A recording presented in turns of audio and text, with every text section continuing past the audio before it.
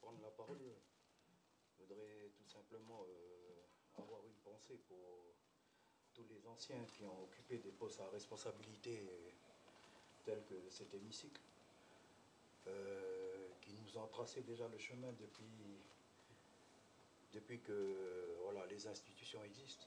Il y a beaucoup de parmi nos anciens, parmi euh, de tous bords. Une pensée à tous ces anciens-là qui ont fait avancer le, pays. Voilà, c'est simplement ce petit geste, c'est pour euh, notre visage à le conseil coutumier de Joubert Kapoumé, ainsi que l'ICAN qui est derrière nous et le collectif Usine du Sud, Usine Pays, ainsi que toutes les, les citoyens de ce pays qui, qui s'identifient à, à, nous, pour dire à cette honorable assemblée que Monsieur le Président du Congrès, ainsi qu'à tous vos collègues ici présents, que c'est avec beaucoup de respect et d'humilité qu'on rentre ici, dans cette maison. Et on rentre ici avec euh, la pensée de venir euh, interpeller les bons sens, le bon sens des uns et des autres, le bon sens euh, des pères et mères calédoniennes de ce pays, pour nous et remercier de nous écouter. Écouter, et tout à l'heure on aura l'occasion d'étayer notre point de vue. Simplement pour vous dire que euh, notre, le projet, c'est un projet pays qui concerne tous les enfants de ce pays, euh, quelle que soit sa couleur de peau, quelle que soit euh, sa appartenance politique. Il n'y a pas de, frontières quand il s'agit de penser pays. Et nous, les coutumiers de Djoubert Kapomé, avec les, conseils coutumiers de 8 et le Sénat coutumier, on est, on est fiers avec humilité de porter cette parole-là. Donc simplement ce petit geste, c'est pour voilà, nouer euh, les échanges qu'on va avoir. Ici, euh, quand on rentre ici ou bien au gouvernement, c'est bien marqué, terre d'accueil, terre de parole. Ben voilà, c'est pour euh, réallumer cette flamme-là de terre d'accueil, terre de parole, terre de partage. Et puis ça veut dire aussi qu'on a peut-être des divergences d'idées, mais on peut se retrouver quand on, quand on se rassemble pour pouvoir discuter. Voilà, simplement un petit geste pour dire merci de nous accueillir ici et de voir nous écouter. Voilà, tout quoi.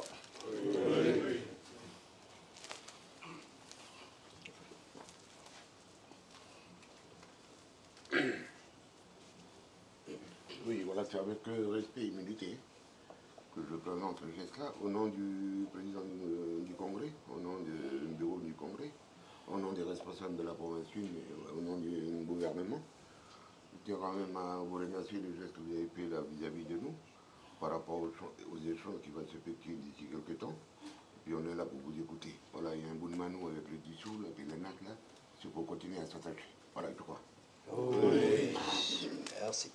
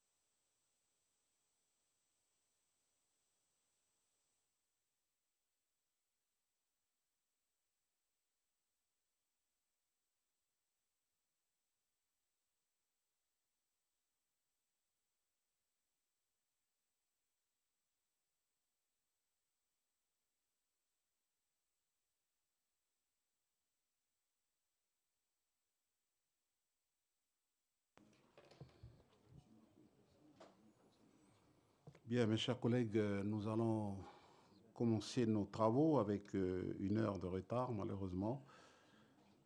Le bureau élargi a eu euh, donc à traiter quelques problèmes de procédure relatifs à l'article 49-1 du règlement intérieur.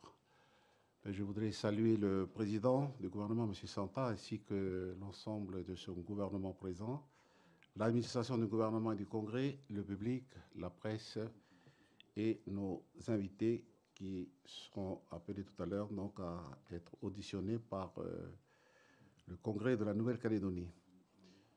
Donc vous avez été convoqué en séance publique par courrier en date du 8 septembre 2020, diffusé par mail le même jour suite à une demande de session extraordinaire formulée par 34 conseillers de la Nouvelle-Calédonie par courrier en date du 2 septembre 2020. Madame Isabelle Kaloy Berouné, elle est voilà. Donc, c'est Monsieur Salina, secrétaire du bureau. Est-ce que vous pouvez procéder à l'appel des élus pour vérifier les conditions de quorum, s'il vous plaît? Monsieur le Président. Madame Baquès. Madame Barbier est absente de la procuration Monsieur Favreau. Monsieur Bez est absent de la procuration Madame Baquès. Monsieur Brial. Monsieur Brinan. Monsieur Crenier, absent. Monsieur Couilleno. Monsieur, Dunoy, euh, Monsieur le député Dunoy. Madame Fèvre est absente, est, est excusée. Madame Falayo. Monsieur Favreau. Monsieur Frogier Brio, Brieux. Monsieur Goa. Madame Goa est absent. Est absente. Monsieur le député Gomez. Monsieur Goromido est absent. Madame Meo est absente. Madame Jalabert. Présente. Madame Kalo Iberoune est absente. Madame Kak. Madame Inès. Madame Wright est absente. Monsieur le Président Lali est absent. Madame Machero est absente. Madame Malfa. Madame Manouharalo est absente de notre procuration, Monsieur Michel. Monsieur Mapo est absent et de notre procuration, Madame Tioué. Monsieur Mesdorf. Monsieur Michel. Monsieur Monta Madame Montagna. Madame est absente.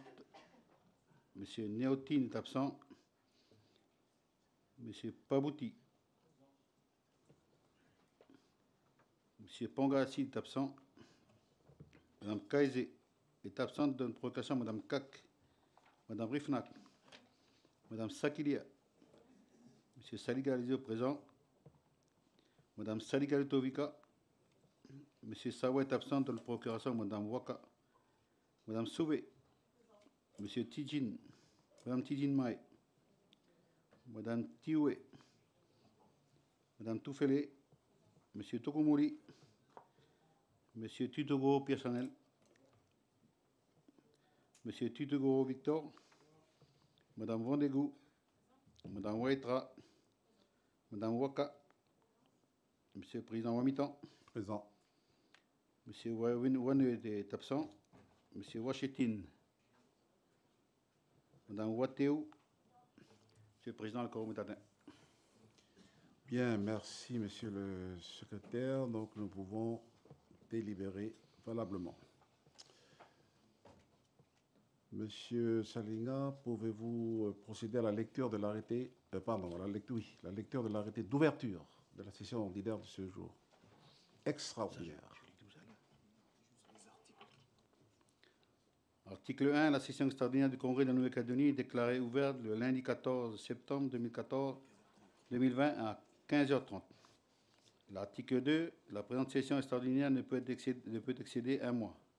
Article 3. Le présent arrêté sera transmis au commissaire de la République ainsi qu'au gouvernement et publié au journal officiel de Nouvelle-Calédonie. Bien, merci. Alors, donc, nous avons donc euh, pour euh, l'ordre du jour donc, euh, un premier point concernant des auditions. Normalement, nous avons prévu sept auditions. L'examen d'une proposition de délibération et l'examen d'une proposition de vœux. Nous allons donc prendre le premier point à l'ordre du jour. Il s'agit des auditions. Donc, il y en a sept. L'audition des représentants de Valais NC sur l'état d'avancement dans la procédure de session.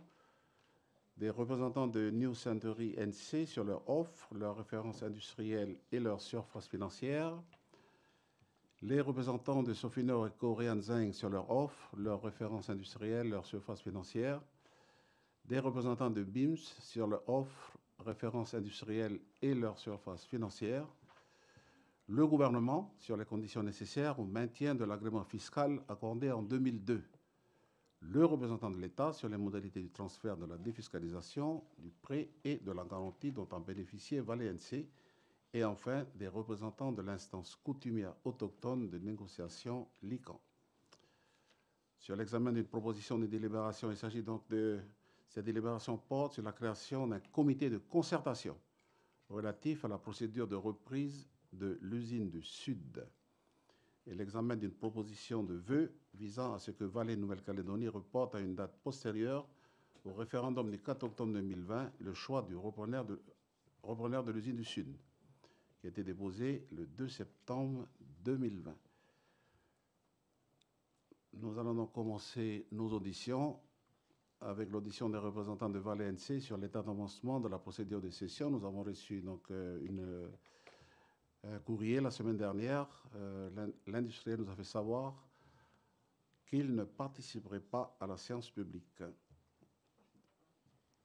Sur l'audition des représentants de New Century NC, sur leur offre, leurs références industrielles et leur surface financière, l'industriel a fait savoir par mail en date du 10 septembre 2020 qu'il ne participerait pas à la séance publique.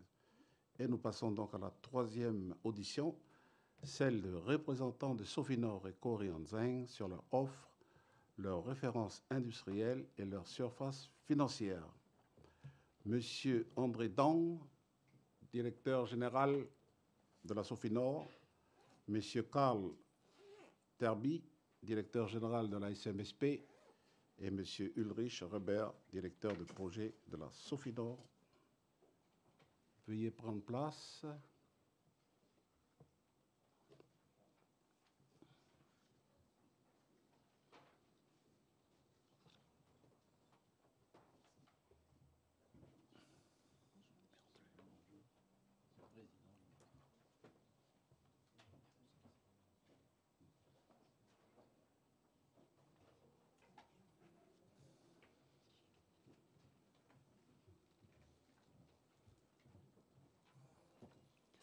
Monsieur le député Gomez, vous avez, demandé la parole. Merci, Monsieur le Président. Euh, Monsieur le Président, je, vous remercie donc d'avoir convoqué cette session extraordinaire.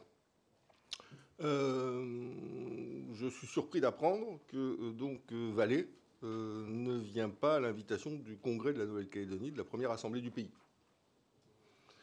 Il est quand même curieux qu'un industriel installé désormais de longue date en Nouvelle-Calédonie, puisque la procédure de rachat a été effectuée en 2006, sollicitant régulièrement les institutions du pays, qu'il s'agisse du Congrès en ce qui concerne les dispositions fiscales ou euh, de droit du travail particulières qui ont dû être adoptées pour que cette usine s'installe, sollicitant la province sud en ce qui concerne l'ensemble des processus en matière de garantie environnementale qu'il a fallu apporter euh, dans le cadre de la construction de l'usine et ensuite de son exploitation, qu'il s'agisse des populations locales ou des coutumiers qui ont été aussi largement sollicités tout au long du processus jusqu'à aboutir à la signature du pacte de développement durable. En clair, qu'un industriel qui a sollicité à de nombreuses reprises, parfois dans des conditions très difficiles, le concours et l'aide des institutions, des coutumiers ou des populations locales, lorsqu'il est invité à venir simplement dans une séance d'information euh, du Congrès de la Nouvelle-Calédonie à exposer euh, la teneur euh, des offres qui lui ont été faites et la manière dont les choses sont censées se dérouler, que cet industriel-là se dérobe est pour le moins, euh, est pour le moins douteux et, renforce l'opacité euh, qu'a ce dossier aujourd'hui dans notre pays. Alors, Monsieur le Président, s'il suffisait, je m'adresse à vous, hein, s'il suffisait de ne pas venir pour se dérober aux questions, ça serait trop facile. Hein. Donc, indépendamment du fait que l'industriel n'est pas venu, le groupe Calédonie Ensemble, par ma voix, souhaite poser un certain nombre de questions, parce que l'industriel ne vient pas, mais les questions sont là, et elles sont sur la table. Et je crois qu'il est nécessaire que, d'une manière ou d'une autre, nous, obtienne, nous obtenons réponse à ces questions. J'ai vu que l'industriel, par la voix de son président de Vallée-Nouvelle-Calédonie, a déclaré que les politiques ne s'occupent pas de mon dossier. Je constate qu'il sollicite l'intervention des politiques, ne serait-ce qu'au travers de la modification du code minier, de façon à ce que les 2 millions de tonnes d'exportation nécessaires au projet de reprise lui soient apportées. Donc, euh, les politiques, en l'espèce les responsables institutionnels, ont non seulement le droit, mais le devoir de demander un certain nombre d'explications et d'éclaircissements à l'industriel. Euh, donc, ces éclaircissements sont les suivants, Monsieur le Président. Le 30 avril 2019, Vallée a déclaré par la voix de Marc Travers, président de Vallée Canada, lors de la signature de l'avenant au pacte d'actionnaires, je cite, Marc Travers, président de Vallée Canada. Monsieur le Président, nous avons C'est un énorme effort financier pour vraiment consolider. C'est invraisemblable. Attendez, euh, monsieur, cette volonté. Non, madame, madame euh, on peut avoir un débat au moins sur le, fait que le député puisse poser des questions. Est-ce qu'on peut au moins en discuter entre nous? On a, un, interlocuteur qui n'est pas là. Est-ce qu'on peut au moins débattre entre nous de l'opportunité que le député Gomez pose des questions à un interlocuteur qui n'est pas là Je ne suis pas aux ordres de Mme Ruffin. Non, mais on peut peut-être en débattre, Monsieur le Président. Non, mais Avant de le laisser euh, dérouler des tout questions. a été fait pour que cette séance n'ait pas lieu. Tout est fait maintenant pour qu'on ne pose pas des questions. tout est fait pour empêcher les conseillers d'y participer. C'est quand même invraisemblable cette affaire. Non, je ne suis pas membre de la mission d'information. Votre groupe en est que j'ai créé. Il n'y avait pas de caméra. Je vais, pas, je vais lever la séance et vous continuez. Bon. Alors, laissez monsieur le député finir et puis on va, je vais donner la parole à monsieur Dang. Allez, monsieur Gomez, terminez votre intervention. Merci, monsieur le président du Congrès, euh, de bien vouloir faire respecter le règlement intérieur, la loi organique et la constitution de la République. Non, mais allez-y, allez-y, monsieur. Le 30 avril 2019, mais on n'est pas pressé, monsieur le président, c'est un sujet très important qui est qui est essentiel à l'échelle du pays. On est pressé, là. Président de Vallée Canada, d'autant plus qu'on démarre une heure et demie en retard. C'est un énorme effort financier pour vraiment consolider l'histoire de Vallée NC pour en faire un succès. Ça, c'était en avril 2019. Là, le président de Vallée Canada, il était à fond. Nous avons plusieurs projets en cours, je cite, pour en faire une opération durable. Et c'est aussi très important pour être sûr, je cite toujours, que la Nouvelle-Calédonie, via la SPMSC, participe au succès futur. Donc on voit qu'il était extrêmement confiant, M. Travers, président de Vallée, après que nous ayons négocié avec quelques autres le pacte d'actionnaires nouveau qui a été adopté à l'unanimité de la province sud. Le président Travers rappelait aussi, je cite, l'usine du Sud sert à produire du nickel et du cobalt, essentiel pour le marché émergent des batteries électriques. Elle emploie 3500 personnes. Nous sommes un moteur de développement économique et social. Monsieur Borrier n'était pas en reste non plus à l'époque, toujours avril 2019. Ce pacte nous permet de nous tourner vers l'avenir avec le maximum de confiance et d'atouts possibles. C'est pour moi un jour heureux, disait-il, un jour positif. Le groupe Vallée a également revu tous les contrats intra-groupes que nous avions, prix de transfert, frais de commercialisation, avec pour conséquence immédiate, déclaration de M. Barrier, l'augmentation de 4 milliards de francs CFP, le résultat local de l'entreprise. C'est un jour heureux pour un patron local, puisque tous les leviers s'articulent au mieux Septembre 2019, là, c'est le premier changement de cap. Provinciales ne sont pas très loin.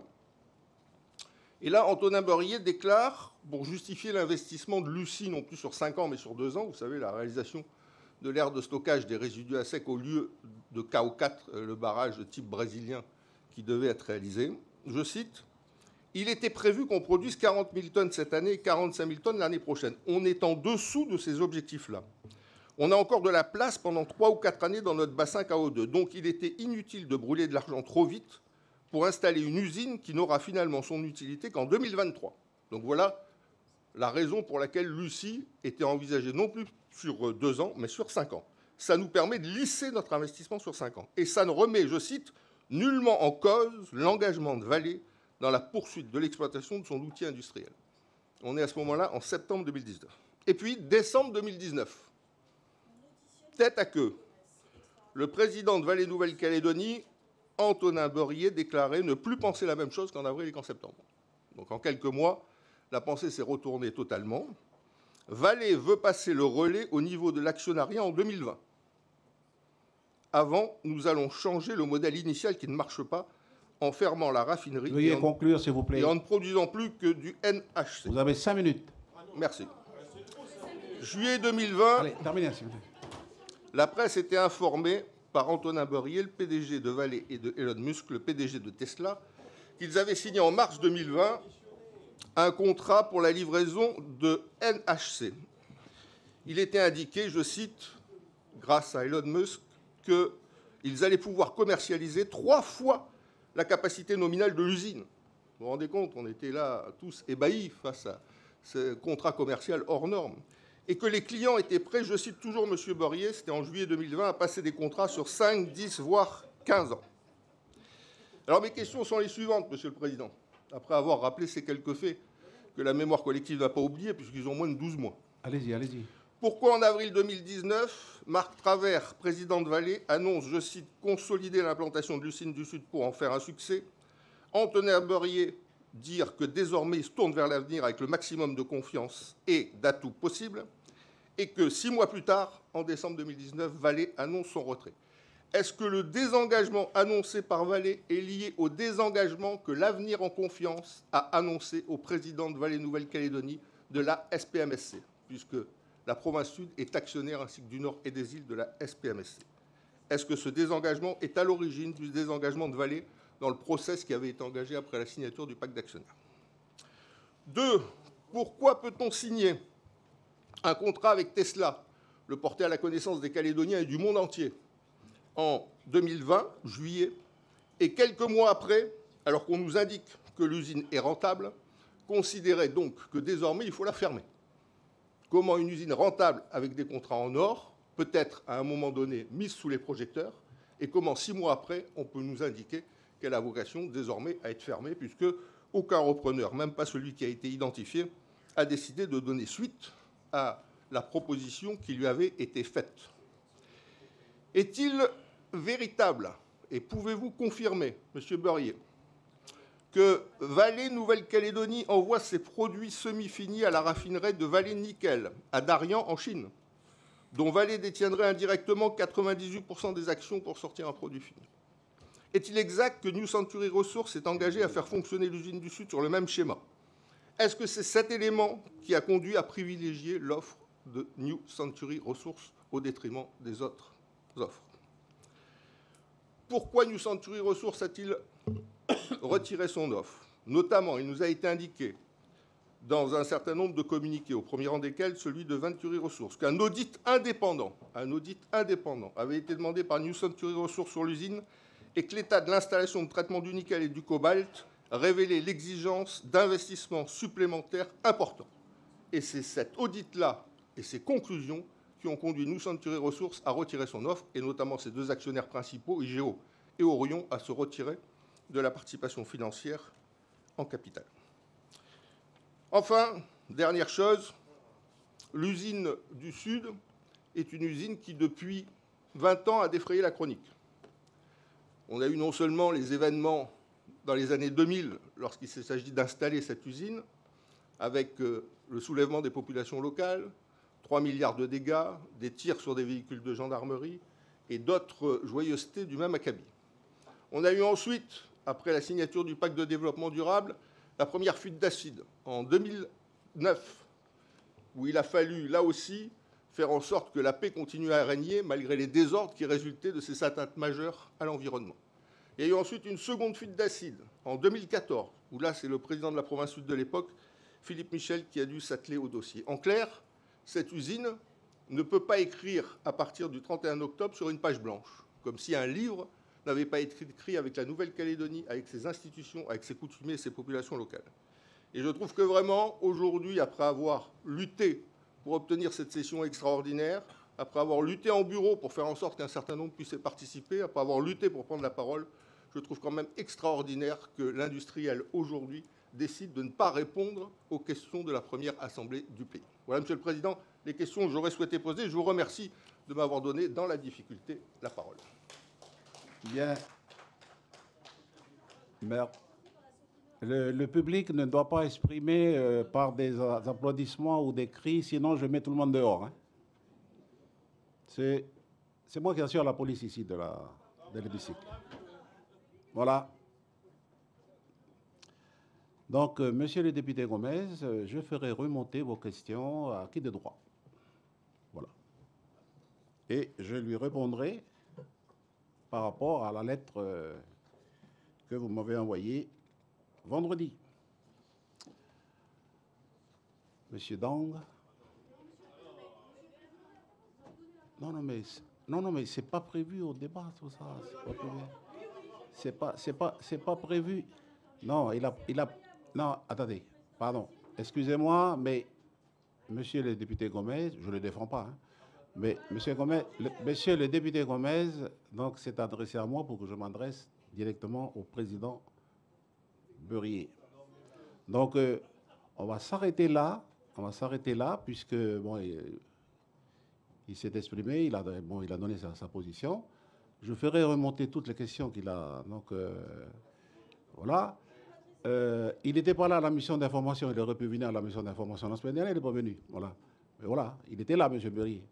Donc il pourra lire euh, avec beaucoup de plaisir ce que M. Berry a dit, puisque c'est, comment dire, c'est dans le, dans le PV de la réunion de la semaine dernière. Mais de grâce, comment, on va s'arrêter là, s'il vous plaît. Hein. Non, non, non, il n'y a pas de. Non, mais vous allez pouvoir vous adresser à M. Berry après, parce qu'après, il y a un débat. Bon, allez, deux minutes, allez. Mais deux minutes, hein ah, ah oui, lui, il en, a eu, il en a eu 15, donc j'ai droit à deux, fantastique.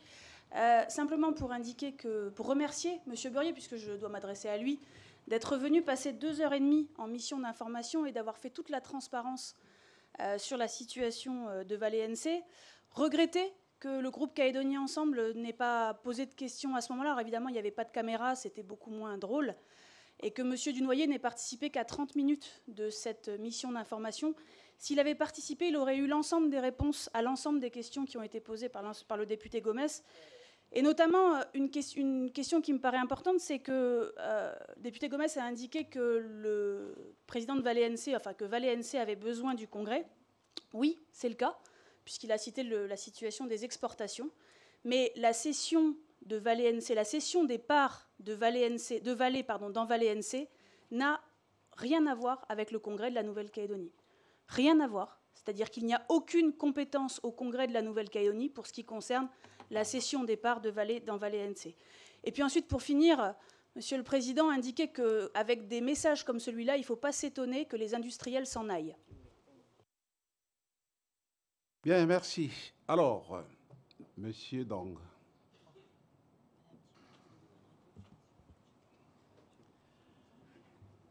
Monsieur le Président du Congrès, Monsieur le Président du gouvernement, Messieurs les députés,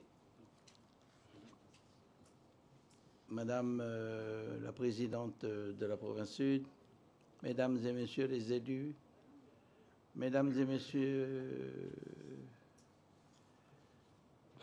C'est à la suite. Euh, tout d'abord, je voudrais vous remercier de votre invitation. Nous sommes venus ici pour vous présenter l'offre que nous avons faite à Valley Canada et via Rothschild. Euh, je vais passer la parole à notre directeur de projet. Il va vous expliquer, vous démontrer exactement tous les. Monsieur Ulrich Robert, s'il vous plaît. Euh, monsieur le Président, euh, Mesdames et Messieurs les élus euh, du Congrès, Madame la Présidente de la province Sud, nous vous remercions pour l'opportunité que vous nous offrez aujourd'hui de, présenter notre projet, notre offre de reprise. comme vous le savez, nous sommes dans le cadre d'un appel d'offres international. Donc on se présente à vous aujourd'hui en tant que candidat en fait, à un appel d'offres et euh, nous représentons aujourd'hui notre partenaire, donc Coréa Zing, donc, qui a été invité donc, euh, dans la lettre au, Congrès et qui ne peut pas en fait être présent euh, aujourd'hui. Donc nous avons un courrier que j'ai mis sur l'ordinateur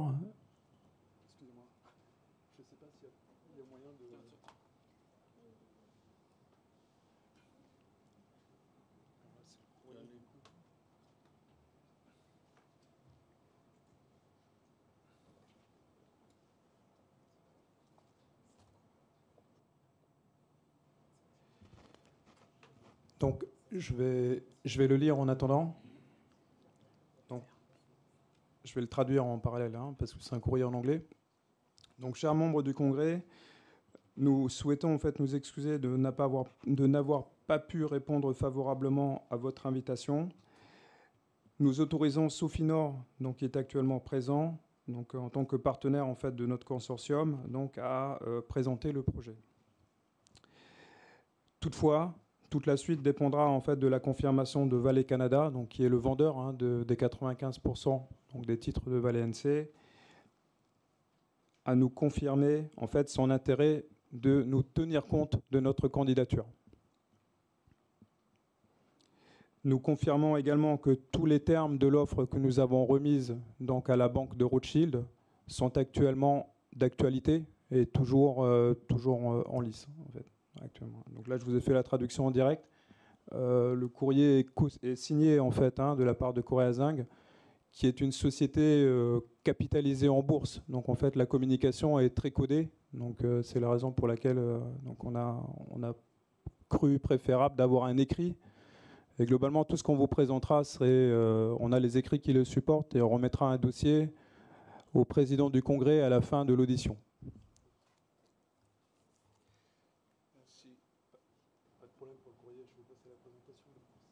Là, vous passez à la présentation Ok. Très bien. Très bien. Donc, euh, nous avons euh, une dizaine de slides. Donc, ça représente environ 20 minutes de présentation on propose de faire la présentation d'une traite et ensuite euh, bah, de, partager les questions-réponses de, façon à ce que ça soit plus, plus efficace.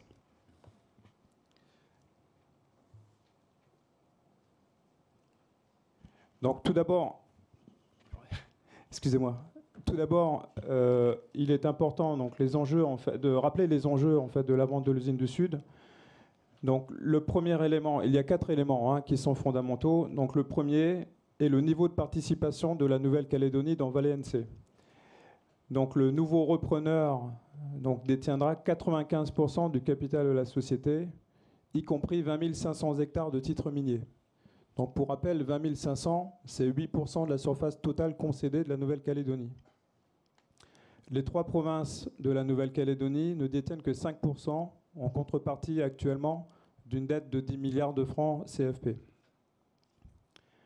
Le deuxième enjeu absolument essentiel, c'est l'emplacement de l'usine. L'emplacement de l'usine est stratégique à deux titres. Donc, d'une part, il se situe à moins de 10 km donc de trois gisements latéritiques de classe mondiale, donc celui de Goro, celui de Prony et Pernod.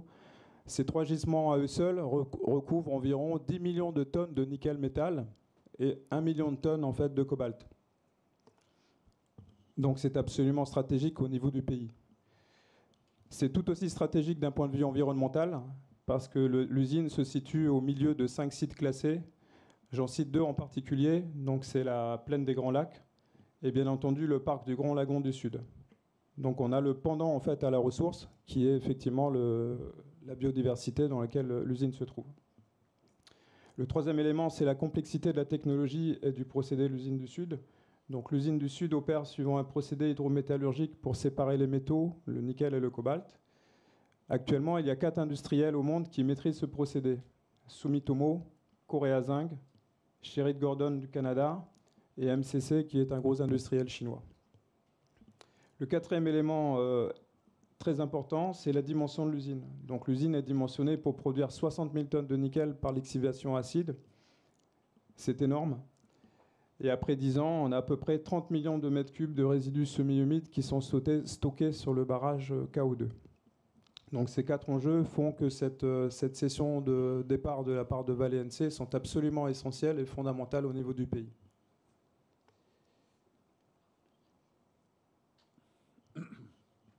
Donc pourquoi nous sommes-nous portés candidats? Donc trois raisons. Donc tout d'abord, Vallée a décidé de mettre en vente. Donc on ne serait pas porté candidat si euh, l'usine n'était pas en vente. C'est le premier point. Le deuxième point, c'est qu'on a pu convaincre un investisseur, donc un industriel de premier plan, de nous rejoindre pour soumissionner et remettre une offre. Le troisième point, qui est plus une dimension pays en fait qu'une dimension industrielle, c'est qu'il s'agit d'une opportunité unique de détenir 56% en fait de cette usine au lieu d'en détenir 5%. Alors, avec quelle vision et quels objectifs est-ce que nous avons porté notre candidature? Donc, la première est de mieux protéger l'environnement immédiat de l'usine et de, excusez-moi, et de rendre l'usine rentable de façon systémique et durable. Et grâce à cette rentabilité, de mieux protéger l'environnement immédiat de l'usine, de bâtir une action collective cohérente entre les instances coutumières, les salariés et les sous-traitants, ainsi que la collectivité publique, et le troisième élément est de pouvoir diversifier indépendamment du nickel et réparer progressivement les impacts liés à l'activité euh, minière. Alors, comme je le, c'est un peu, un peu touffu hein, comme diagramme, mais c'est un chronogramme. En fait, c'est un calendrier. Donc, ce calendrier, il explique clairement toutes les phases de l'appel d'offres auquel nous avons soumissionné. Comme je l'ai indiqué, chaque point correspond à un écrit et chaque écrit sera remis en fait dans le dossier que je remettrai au président en fait du congrès. Donc tout d'abord, il y a eu la, lettre euh, c'est pratique. Il y a eu la, la lettre la lettre d'engagement en fait, nous avons écrit nous avons écrit à la banque Rothschild en fait le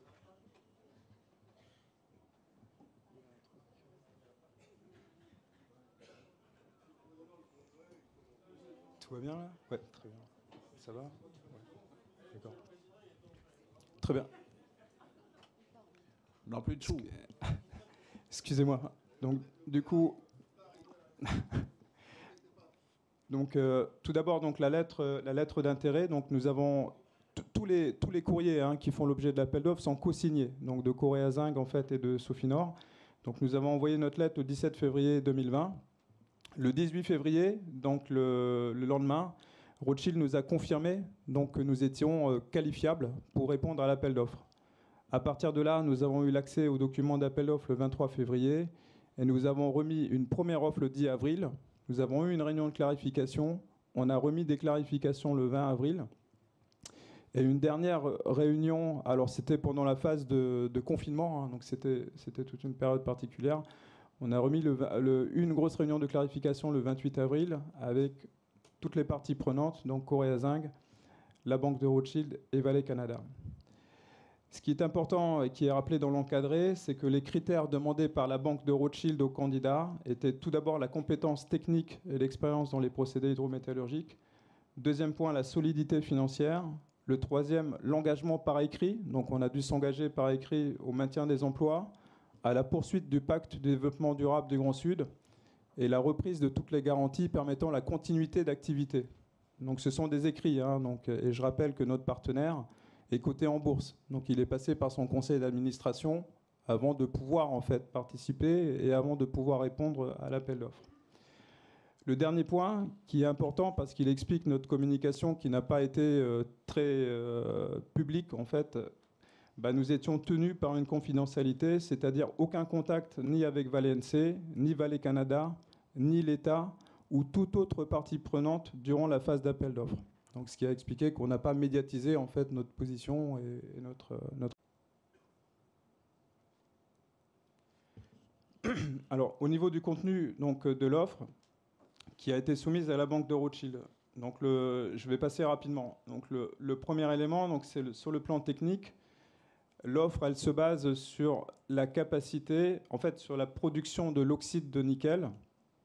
Donc, il s'agit en fait d'une simplification et d'une modification de la raffinerie existante. Il faut savoir que ça a été extrêmement compliqué en fait sur cette usine, qui est en fin de compte plusieurs usines. Il y a une usine qui fabrique du NHC, donc un produit semi-fini, et il y a une raffinerie qui permet d'aller jusqu'au produit fini. Donc, grâce à la technicité en fait de Coréa Zinc, donc de notre partenaire, nous proposons en fait de réouvrir, mais bien entendu en fait de simplifier cette, euh, cette raffinerie. Sur le plan financier, donc notre partenaire en fait finance l'investissement lié à la modification de cette raffinerie et on reprend donc au niveau de l'appel d'offres, on s'était fixé euh, pour le calendrier le 31 décembre 2020 pour passer en fait le témoin entre Vallée Canada et le nouveau, euh, le nouveau propriétaire. Donc sur l'année 2020, charge à Valais NC en fait de, de, répondre à toutes les charges actuelles. Et à partir du 1er janvier 2021, bah, c'était bah, la base de notre candidature. On reprenait en fait la totalité des charges.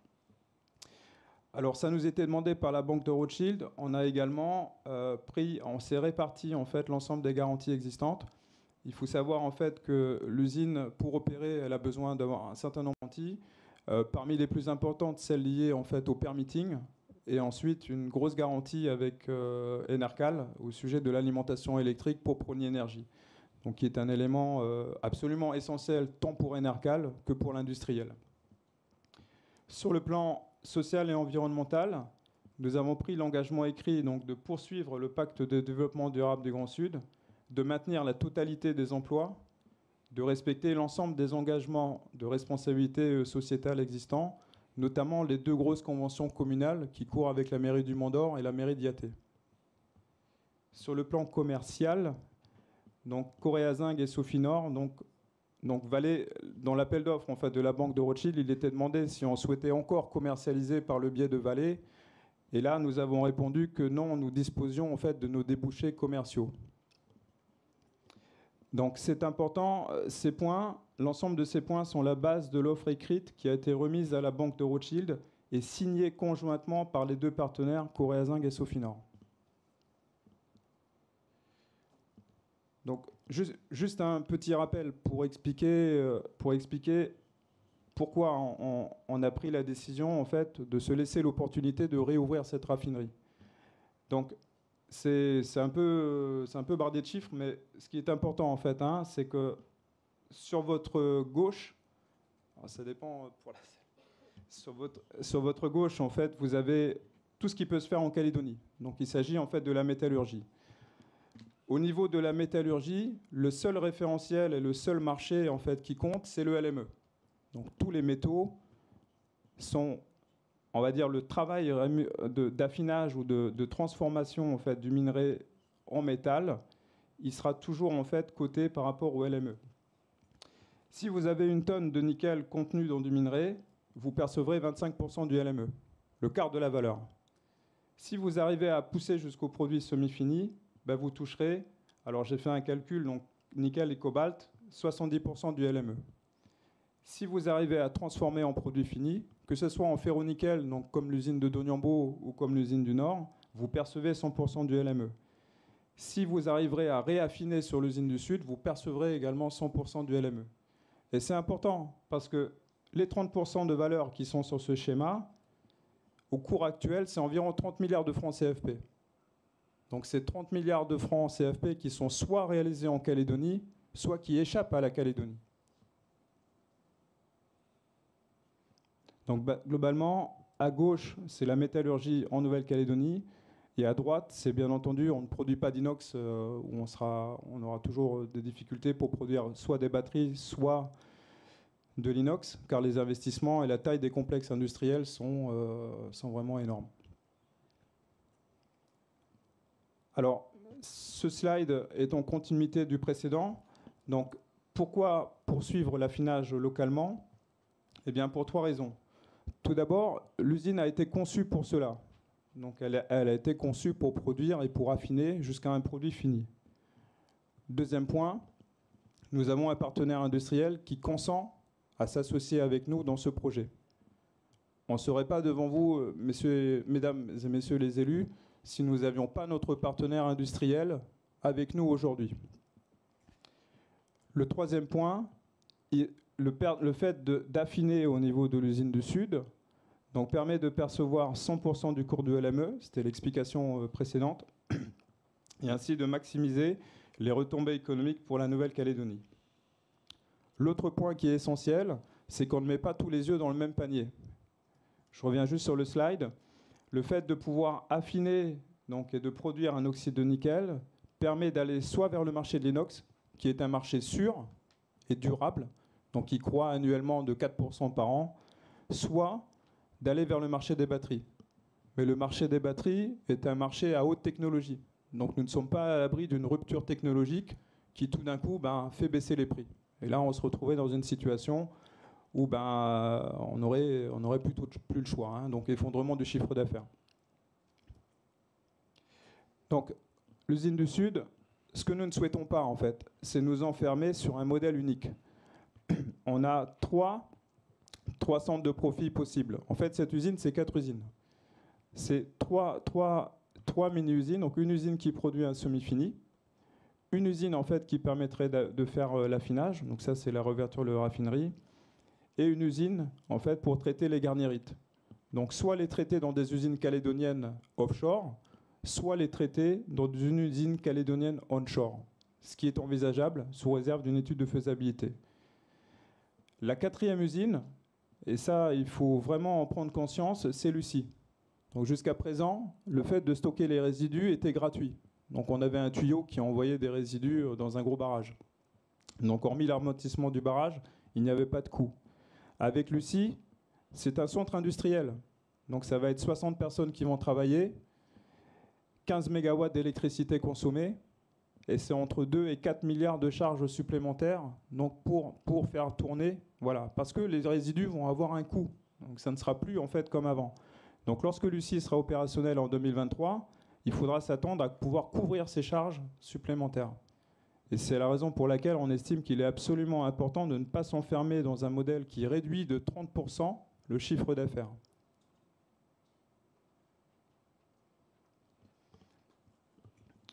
Alors j'ai bientôt fini, je vais passer rapidement sur Corée Zinc. Corazing est une société qui est cotée publiquement, donc euh, vous pouvez trouver toutes les informations sur Internet, donc il n'y a absolument rien à, rien à cacher. La capitalisation boursière de Corée est de 700 milliards de francs CFP. C'est une société qui a 46 ans d'expérience dans l'hydrométallurgie et l'affinage de métaux. Ce sont des spécialistes en affinage de métaux. Pourquoi c'est important? Parce qu'on voit en fait qu'à 1200 salariés, ils génèrent environ 53, entre 50 et 54 milliards de francs CFP, donc de profit net par an. Donc c'est expliquer en fait à quel point l'affinage est un élément essentiel. C'est logique, plus vous montez dans la chaîne de valeur, plus les montants sont importants. À quantité de travail moindre, vous produisez plus de valeur. Donc c'est un facteur qui est important, c'est un facteur d'efficience. Voilà, il opère également trois usines, hein, dont une, située à Townsville, dans l'État du Queensland. Ça se passe bien, ils sont implantés depuis une vingtaine d'années.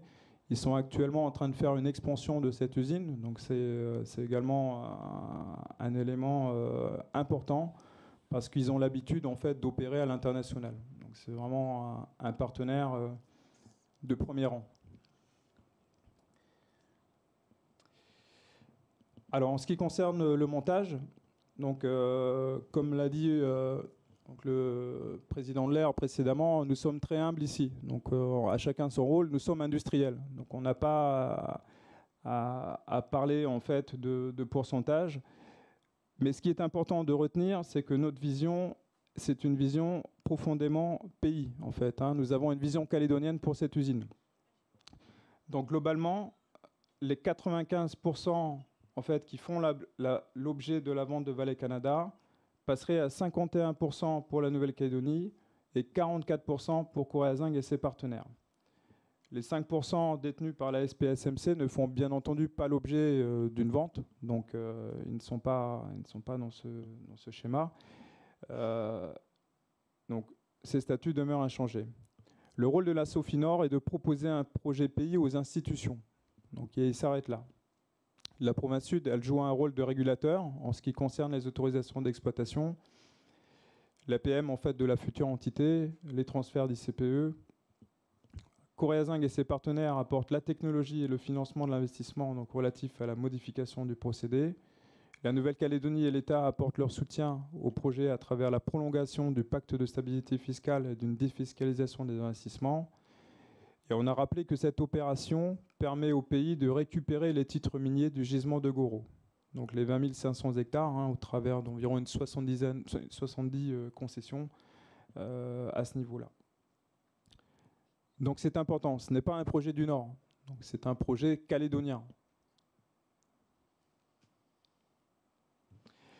Donc la, la conclusion, donc tout d'abord, on estime en fait que la complexité de l'usine du Sud impose de disposer d'un repreneur compétent et expérimenté en affinage. Deuxième point, on estime qu'affiner localement permet de rendre sa rentabilité à l'usine et offre une plus grande valeur ajoutée au pays.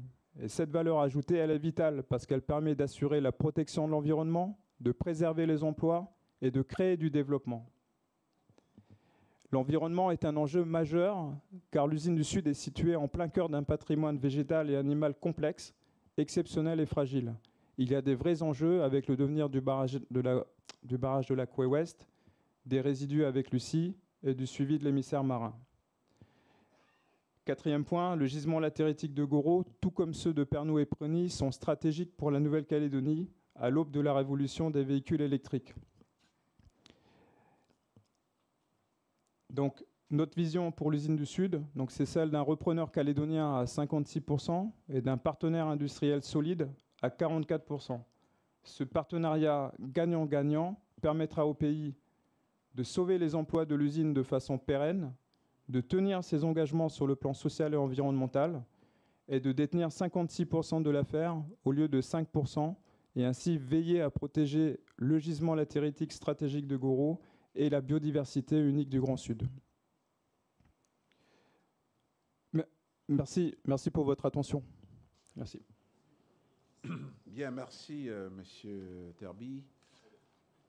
Alors, euh, Monsieur Dan, euh, vous avez encore des choses à dire au niveau de votre... Non, mais je voulais remercier... Euh, euh, je voulais vous remercier à vous, vous, Monsieur le Président, Monsieur le Président du, gouvernement, ainsi que les députés, Messieurs et Mesdames les élus du pays, de nous donner cette possibilité de vous exposer.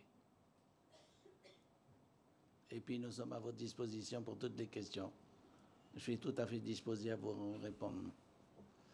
Il est vrai aussi, vous demandez si j'ai le contact avec Canada. Valais Canada, oui. Je suis toujours dans la liste et je suis en contact avec le Canada. Et nous avons des, réunions de discussion, de négociation, puisqu'avec le coronavirus, virus, on ne peut pas se déplacer. Donc, euh, on travaille. Euh, avec euh, le Canada, Rothschild euh, et Toronto, euh, et aussi Vallée du Brésil, Corée Zinc et nous-mêmes. Voilà, messieurs, dames. Mais c'est Vallée qui décideront de notre offre. Avant de faire l'offre finale, nous avons sollicité la possibilité de visiter l'usine et procéder à une, une diligence et, la, visite de, l'usine. Et ça sera à Vallée de décider. Vallée, Brésil et Toronto, car c'est euh, Vallée de Canada qui décide, qui vendent, mais bien sûr, le propriétaire, c'est tout de même. Euh, le grand patron, c'est tout de même Vallée euh, du Brésil. Voilà, messieurs, dames. Bien, merci, euh, Monsieur Dang. Alors, mes chers collègues, vous avez la parole. Qui souhaite prendre la parole? Pour des questions, des commentaires, Monsieur Progy. Merci. Merci. Monsieur le Président. Euh, ma première question, elle porte. Euh, donc, si j'ai bien compris, vous êtes les représentants de la SMSP et de la Sofinor. Moi, je suis le directeur général, le directeur de la Sofinor. D'accord. Donc là, on a la Sofinor. Oui. Mais dans le montage, vous nous dites que les 95% sont achetés donc par, je suppose, 56%, enfin, ça, euh, les 100% du futur capital se distinguent avec 5% de SPMSC, 51% Nouvelle-Calédonie et 44% Corée Oui, monsieur. Vous êtes où là-dedans, vous? Qui nous? On est au service du pays, monsieur et au, pays de décider. Et ce n'est pas un projet comme certains disaient, certains certaines disaient que projet d'angle. Je suis au service, je suis à votre service. Ok. Euh, merci. Donc, je vais poursuivre. deuxième je vous en prie. c'est gentil. Euh, ma deuxième question, c'est que pour la transaction, de ce qu'on a compris un peu depuis le début, enfin pour ceux qui ont participé à la, commission, enfin à la mission qui, où on avait toutes les explications sur le sujet, il faut grosso modo 100 milliards CFP pour euh, pouvoir continuer euh, l'exploitation de l'usine et que la transaction se passe bien. Donc là, qui met de l'argent dans, le, dans la reprise? C'est la Nouvelle-Calédonie qui doit mettre 500 euh, millions? C'est Corée Zinc? Il y a un engagement de Corée Zinc pour, pour mettre de l'argent? Enfin, là, là, on a une belle présentation. Hein, il n'y a pas de souci là-dessus. Mais au final, on n'a aucune explication sur, euh, sur comment on paye. Nous sommes, c'est dans la confidentialité, et nous sommes en négociation avec Valais en ce moment, Canada.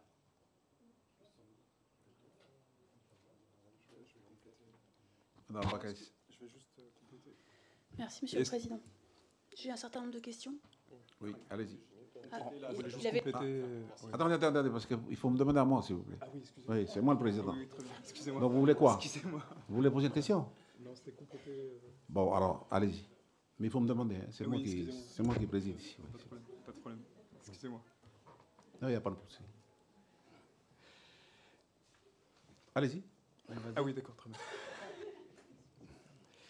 Oui, donc euh, effectivement, donc, euh, comme le dit Monsieur Dank, donc on est actuellement entré dans une phase qui suit ce que je vous ai présenté, c'est-à-dire on est sorti du, rang de candidat euh, il y a trois jours. Donc on a, un engagement de discussion avec le propriétaire de l'affaire, qui est Valley Canada. C'est Valley Canada qui détient 95% des, des, titres. En ce qui concerne en fait les montants, donc pour l'instant, l'enveloppe de 100 milliards est souvent arrivée euh, dans la communication ou dans la presse. Il faut bien euh, remettre les choses dans le contexte. Donc c'est-à-dire sur ces 100 milliards, il y a 50 milliards en fait que l'industriel, donc qui part, laisse sur la table au niveau du projet Lucie. Ensuite, il y a 20 milliards qui probablement, et là je parle en fait sous réserve, hein, parce que euh, ça dépendra des discussions qu'on aura, de l'État avec le prêt qui a été consenti, donc un prêt de 24 milliards donc en, 2016. Et ce qu'il reste maintenant, donc c'est la modification de la raffinerie, donc que nous avons projeté. Donc elle revient à un montant d'environ 20 milliards, donc en l'état actuel de nos connaissances, parce qu'il faut qu'on visite le site. Ces 20 milliards donc, sont apportés par Zinc. Et le temps de remettre cette usine, donc la remettre sur le chemin de la rentabilité, donc ça, ça dépend des cours et ça dépendra aussi de notre visite de site, parce qu'on n'est pas à l'abri d'équipements qui est failli. Il faudra probablement euh, compter 20 milliards qui correspondent à un besoin de fonds de roulement. Donc ça, ce sont des éléments euh, tangibles qui seront à mettre sur la table et qui seront apportés par notre partenaire industriel. Je ne sais pas si été clair. Euh, oui, merci. C'est clair, mais en fait, il n'y a, pas d'élément factuel. Quoi. le, problème est là. C'est on ne sait pas ce qu'il faut pour faire tourner l'usine dans votre projet. On ne sait pas combien coûte, la raffinerie. On ne sait pas quelles sont les charges supplémentaires dues à cette raffinerie. Vous nous dites que vous vendez le, le, produit fini à 100% du LME. Euh, toutes les informations qu'on peut avoir ailleurs euh, ne disent pas ça. Euh, et je reviens, je vais vous poser la question à vous, je reviens sur, le, sur ce que j'ai dit tout à l'heure. Là, vous, vous, faites une étude, c'est en toute confidentialité avec euh, Vallée Canada, vous le faites pour le compte de la Nouvelle-Calédonie. La Nouvelle-Calédonie vous a demandé à vous de, de, de, rentrer dans les négociations, de déposer une offre avec la Nouvelle-Calédonie comme partenaire à 51%. Non, non, c'est Sofinan, vous avez bien lu, c'est le nom Sofinan. Ah, donc c'est là, donc c'est pas Ah, donc c'est pas la Nouvelle-Calédonie alors Les 51%. C'est à vous à décider plus tard. Nous avons utilisé le nom de Sofinor SMSP tout simplement parce que nous sommes crédibles sur le plan, international.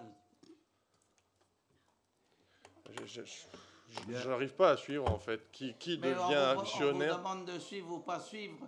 Nous, c'est une. Ah d'accord. Ok. Donc nous, ok. Non, on vous informe aujourd'hui. non, non, aujourd'hui vous êtes auditionné. C'est deux choses différentes. Auditionné, mais nous n'avons rien signé, nous n'avons pas abouti encore l'engagement. On est toujours dans la négociation. Laissez-nous terminer. Ah bah mais la participation, c'est vous qui le décidez. Bien. Alors, vous avez fini, M. Frogy Alors, euh, il y a plusieurs euh, orateurs qui ont demandé la parole. Je crois qu'il y a M. Cueno et M. Gomez, il me semble, M. Euh, Michel et et Mme Virginie.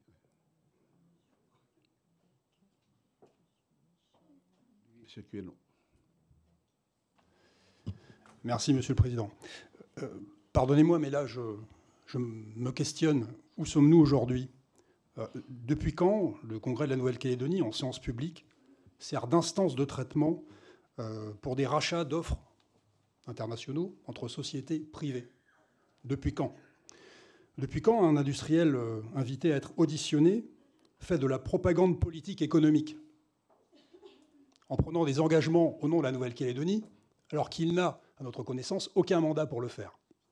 Donc je me pose les questions du fondement juridique et des conséquences que peut avoir notre séance publique aujourd'hui. Voilà, c'est tout ce que j'avais à dire. Merci, Monsieur Michel.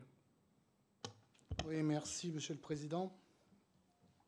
Pour être sûr d'avoir bien compris, est-ce qu'on peut dire que la principale différence entre votre proposition et celle qui était sur la table de la part de New Century Resources, c'est que vous, vous proposez une production d'oxyde de nickel jusqu'au produit fini, euh, ce qui garantit au passage d'ailleurs la production locale de 30 milliards de valeur ajoutée de plus, mais aussi une commercialisation en direct assurée par, euh, euh, l'usine du Sud par rapport à un modèle différent, celui de New Century Resources et de Vallée Nouvelle-Calédonie, euh, qui consistait à produire un produit semi-fini et à le faire raffiner avec le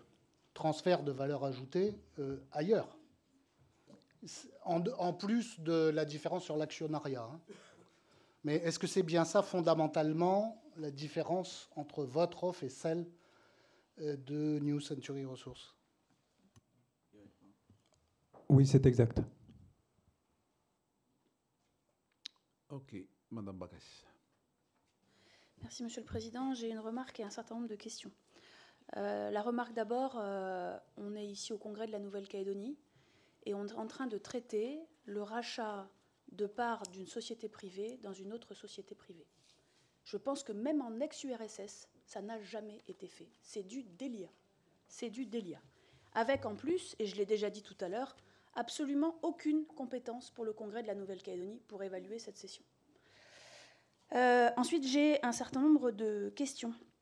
Euh, d'abord, vous avez parlé dans votre... Euh, c'est des questions un peu techniques. Hein, vous avez parlé dans votre présentation de la dette restant pour la SPMSC, que vous avez estimée, je crois, à 10 milliards. Je ne sais pas si vous êtes informé que dans le pacte d'actionnaires, il est prévu l'annulation de cette dette en cas de cession. Euh, donc je ne sais pas si vous l'avez euh, pris en compte. Euh, ça, c'est la première chose. La, seconde chose, c'est que vous, prévoyez le maintien des garanties environnementales. Est-ce que vous avez été informé de l'évolution du montant des garanties environnementales par la province sud? Puisque, évidemment, elles ne sont pas simplement maintenues. ensuite, j'ai un certain nombre de questions. Alors, l'une qui a déjà été posée, mais c'est une question essentielle et, je comprends très bien la question de la confidentialité et du, du secret des affaires, mais vous avez accepté, et on vous en remercie, de venir devant nous aujourd'hui. Si c'est juste pour nous dire que vous avez fait une offre sans nous dire ce qu'il y a dedans, c'est un peu dommage, c'est un peu perdu.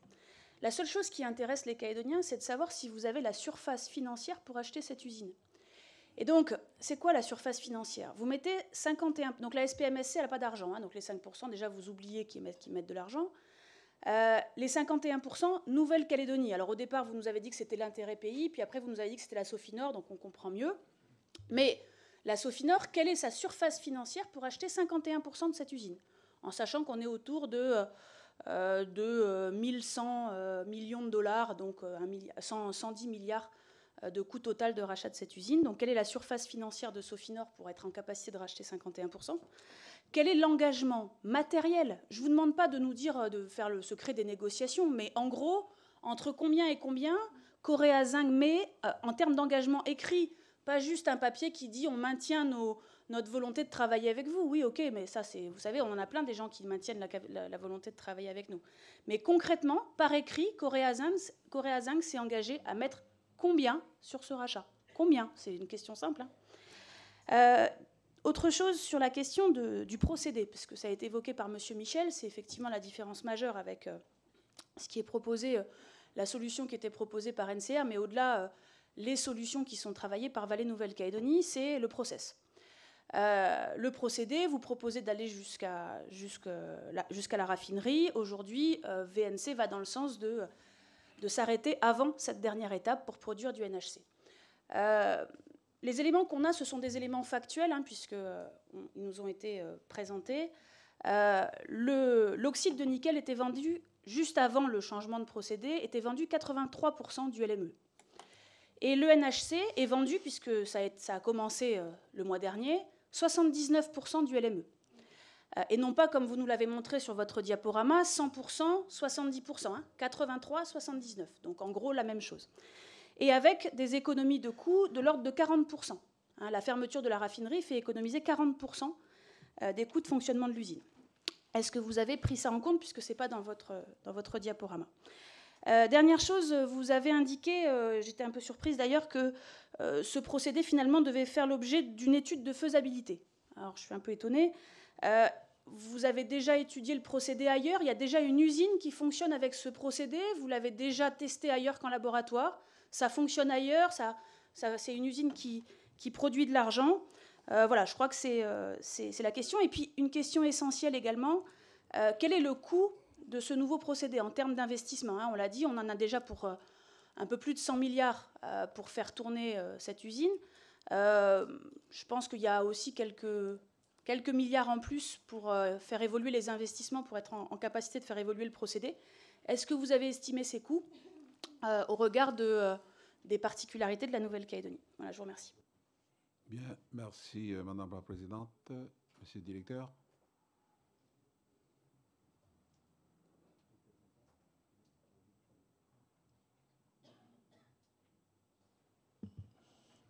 Excusez-moi, donc j'ai noté les huit questions. Juste sur la première, vous pouvez me la rappeler? Excusez-moi.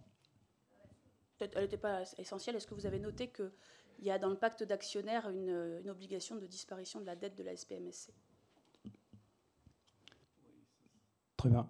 Oui, tout à fait. Encore une fois, hein, nous sommes une entité pays. Donc, euh, par rapport à la SPSMC, voilà, il y a la SPSMC, ouais, en SPSMC, excusez-moi. SPMSC, euh, il y a eu beaucoup de négociations en fait pour réduire euh, la dette, hein, parce que la dette était montée. Il euh, faut rappeler un peu le contexte. Hein. initialement, il y avait 10% de parts, donc ont été diluées en fait à 5. La dette est montée à 47 milliards à un moment donné. Et beaucoup de négociations ont permis de la réduire à 10.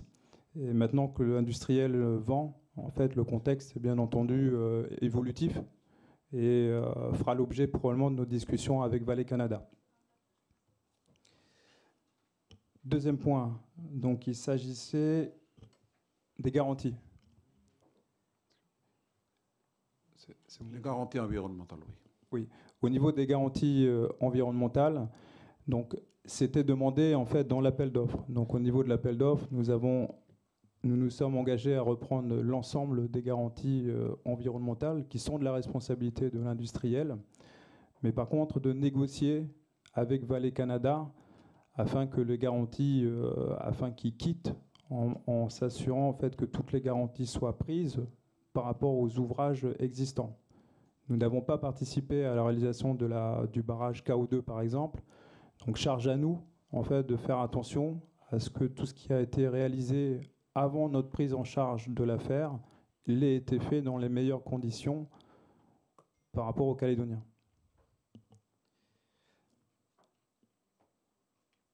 Que n'hésitez pas si c'est pas clair en fait. Hein, euh, enfin, ma, question était de savoir si vous avez euh, des éléments sur l'évolution du montant des garanties environnementales. Ah, alors maintenant qu'on vient de re-rentrer en discussion avec Valley Canada, euh, nous l'avons entendu, mais pas de façon officielle. Donc il va falloir bien entendu remettre ces sujets bien sur la table. Nous avons entendu que ces garanties avaient été doublées. Donc c'est bon pour le pays, et nous sommes le pays, encore une fois. Hein. Donc, euh,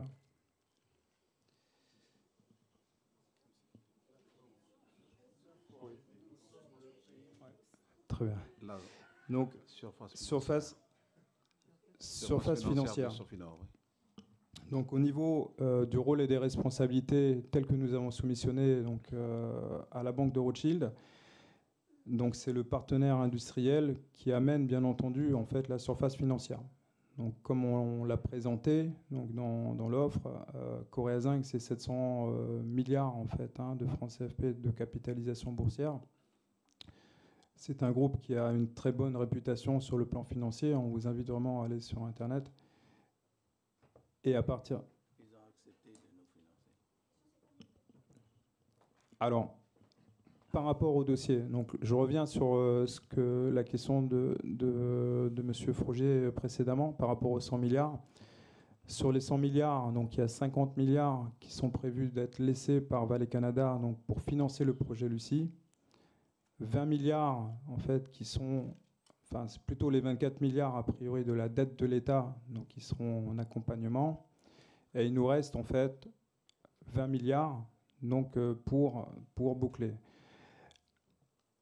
Comme nous l'avons indiqué, donc, tout cela doit faire l'objet d'une due diligence. Donc, les 105 jours qui ont été accordés à New Century, donc c'est 105 jours qui lui ont été accordés pour pouvoir vérifier l'affaire et pouvoir vérifier les conditions de la reprise. Donc c'est un des points que nous demanderons probablement à Valley Canada, donc c'est d'avoir une période pour pouvoir avoir accès au site et confirmer donc la base de notre offre.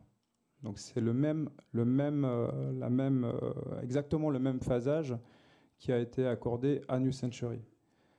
Pour répondre à la question de l'investissement, donc en ce qui concerne la modification de la raffinerie, nous avons évalué entre 15 et 20 milliards de francs donc l'investissement nécessaire pour simplifier le fonctionnement de cette raffinerie.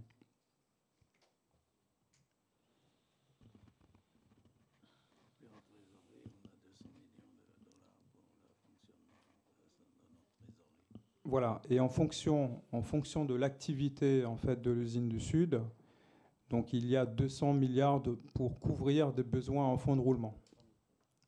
20 milliards, excusez-moi. 20 milliards pour couvrir. Il y a une dernière question. Alors, il y avait, tout un tas de questions. Sur l'étude de faisabilité. Oui, alors, si, ouais, les prix. Ah, excusez-moi, du coup, j'ai noté la question euh, sur le process. le process, oui. Ah ouais, donc la question numéro 6 qui portait sur le process. Donc, donc il faut savoir que le, métier en fait de Corée Zinc, c'est d'affiner les métaux. Donc il a réellement euh, un demi-siècle. Voilà, ce sont des affineurs, hein, c'est leur spécialité. Donc il n'y a aucune ambiguïté. Voilà, il n'y a aucune ambiguïté en fait sur leur capacité technique et technologique donc à faire fonctionner euh, cette raffinerie.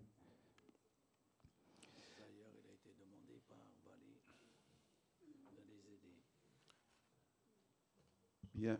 Alors, je, vais. Ah, vous avez une question? Euh, Alors, très rapidement, donc, par rapport au, montant, donc j'avais noté la question par rapport aux 83% du LME. C'est effectivement lié à la qualité, alors la qualité de l'affinage. Donc, il est vrai peut-être que NC actuellement, en produisant de l'oxyde de nickel, ne perçoit pas 100% en fait du LME. Ce n'est pas ce qui est prévu avec Coréa Zinc. Encore une fois, parce qu'il a la capacité à affiner, donc le, LME, il est, très, il est, euh, il est vraiment très, euh, très clair en fait. Hein. C'est la capacité à produire un élément euh, pur qui vous donne une décote ou une surcote par rapport à la tarification. Les 70% pour le MHC, le marché est en cours d'évolution. On ne dit pas en fait qu'on va absolument chercher à produire 100% d'oxyde de nickel. Ce qu'on dit par contre, c'est qu'on ne doit pas s'enfermer dans une solution technique on doit se donner plusieurs solutions techniques. Mais l'opportunité, grâce aux partenaires industriels, de pouvoir affiner localement est absolument important en fait pour cette usine. Ah, Alors la question numéro 7. l'étude de faisabilité, en fait, pour l'oxyde de, nickel. Oui, alors là, je reviens sur la crédibilité technique en fait du partenaire industriel. Donc, il faut savoir, il faut savoir en fait que Corée Zinc a été impliqué à la conception de l'usine du Sud avec l'industriel Inco. Donc, il a une parfaite connaissance en fait de cette, de cette usine et de son fonctionnement. Donc il n'y a pas d'improvisation.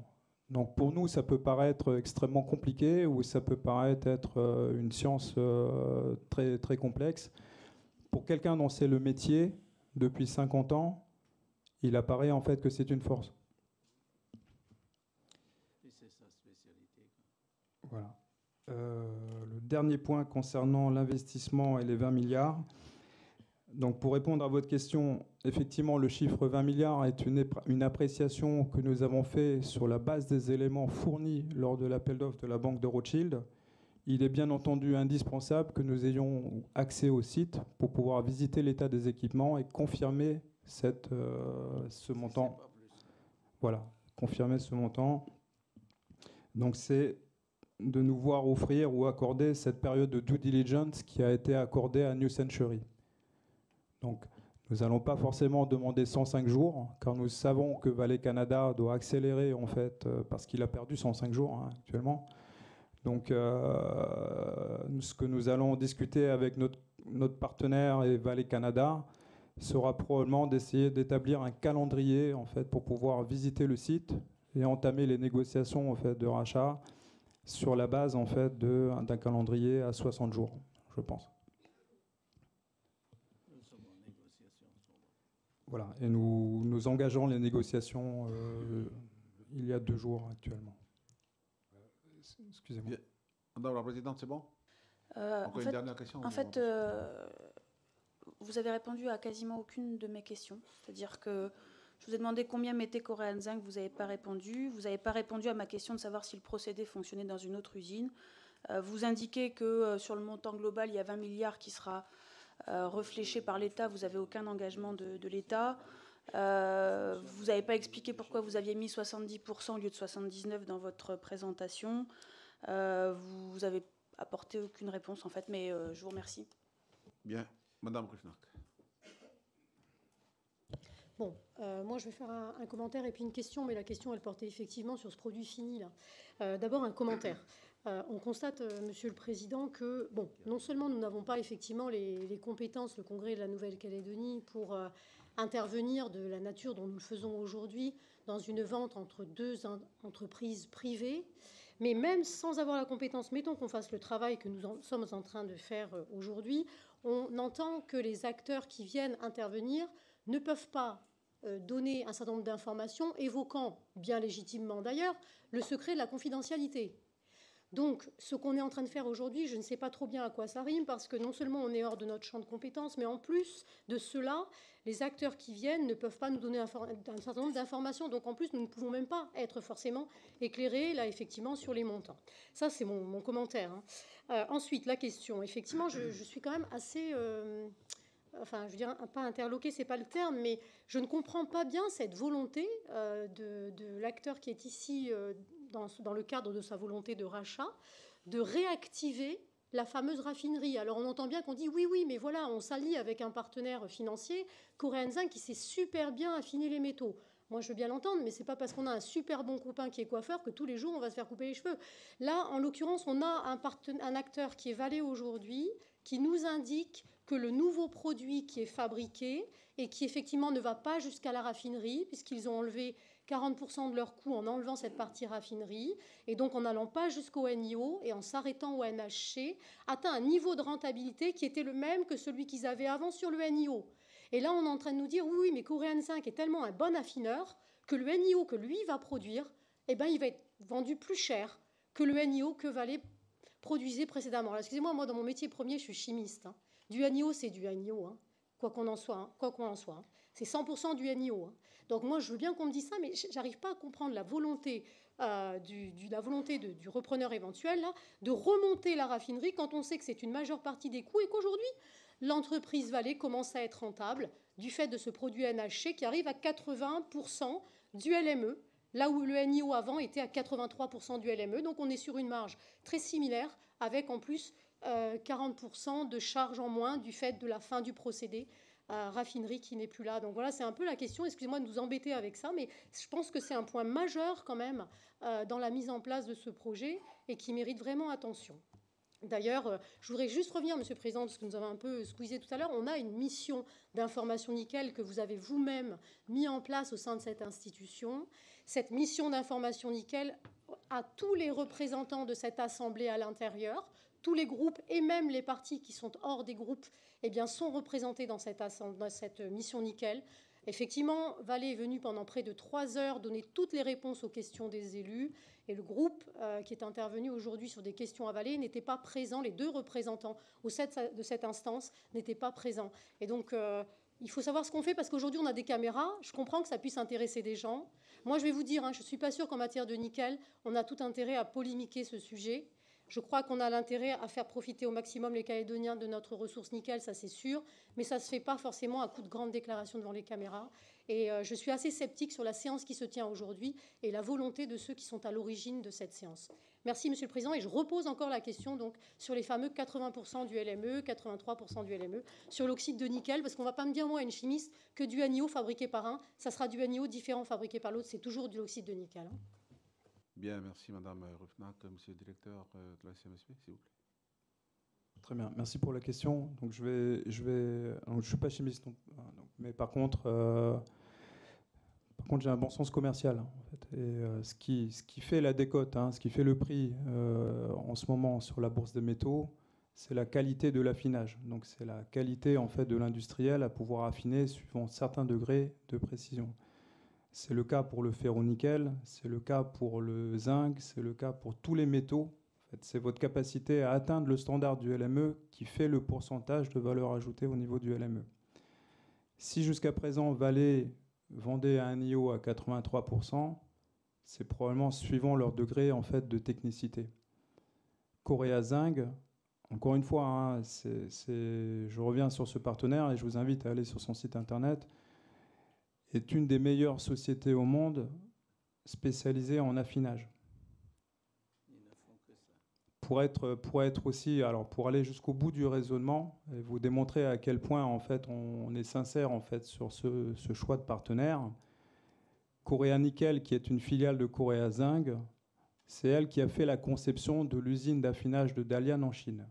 Donc c'est un partenaire technique et industriel de premier ordre. Ensuite, donc, en ce qui concerne en fait le, le, 4, donc c'est pour répondre en fait hein, par rapport à la décote qu'il peut y avoir hein, par rapport au cours du LME.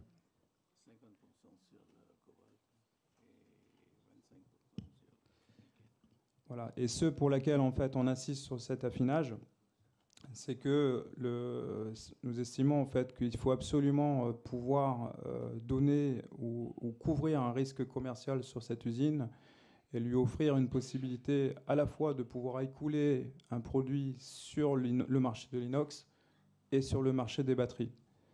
Si on enferme l'usine en fait sur le marché des batteries, avec les charges que va occasionner le projet Lucie, donc d'ici deux années, d'ici deux trois ans, il en fait courir un risque très fort sur la rentabilité de cette affaire. Si nous n'avions pas le partenaire industriel, nous n'aurions pas en fait euh, décidé euh, ou, envisager de réouvrir cette raffinerie.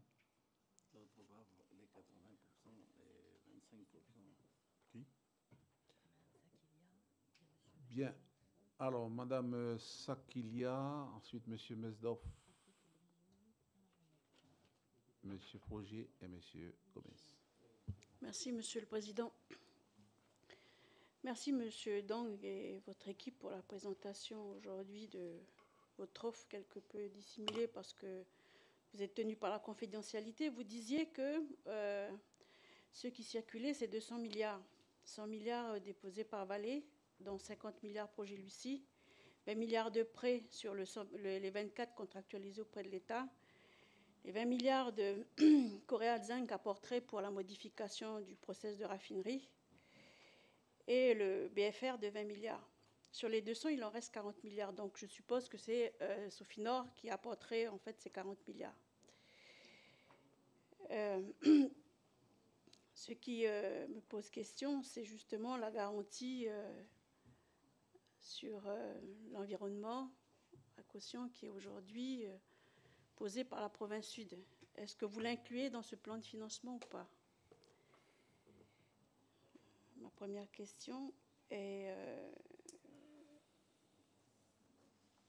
Dans ce plan, vous disiez également que le prêt euh, de l'État de 20 milliards, dont le montant actuel est de 24 euh, milliards à l'origine et 20 milliards maintenant, est-ce qu'il y a une possibilité de retrait?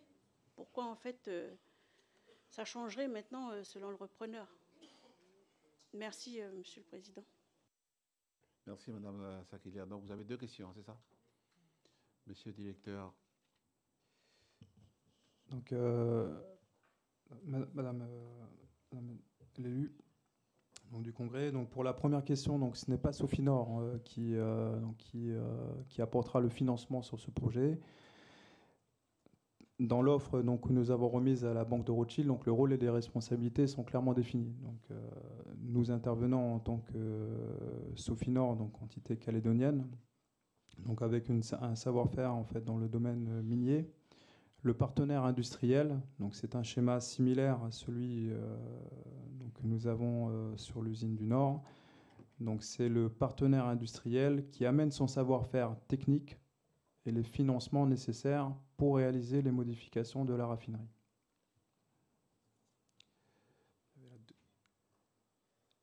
Euh, excusez-moi, pouvez-vous reformuler la deuxième question sur la garantie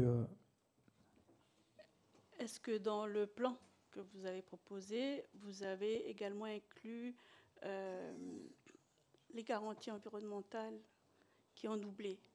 Le surplus Le sur, oui. Alors pour l'instant, donc pour répondre à la deuxième question, donc nous avons répondu sur la base du contenu du dossier d'appel d'offres qui nous a été soumis donc en début d'année, en fin de compte, hein, le 23 février.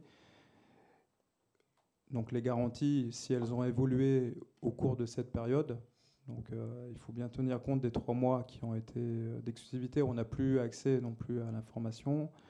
Euh, donc ces éléments-là devront être réintroduits dans les discussions. Et je pense qu'elles seront réintroduites rapidement dans les discussions avec Valley Canada. Monsieur Mesdorf.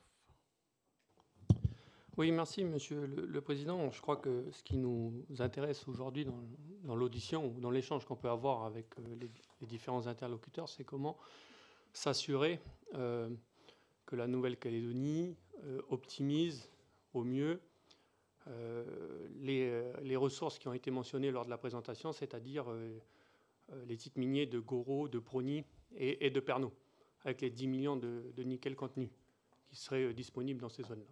Donc c'est une richesse extraordinaire pour notre pays. Euh, c'est ce qui va garantir certainement l'avenir euh, d'une partie de la jeunesse calédonienne, en tout cas dans cette zone-là. Donc il ne faut pas faire n'importe quoi. La question que je me pose, c'est aujourd'hui, on a, tous écho des difficultés financières de la Sophie Nord. Comment garantir que dans le deal qui est en cours ou qui serait en train d'être négocié, la Sophie Nord soit en position de force pour garantir l'optimisation de cette ressource pour la Nouvelle-Calédonie. Puisque euh, aujourd'hui, euh, vous dites, et c'est la dernière réponse hein, de, Monsieur le Directeur, que euh, la Sophie Nord ne financera pas le projet. On sait bien que qui paye commande. Et aujourd'hui, ça serait donc des Coréens hein, qui seraient susceptibles de récupérer ces massifs. Donc ma question, elle est comment garantir l'intérêt de la Nouvelle-Calédonie dans ce deal en sachant la position de faiblesse financière de la Sophie Nord vis-à-vis de Korean Zinc Et est-ce que des contacts ont été pris avec des autres euh, multinationales plutôt de type française ou européenne? Plutôt que d'aller chercher à chaque fois des pays asiatiques pour exploiter notre principale ressource.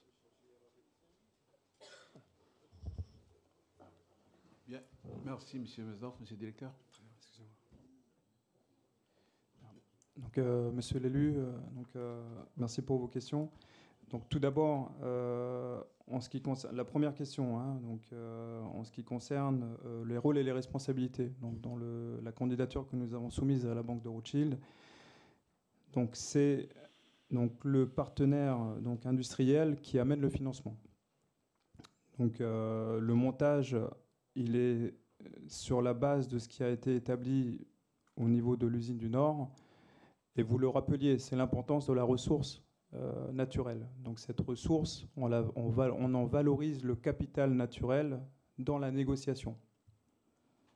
Pendant 150 ans, vous le savez bien, cette prise en compte du capital naturel n'a jamais été, n'a jamais fait l'objet en fait de négociations. Le groupe Sofinor, au travers de la SMSP, a su le faire sur le montage avec la Corée et sur le montage avec l'usine du Nord. La ressource, dans tous les cas, est protégée. Donc les titres de miniers ne vont pas en fait vers l'industriel. Ils sont donc c'est une ceinture de sécurité qui est posée autour des massifs, donc de façon à ce qu'ils ne soient pas nantis, de façon à ce qu'ils reviennent de plein intérêt, donc et servir les intérêts des Calédoniens euh, en priorité. Donc c'est en ça, c'est sur la base en fait des négociations qui ont été réalisées, que ce soit sur l'usine du Nord ou que ce soit sur l'usine calédonienne de Corée. Donc c'est le type de montage qui est prévu donc pour l'usine du Sud. En ce qui concerne en fait le choix des industriels, donc il est vrai parmi les quatre industriels que nous avons mentionnés qui ont la compétence pour gérer ce type d'installation, il y en a trois qui sont asiatiques. Donc, euh, Gordon, qui est canadien, est un grand spécialiste de l'hydrométallurgie. Mais Sherit a récemment euh, quasiment fait un dépôt de bilan après le projet Ambatovi, donc à Madagascar, où il est passé d'une participation euh, majoritaire à une participation minoritaire et a frôlé en fait la faillite, euh, malgré toute la compétence technique qu'il avait. Donc il nous reste Sumitomo. Sumitomo était dans le projet de Vallée à l'origine, donc Sumitomo est parti en avril 2016. Euh, Et il y a en fait des industriels chinois, beaucoup d'industriels chinois, mais euh, c'est compliqué en fait.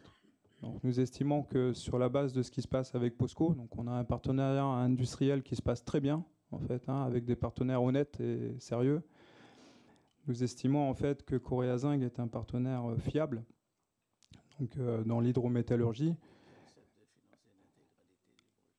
Voilà. Et euh, on a entendu dire que c'était difficile de faire venir des investisseurs de cette taille. Euh, nous nous estimons heureux en fait qu'un partenaire de, ce calibre, hein, encore une fois, on vous invite à aller sur le site internet de Coréa Zinc, décide de s'associer avec une vision euh, et prendre une participation minoritaire et de financer en fait l'investissement associé à l'usine. Je ne sais pas si ça répond à la question. Merci. Alors, Monsieur Frogier et le député Gomez. Merci, Monsieur le Président.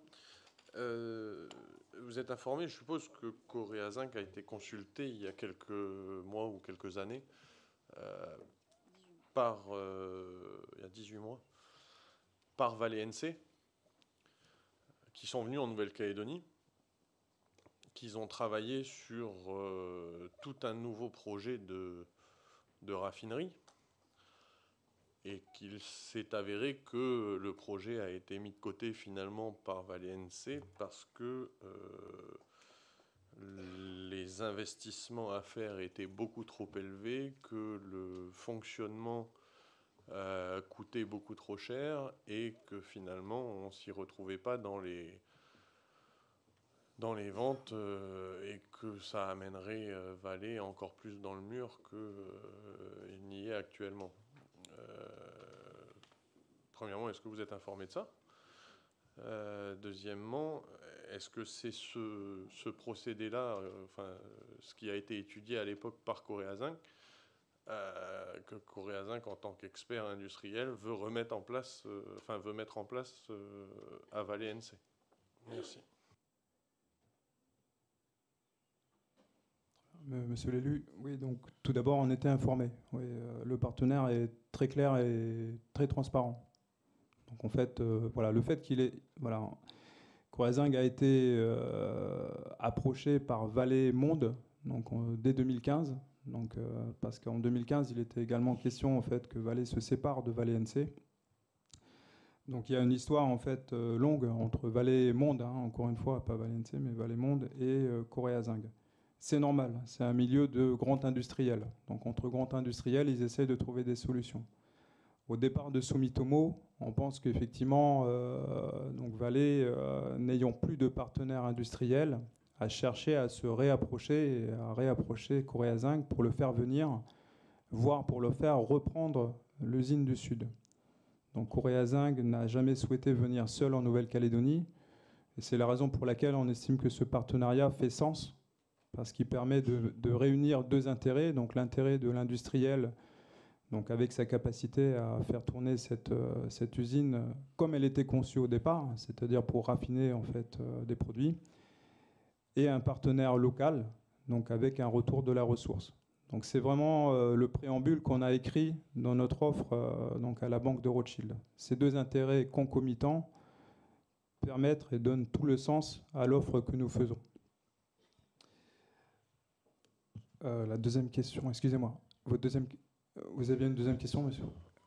Bah non, en fait, en fait, il y en avait qu'une parce que le, alors y il y a des informations contradictoires hein, qui sont données de part et d'autre parce que vous vous nous dites que Valais les avait les avait euh, approchés pour céder l'usine.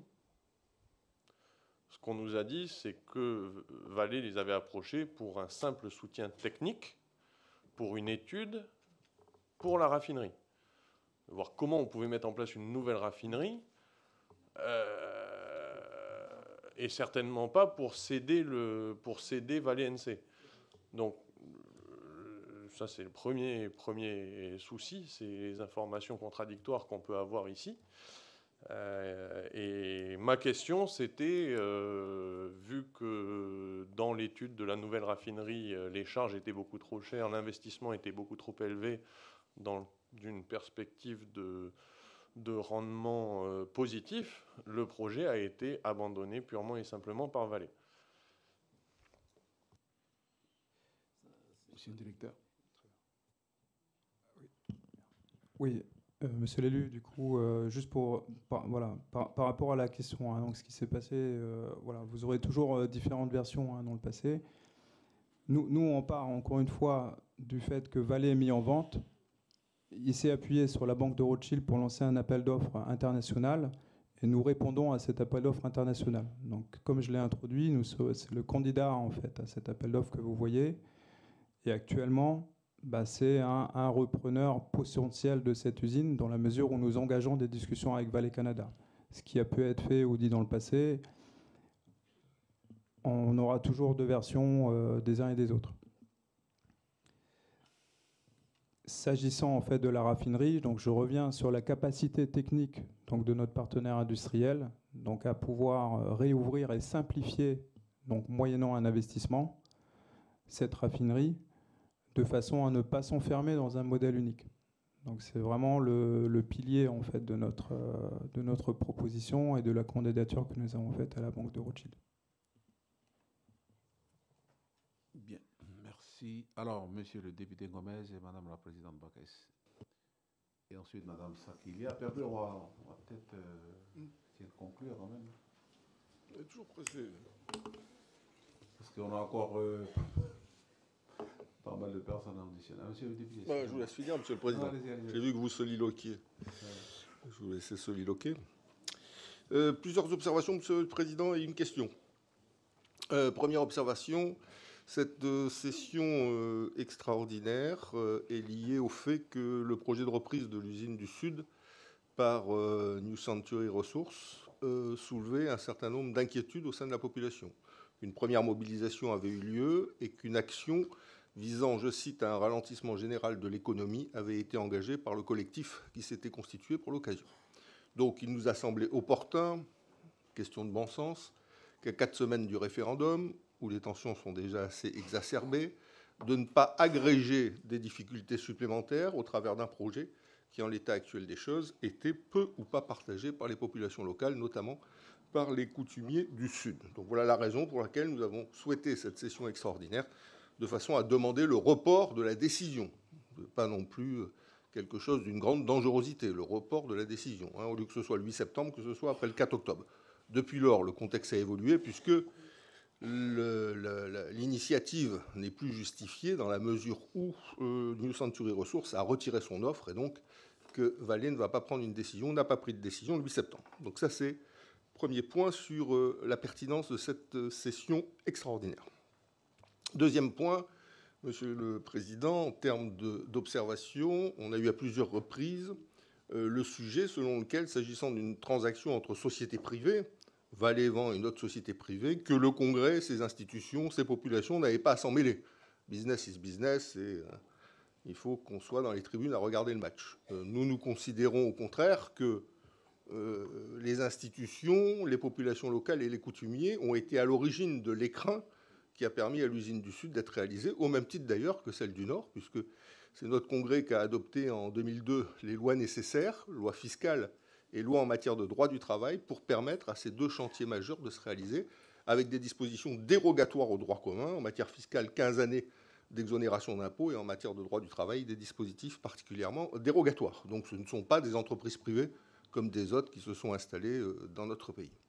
Deuxième élément, le code minier prévoit, et on en parlera je pense tout à l'heure, que dans l'hypothèse où il y a un changement de contrôle euh, dans l'actionnariat d'une société minière et ou euh, métallurgique, étant donné qu'elle est titulaire de titres miniers, ce qui est normal, euh, l'Assemblée de province concernée délivre une autorisation. En clair, une transaction ne peut pas se faire tant que l'Assemblée de province n'a pas délivré une autorisation. Donc dès lors, bien évidemment, la collectivité est informée au premier chef. Et puis enfin, dernier élément qui justifie que les institutions s'en préoccupent, c'est bien sûr que les populations locales et coutumiers ont été associés au projet d'usine du Sud, euh, souvent dans la douleur et finalement positivement, au travers du pacte de développement durable signé en 2008, qui a euh, permis à toutes les populations non plus d'être un frein, une opposition à ce projet, mais au contraire d'être des accompagnateurs euh, de ce projet. Donc voilà toutes les raisons qui justifient que le Congrès, quand même, au-delà de l'ensemble des ordres du jour qui, sont, examinés, puisse euh, mettre son grain de sel dans cette affaire et au moins être informé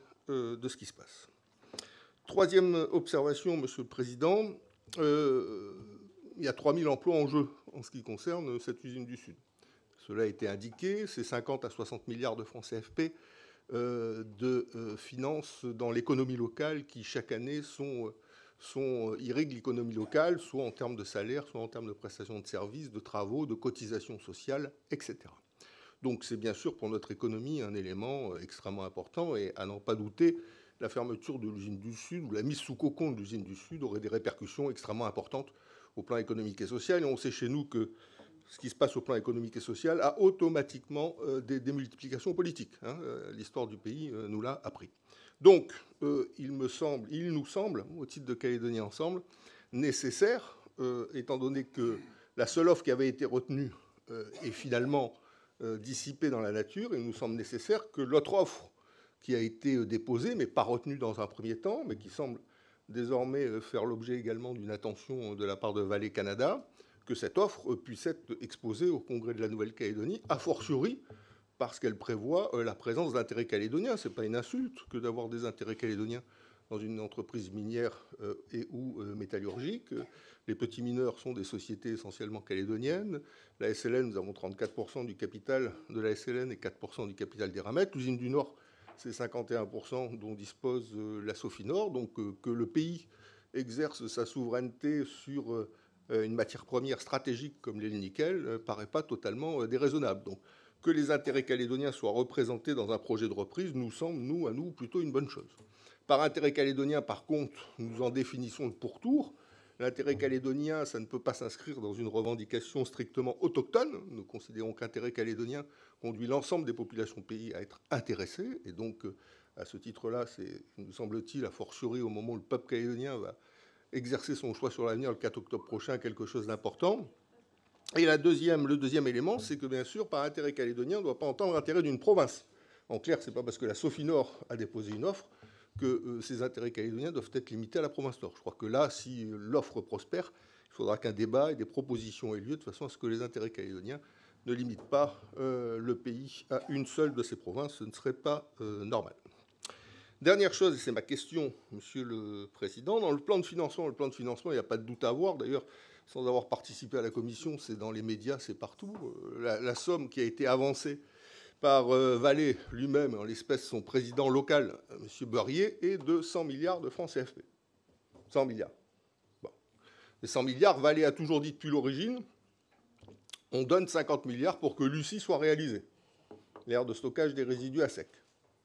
L'État a laissé entendre à plusieurs reprises, sans que ce soit de manière formelle, mais en tout état de cause, il a manifesté euh, le fait qu'il n'était pas opposé, que euh, le prêt qui a été accordé puisse continuer à bénéficier, ainsi que la défiscalisation qui a été accordée, ce qui représenterait donc aux alentours d'une vingtaine de milliards. Il a été également indiqué, c'est un élément du dossier, le président local l'a indiqué, qu'une défiscalisation supplémentaire pourrait être obtenue au titre de Lucie au niveau de 10 milliards. Ce qui nous donne donc une somme en l'état actuel des choses susceptible d'être réunie par Valais et les défiscalisations de l'État de 80 milliards sur le total de 100 milliards. Et le président local de Valais-Nouvelle-Calédonie a lui-même indiqué, même s'il n'est pas là aujourd'hui pour le réindiquer, qu'il lui manquait 20 milliards. Il a dit d'ailleurs dans ces 20 milliards, ce serait bien qu'il y ait un actionnariat salarié, selon des modalités qui seraient à définir, qui pourrait à lui seul apporter 3 milliards. Ça montrerait la confiance des salariés dans l'entreprise.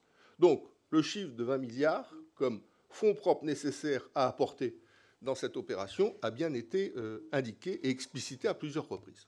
Mais, mais, mais, mais, et c'est ça, nous, qui nous soucie en l'état actuel des choses, euh, le retrait de l'offre de euh, New Century ainsi que ses actionnaires, c'est-à-dire IGO, enfin actionnaires ou apporteurs de capitaux en l'espèce IGO et Orion, est dû, est dû bah, une raison principale, fondamentale, qui explique que le rendement envisagé à l'origine n'était plus au rendez-vous, c'est qu'il y a un audit indépendant qui a été fait sur les installations de l'usine et qui a témoigné que des investissements supplémentaires, je ne parle pas de la raffinerie qu'on remet en service, hein, puisque le, projet de New Century n'était pas dans le cadre d'une remise en service de cette raffinerie, mais que des investissements supplémentaires importants étaient à réaliser. Et c'est ça qui, au total, a conduit New Century à retirer son offre. Donc, au-delà des 100 milliards dont il est, est-ce que dans ces, les, 20 milliards supplémentaires sur les 100 qui ne sont pas encore trouvés, dont parle euh, euh, M. Beurrier, euh, ça comprend cette remise à niveau des installations? Est-ce que vous avez un chiffre sur cet audit? Est-ce que vous avez eu accès à cet audit? Quel type d'investissement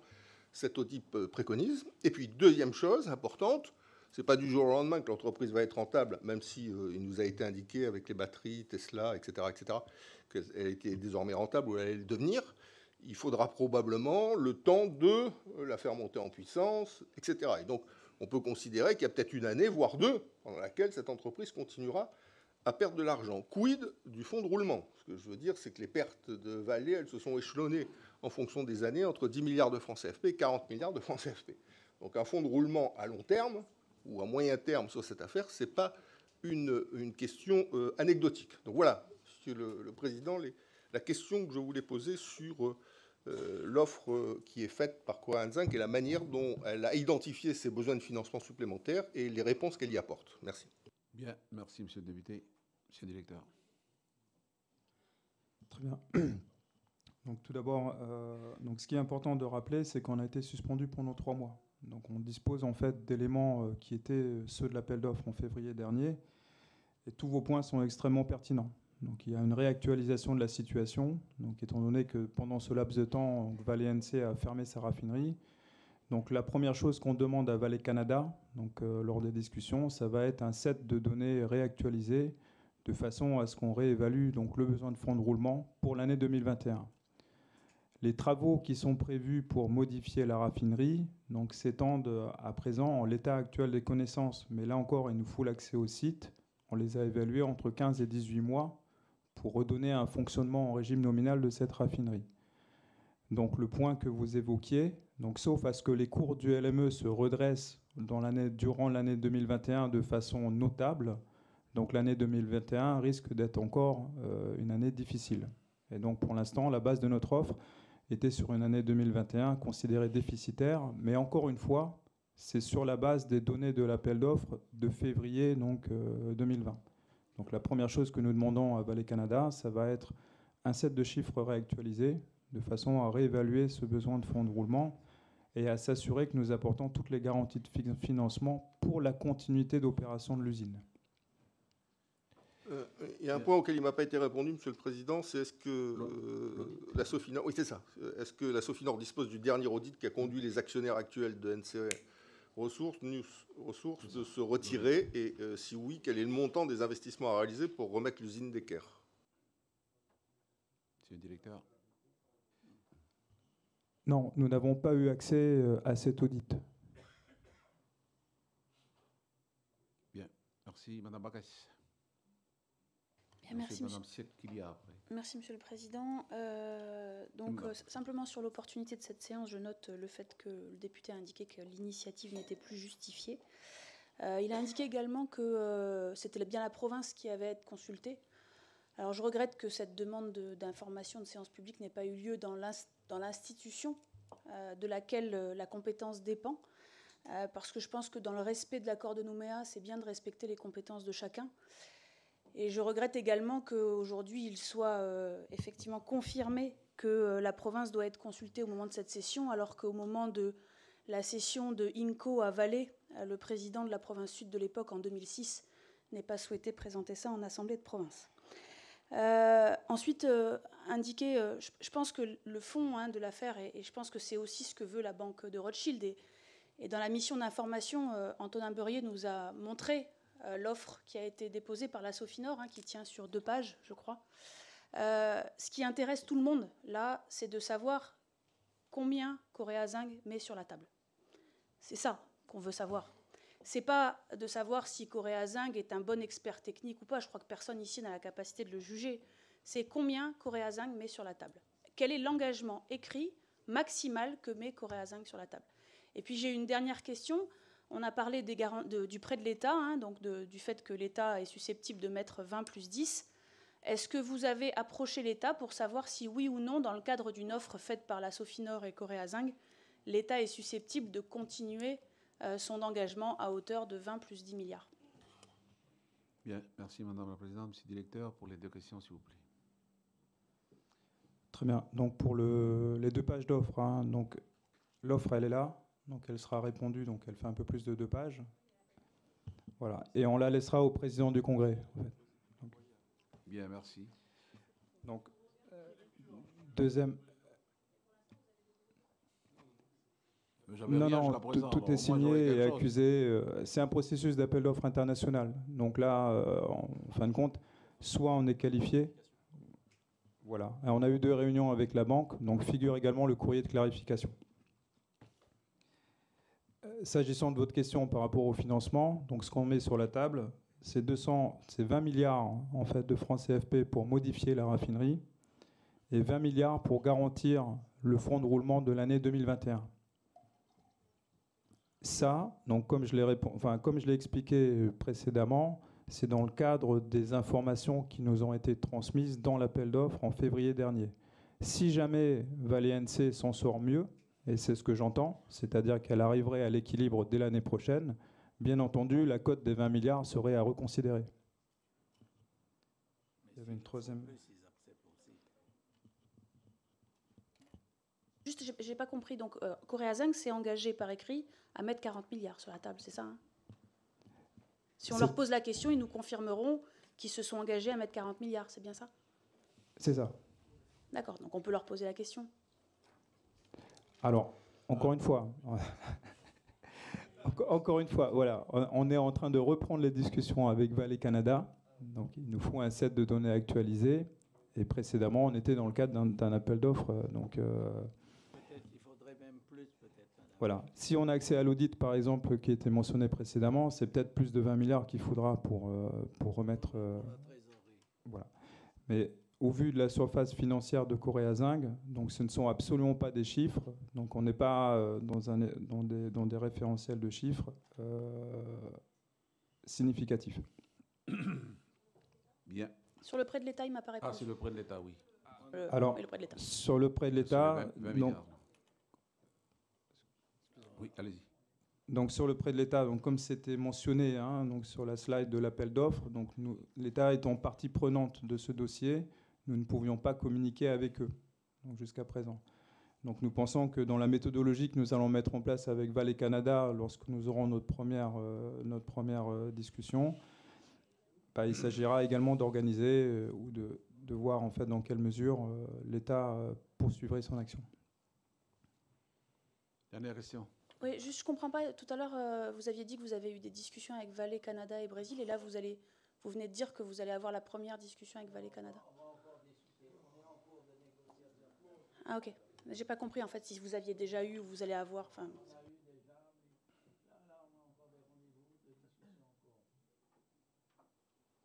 On a eu déjà, et là on aura encore d'autres discussions. Il y a des points qu'on voudrait éclaircir. Quant à la faisabilité, nous devons le faire. C'est après la visite de l'usine et l'étude de faisabilité se fera euh, selon la due diligence. Bien, merci, Monsieur Dang. Alors, Madame Sakilia et ensuite Madame Rufnak, et on va s'arrêter là. Merci, Monsieur le Président. Euh, je tiens à réitérer mes remerciements en direction du directeur général de la Sofinor pour les explications qu'il nous a données aujourd'hui. Et 50 euh, milliards plus 30 milliards, plus 2 fois, 2 fois 20, 40, plus les 40 que je disais de la Sofinor, 160 milliards sur les 200 euh, qui, s'alignent aujourd'hui euh, dans les couloirs euh, et dans les coulisses des offres. Bien que cette offre elle soit confidentielle, vous nous avez quand même donné pas mal d'éléments. Il y a une qui m'intéresse particulièrement et qui serait intéressant, on va dire, de pouvoir évoquer. vous disiez récupérer 20 500 hectares du gisement du Sud. Est-ce qu'aujourd'hui, on a une idée, euh, une ordre de grandeur de l'évaluation ou de la valorisation de cette récupération au travers de cette offre qui est aujourd'hui annoncée comme uniquement la cession de 95% de la raffinerie? Merci, Monsieur Dom. Merci, euh, Madame Sakilia. Alors, Monsieur le directeur. Donc, euh, voilà, ce, point est fondamental parce que le, les titres miniers faisaient partie de l'appel d'offres. Donc, euh, il est vrai que n'importe quel repreneur ayant participé à cet appel d'offres aurait vu une partie en fait des, titres euh, calédoniens donc euh, mis, mis, quelque part en vente de façon internationale. Donc nous sommes en fait, et là c'est en tant que Sofinor en fait que je parle, donc nous sommes dans la continuité de la stratégie industrielle et la stratégie pays en fait que nous portons, donc au niveau du groupe, qui est la valorisation euh, du nickel, donc pour l'intérêt des Calédoniens. Donc nous estimons que le fait de détenir 56% de ces ressources qui sont stratégiques, euh, nous rappelons que les trois, euh, trois gisements latéritiques de Grand Sud à eux seuls représentent 10 millions de tonnes de nickel et environ 1 million de tonnes de cobalt il faut savoir qu'avec la, décarbonation, euh, ces millions de tonnes en fait sont euh, comme du pétrole, hein, euh, donc pour les véhicules. Hein. le nickel et le cobalt sont vraiment le pétrole de demain. Donc nous estimons qu'il y a une, dimension pays qui est absolument essentielle dans la préservation et la juste valorisation de ces ressources. Et on estime que détenir une participation majoritaire donc, sur ces titres, donc pouvoir veiller à leur développement pérenne, est essentiel. Donc, et là, ce n'est pas l'industriel qui parle, mais c'est le, citoyen calédonien. Donc, euh, Merci. Alors, euh, Madame euh, Rufnac et ensuite Monsieur Tudugoro. Merci, Monsieur le Président. Alors, ma question n'a vraiment pas de velléité quelconque. Hein. Surtout, il ne faut pas qu'elle soit prise ainsi, mais puisqu'on est dans un débat, autant mettre toutes les cartes sur la table. Aujourd'hui, donc, D'après des informations qui semblent crédibles, il semblerait qu'il y ait 1154 euh, milliards de nos francs de dettes sur euh, KNS. Dans la mesure où la SMSP détient 51% de KNS, cela revient à une dette pour la SMSP de 588 milliards de nos francs. Et si on descend sur Sofinor, Sofinor détenant 87% d'actionnariat de la SMSP, elle aurait quant à elle 517 milliards de francs de dette sur les épaules. Donc ma question est double. Au regard de ce constat, hein, dont personne ne peut se féliciter, encore une fois, ma, question n'est pas du tout dans l'agressivité, bien au contraire, le but étant euh, de trouver des solutions pour chacun de nos opérateurs en Nouvelle-Calédonie, hein, pour les populations. Est-ce que du fait de sa dette très importante qui pèse comme un peu une épée Damoclès au-dessus de la tête de Sofinor, Sofinor est-il un partenaire crédible pour se relancer dans une volonté d'achat de, avec Corenzing, certes, mais dans une volonté d'achat de, ces 95% de vallées. Et euh, d'une certaine façon, cette dette ne risque-t-elle pas de peser euh, tout entière? Et le modèle lui-même là qui est mis en place ne montre-t-il pas aussi le danger d'aller vers euh, une, solution à 51% de, du capital? Sachant que bien sûr, hein, tout le monde a la volonté, Monsieur le Directeur, hein, que le nickel profite à tous les Calédoniens et qu'ils en soient les principaux euh, bénéficiaires. Hein. Je crois que dans cet hémicycle, je crois qu'il n'y a personne qui pense le contraire. Merci, Madame Ruffnac. Oui, allez-y, Monsieur le Directeur. bonjour à tout le monde. Je n'ai pas encore euh, pris la parole. Euh, Karl Terby, directeur général de la SMSP. Je me permets de répondre puisque du coup, c'est KNS qui est, qui est ciblé sur la première partie de cette question. Et après, je laisserai la parole à, mon collègue Ulrich pour la suite sur, sur Valais. Si vous trouvez une banque qui prête 580 milliards à la SMSP, euh, il faut me l'amener tout de suite. SMSP, c'est 400 millions de francs dans le Pacifique de, capital social. Euh, aucune banque ne nous prêterait 500 euh, milliards, 580 milliards. Aujourd'hui, la SMSP, elle a 22 milliards et demi de dettes, on l'a déjà dit, auprès de la FD et de la Caisse d'épargne Île-de-France, anciennement BPCE. Euh, des têtes qui ont été portées, euh, qui ont été prises par la SMSP en 2009. Hein. Euh, donc là aussi, il faut se dire pourquoi ces, investissements ont été faits. À l'époque, les, modèles financiers tournaient en scénario catastrophe à 20 000 dollars, et pas comme aujourd'hui où, dans aucun modèle financier sérieux on met du 20 000 dollars, même en, cas optimiste. donc cet investissement, il a été fait à l'époque, il est de 22 milliards et demi aujourd'hui. il y a effectivement 1154 milliards de dettes. Excusez-moi, Monsieur Frogier, je vous entends pas. Oui, elle est portée par KNS. Donc il y a 1154 milliards de dettes euh, qui sont portées par l'outil KNS et que l'outil remboursera avec ses résultats. Ok? Euh, Aujourd'hui, euh, bah, je suis rassuré hein, que, tous les élus autour de dans cet hémicycle soient, soient d'abord concentrés sur la réussite de, ces usines, hein, parce qu'on a beaucoup tiré sur cette usine et sa dette. cette usine, sur ces 1154 milliards de dettes, il y en a quand même 511 milliards de retombées locales sur le territoire, qui ont fait vivre bah, 3000 familles là aussi, hein, puisqu'on parle de, de, 1000 salariés, de 500 sous-traitants et d'à peu près 1500 à 2000 induits.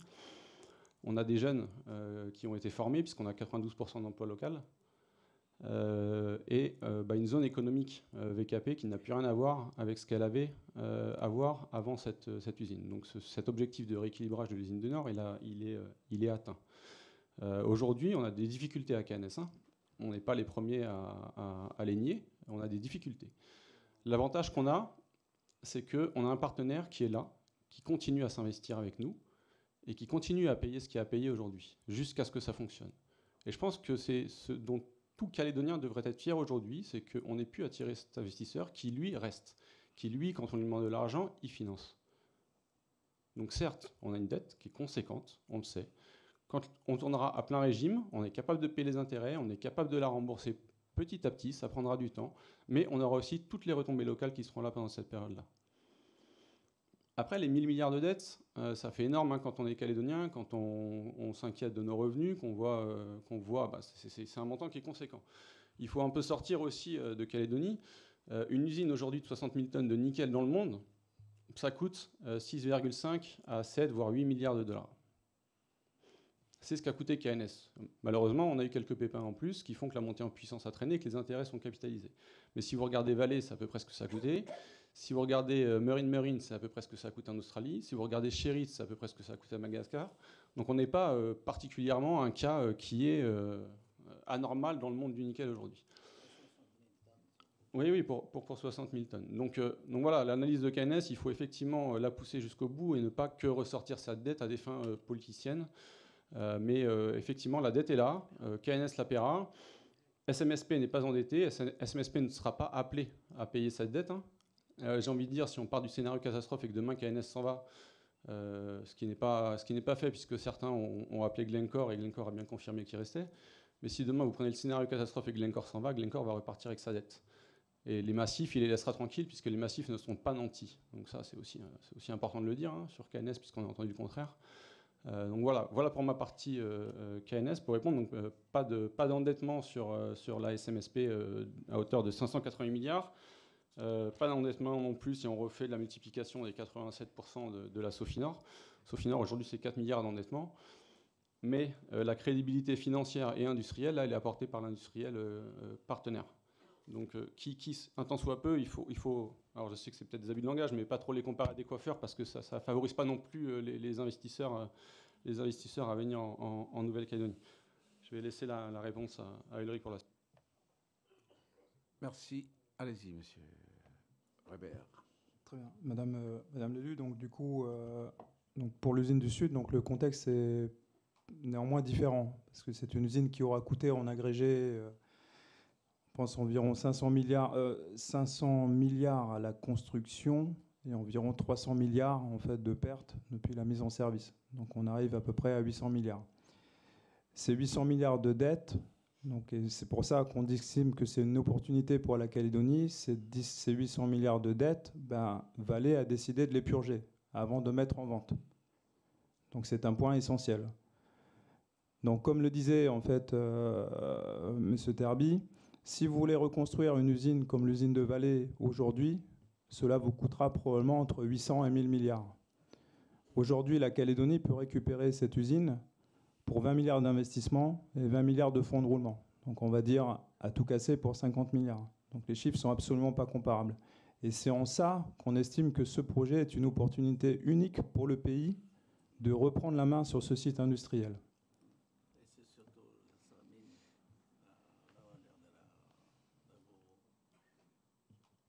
Et en, en, justifiant en fait de la juste valorisation de ces ressources latéritiques. Donc le gisement de Goro est probablement un des gisements latéritiques les plus conséquents au monde. On estime qu'il est absolument essentiel pour la Calédonie de pouvoir. C'est un élément stratégique pour la Calédonie.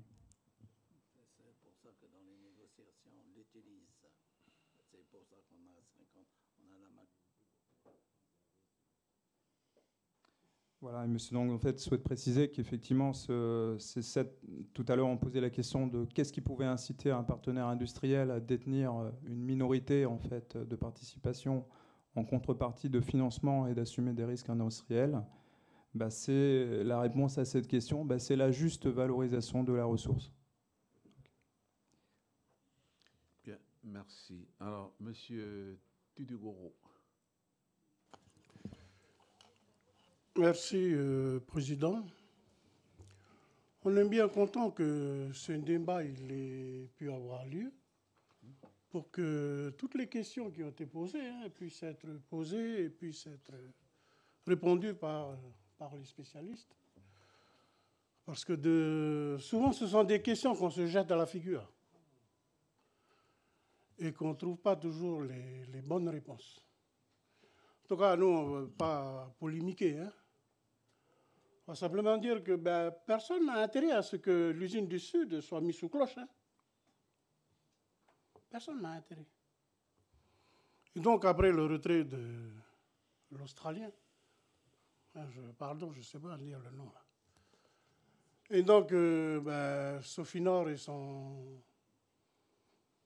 son partenaire ont fait l'offre. Donc, dans ce sens-là, nous, on encourage. On vous encourage à, continuer à faire les négociations, à entrer dans la négociation entre les, le cadre entre les privés. Hein, pour qu'au bout, pour que les titres, la ressource, elles nous appartiennent, comme on a fait dans le Nord. Hein, pour que quand demain, ben, si les mineurs, les opérateurs veulent s'en aller, mais la ressource, elle reste ici. Et ça constitue notre levier de développement. Hein? Et donc, euh, ben nous, de ce côté-là, on vous encourage. On vous encourage à continuer à négocier. Négocier. Hein, aujourd'hui, personne ne penserait à ce que l'usine du Nord, elle ferme. C'est essentiel pour nous dans le Nord. Avec tout le développement qu'il a amené, qu'il a apporté. Et donc nous, on souhaite que, ben, que vous le faites pour le pays. Là, dans, les, la ressource et dans les mines qui sont dans le sud. Là, simplement ce que je voulais dire, Président. Merci. Bien, merci, euh, monsieur Titugoro. Donc, nous allons nous arrêter là parce que ça fait déjà un moment qu'on discute sur ce premier sujet. On a encore d'autres auditions à, poursuivre. Donc, euh, monsieur Dang, merci. Messieurs les directeurs, euh, merci aussi pour toutes les réponses que vous avez apportées aux différentes questions et puis l'exposé que vous avez fait. Donc, on vous souhaite bon courage pour continuer à négocier et à arriver à atteindre les objectifs de votre société. Merci. Et nous passons à l'audition des représentants de BIMS sur leur offre, leurs références industrielles et leur surface financière. Monsieur Yves Bignot.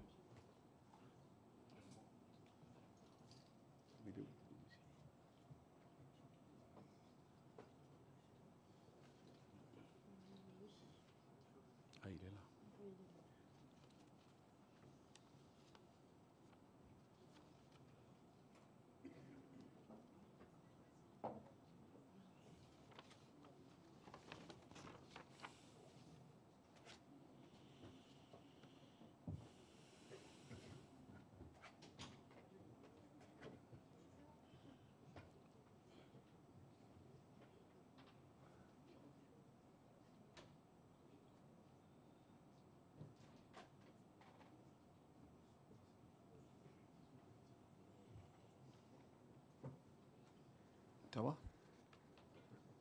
Monsieur Mignot, vous avez la parole. Bonjour, Monsieur le Président du Congrès, Monsieur le Président du gouvernement, Madame la Présidente de la province Sud, Monsieur le député, Mesdames et Messieurs les élus, merci de nous recevoir aujourd'hui dans cet hémicycle fort d'une histoire de la Calédonie. Donc, aujourd'hui, la discussion a porté sur la, partie à BIMS. Euh, dans un premier temps, je pense que je vais vous présenter notre société. BIMS, à l'origine, c'est deux, personnes. Brigitte Sakas, qui s'occupe essentiellement de la partie finance et euh, responsable administrative du groupe. Avec moi-même, ingénieur civil des mines, formation que j'ai eue par le biais de la formation 400 cadres. Par la suite, j'ai passé un, un master en relations internationales et d'autres diplômes du CLAM. L'agence a été créée en 2007 euh, sous une impulsion des besoins qu'il y avait de l'époque avec Falcon Bridge et Inco sur les besoins en ressources humaines euh, qualifiées pour la, construction des deux sites industriels. Par la suite, nos clients nous ont demandé d'accompagner euh, les structures locales par rapport, pour répondre aux appels d'offres par rapport aux demandes industrielles sur le site, sur les sites industriels. Donc, nous sommes implantés autant dans le sud que dans le nord. BIMS aujourd'hui, après une quinzaine d'années euh, de travail, d'exploitation, nous sommes sur toute la chaîne de valeur du site industriel. Globalement, BIMS apporte ses compétences et son, accompagnement dans le domaine financier, que ce soit le suivi avec les banques, le montage de dossiers de défiscalisation ou autre. Dans les stratégies, c'est-à-dire par rapport aux structures, on les accompagne pour répondre aux appels d'offres on, développe avec eux, je viens dire avec eux, une stratégie sur du long terme. Évidemment, il y a la partie ressources humaines, l'encadrement, la formation et tout ce qui est lié à la partie administrative et réglementaire. Donc aujourd'hui, nos partenaires vont de la taille de 140 personnes, par exemple, en particulier sur le chargement, jusqu'à des tailles beaucoup plus modestes, par exemple pour des arroseuses sur des sites miniers. Euh, notre implication est exactement sur tous les sites, que ce soit KNS, SLN, SMSP, évidemment Valais. Nous avons aussi une activité liée à la maintenance industrielle, en particulier sur euh, Valais. Et dernièrement, depuis 2-3 années, nous avons développé un pôle à l'international, tout simplement parce que bah, la Calédonie, c'est un produit minier depuis une centaine d'années. Et au regard des différents contacts qu'on avait eus avec les, personnes qui sont passées pour construire les chantiers euh, dont on vient de discuter, euh, on a eu des appels. Donc BIMS, en quelques chiffres, avec ses partenaires sur, la, sur Vallée, c'est 21 millions de litres de distribués par an. Dans le nord, c'est 1 200 000 tonnes de minerais exportés. C'est 325 emplois. C'est 22 sociétés. Le chiffre d'affaires de 2019 est supérieur à 1,4 milliard. Aujourd'hui, on a une extension internationale. Nous avons créé dernièrement une filiale au Kazakhstan où nous avions été contactés justement pour regarder la mise en place, l'intégration des populations locales dans les projets miniers et comment avoir une réussite sociétale de gouvernance pour les projets industriels euh, qui allaient être mis en place. C'est à ce moment-là qu'on s'est aperçu, euh, qu'on a appris que Valais, euh, c'est une grande surprise, soit à vendre. Et on s'est dit, ce qu'on est capable de vendre à l'extérieur, on va peut-être regarder à le faire ensemble dans notre pays.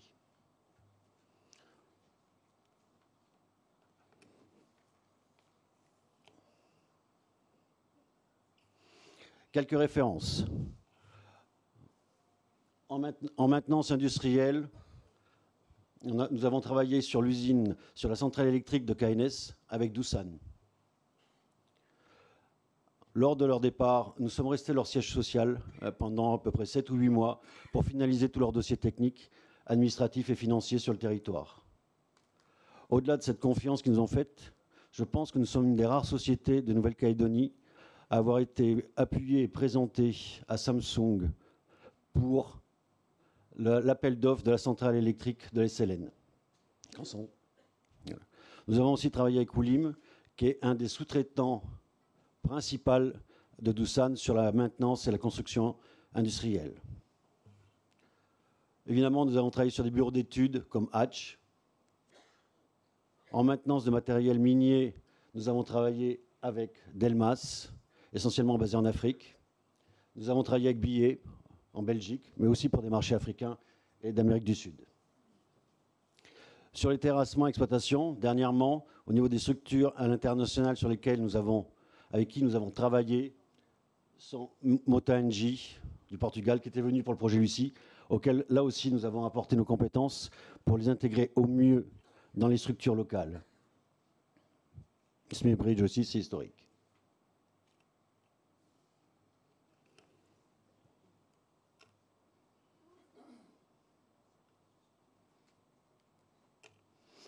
Rapidement, derrière un projet, c'est une équipe, c'est plusieurs équipes soudées. Sur l'organigramme de la, sur la Calédonie, nous sommes une quinzaine de personnes, le noyau dur de BIMS. Et ensuite, nous avons mis en place une cellule internationale depuis deux ans, on nous verra un petit peu plus tard. Ce qui nous a paru intéressant aujourd'hui, ce que visiblement BIMS n'était pas réellement connu, c'est de prendre deux cas différents, deux cas concrets de ce qu'on a mis en place en Calédonie et ce qu'on souhaiterait mettre à une autre échelle avec Valais. On prend le cas de la SRL Typo, où BIMS et l'ingdpl sont à 50-50 depuis six ans. À l'origine, l'activité était essentiellement liée au sablage, peinture et anticorrosion. L'activité de la société a évolué vers la partie chargement de minerais. Oui, merci. Aujourd'hui, les retombées sont diverses, permettent à tous les membres du GDPL de disposer de contrats, ce qui manquait avant qu'on arrive, de développer une activité pérenne dans le domaine agricole. On a aussi développé avec eux, sur leur terrain, cette partie-là, et de fournir une revenu aux associations des femmes des tribus environnantes. Un autre, toujours dans le même concept euh, de partage et d'autres, avec euh, la tribu de l'Ilouin, le GPL Kojowa, qui a été mis en place pas par nous, mais qui existait depuis une dizaine d'années. Ils ont souhaité mettre en place, structurer une société, euh, Wara Carburant, dont ils sont actionnaires à 100%. Donc Bix n'est pas actionnaire dans leur société. Après quatre ans de travail ensemble, aujourd'hui on a permis de développer des filiales, dont une Wara Terrassement qui a investi environ 100 millions dans du matériel en 2019 elle a pris de 40% dans une société de maintenance qui travaille essentiellement sur Valais. Aussi, euh, on a aussi œuvré sur la, partie environnement. Ils ont souhaité s'étendre. Aujourd'hui, ils ont démarché sur la partie des euh, photovoltaïques et ils ont intégré une structure pour la mise en place d'une centrale hydroélectrique dans le sud. Ce qui est important dans notre gestion, c'est d'avoir une transparence par rapport euh, aux actionnaires et par rapport aux gens. Dans ce cadre-là, les dividendes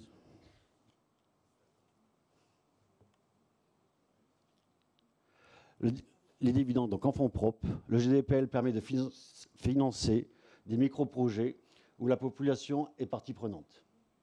Par exemple, on a mis des choses sur l'agriculture, euh, l'apiculture, la mise en place de magasins de proximité par rapport aux distances. D'un point de vue social, les retombées de ces sociétés, euh, ça permet d'avoir un Noël pour les enfants, de participer au coût de la rentrée scolaire, de subventionner des études pour des cas particuliers qui iraient en métropole ou ailleurs, sans oublier des personnes plus, âgées euh, pour faciliter des accès mobilité. C'est des petits détails, mais qui simplifient et qui améliorent considérablement la vie euh, des gens.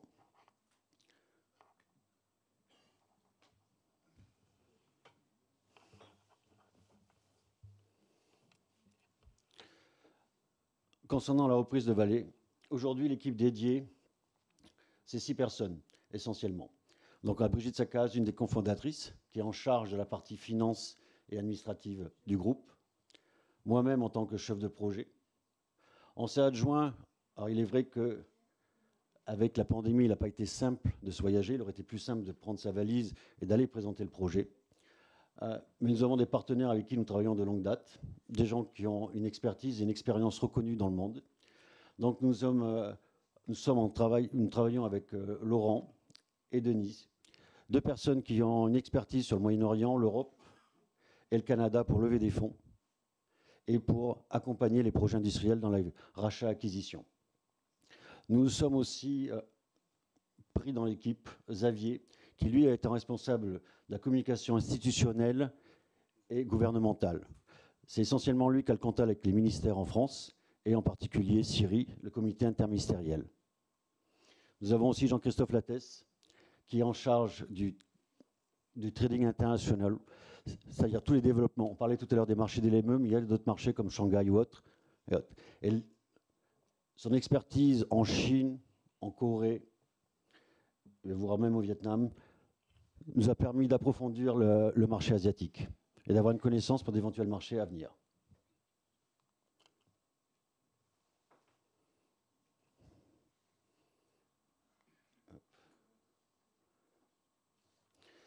La reprise, de vallée doit nous permettre d'avoir une approche de réintégrer une industrie stratégique dans le pays, de préserver l'emploi et développer la formation pour rejoindre aux nouveaux enjeux du site, de redéfinir la stratégie de la production pour assurer la, la continuité du site.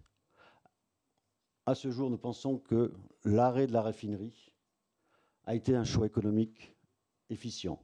Une réflexion doit être posée pour la suite, mais je crois qu'il faut quand même poser les bases d'avoir une continuité de l'activité avant de revenir dessus. De renforcer les liens locaux, non seulement pour les PME, mais autres. D'engager une démarche entrepreneuriale responsable, éthique et transparente.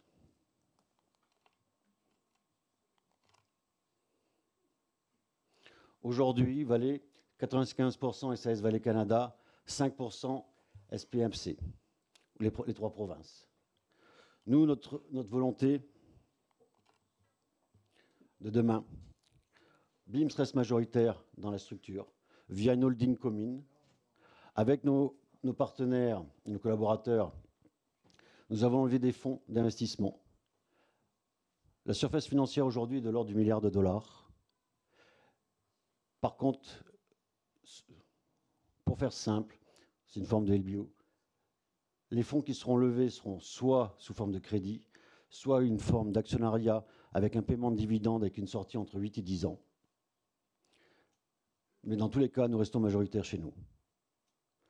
L'autre partie a été d'intégrer, évidemment, dans ce milliard-là, la partie, les 170 millions qui portaient sujet sur la partie environnementale, d'augmenter la part des trois provinces, de la doubler, de la passer de 5 à 10% je crois et nous pensons sincèrement qu'au-delà de l'argent, il faut aussi que les gens s'approprient le site. Aujourd'hui, l'intégration de 4 à 5% des salariés au niveau de l'actionnariat sera une force pour demain. Nous souhaitons intégrer aussi plus directement les communes, les deux communes qui sont impactées par le projet. On parle de 1 à 2% C'est les deux communes, la commune de Yaté et la commune du Mont d'Or. Évidemment, on va des SEM, des systèmes qu'on connaît qui sont déjà en place. Une autre particularité de notre projet consiste à intégrer un petit, les gens, les populations locales vraiment, même lointaines, avoir une vision un petit peu plus pays, de l'ordre du pourcent.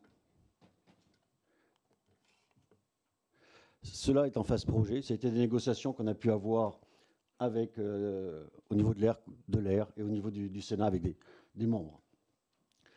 Il n'y a pas eu de rencontre officialisant cette fait. C'est l'état de projet. L'idée, c'est que ce pourcentage-là, comme je vous ai expliqué tout à l'heure, revienne directement aux gens. Et l'idée, c'est d'arriver au niveau des districts. Les 57 districts qui constituent la Calédonie, de leur permettre d'avoir accès à des sommes sont toutes modestes. Mais par contre, on parle quand même d'un pour cent, un pour cent et demi de vallée.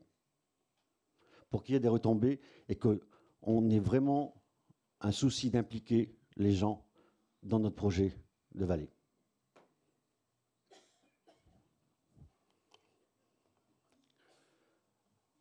L'ambition qu'on a pour Valais aujourd'hui, c'est de faire reconnaître la Nouvelle-Calédonie comme un des, leaders mondiaux du savoir-faire minier et même industriel.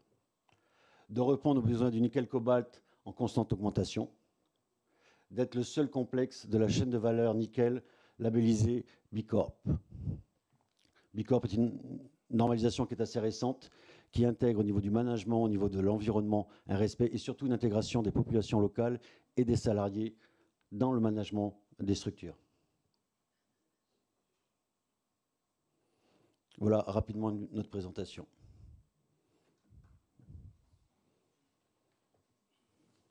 Bien, merci euh, Monsieur Mignot. Vous en avez terminé là, Monsieur Mignot, c'est bon? Oui, je vous remercie. Je passe, la parole alors comment, aux membres du Congrès. Qui souhaite euh, prendre la parole? Pour des questions, des commentaires sur l'exposé qui, vient de nous être euh, que M. Mignot vient de nous faire. Monsieur Michel. Oui, est-ce que M. Mignot peut nous dire jusqu'à quel stade de la procédure puisque je comprends que cette offre a été déposée auprès de la banque Rothschild pardon, dans le cadre de l'appel d'offres international qui a été lancé. Enfin, je ne sais pas d'ailleurs si j'ai bien compris. Donc, est-ce que c'est bien le cas et jusqu'à quel stade euh, euh, des discussions ont eu lieu sur, euh, sur cette offre? C'est mignon.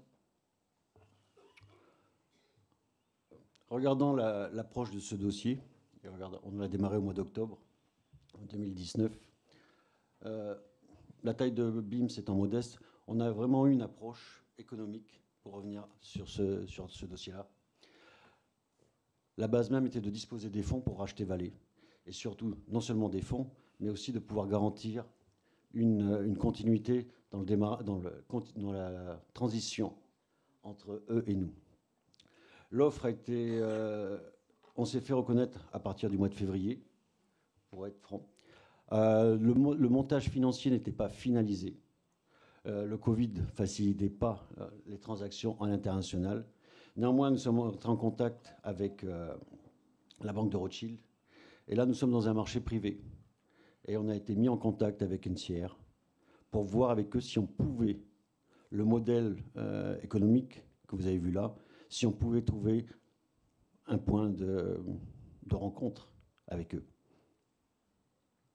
Donc, dans ce cadre-là, on a eu des informations, ce qu'on a pu tout à l'heure discuter sur les aides de l'État, sur les engagements de Vallée euh, Canada. Aujourd'hui, oui, depuis la semaine dernière, nous avons signé une lettre de confidentialité avec Vallée.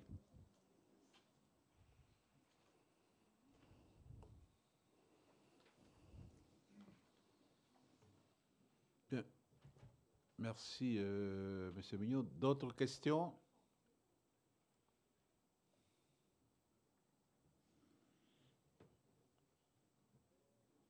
Bien, ben écoutez, si il n'y a pas d'autres questions, on va poursuivre nos auditions. Euh, Monsieur Mignot, merci.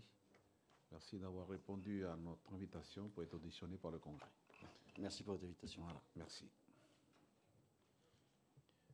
Nous passons à l'audition du gouvernement.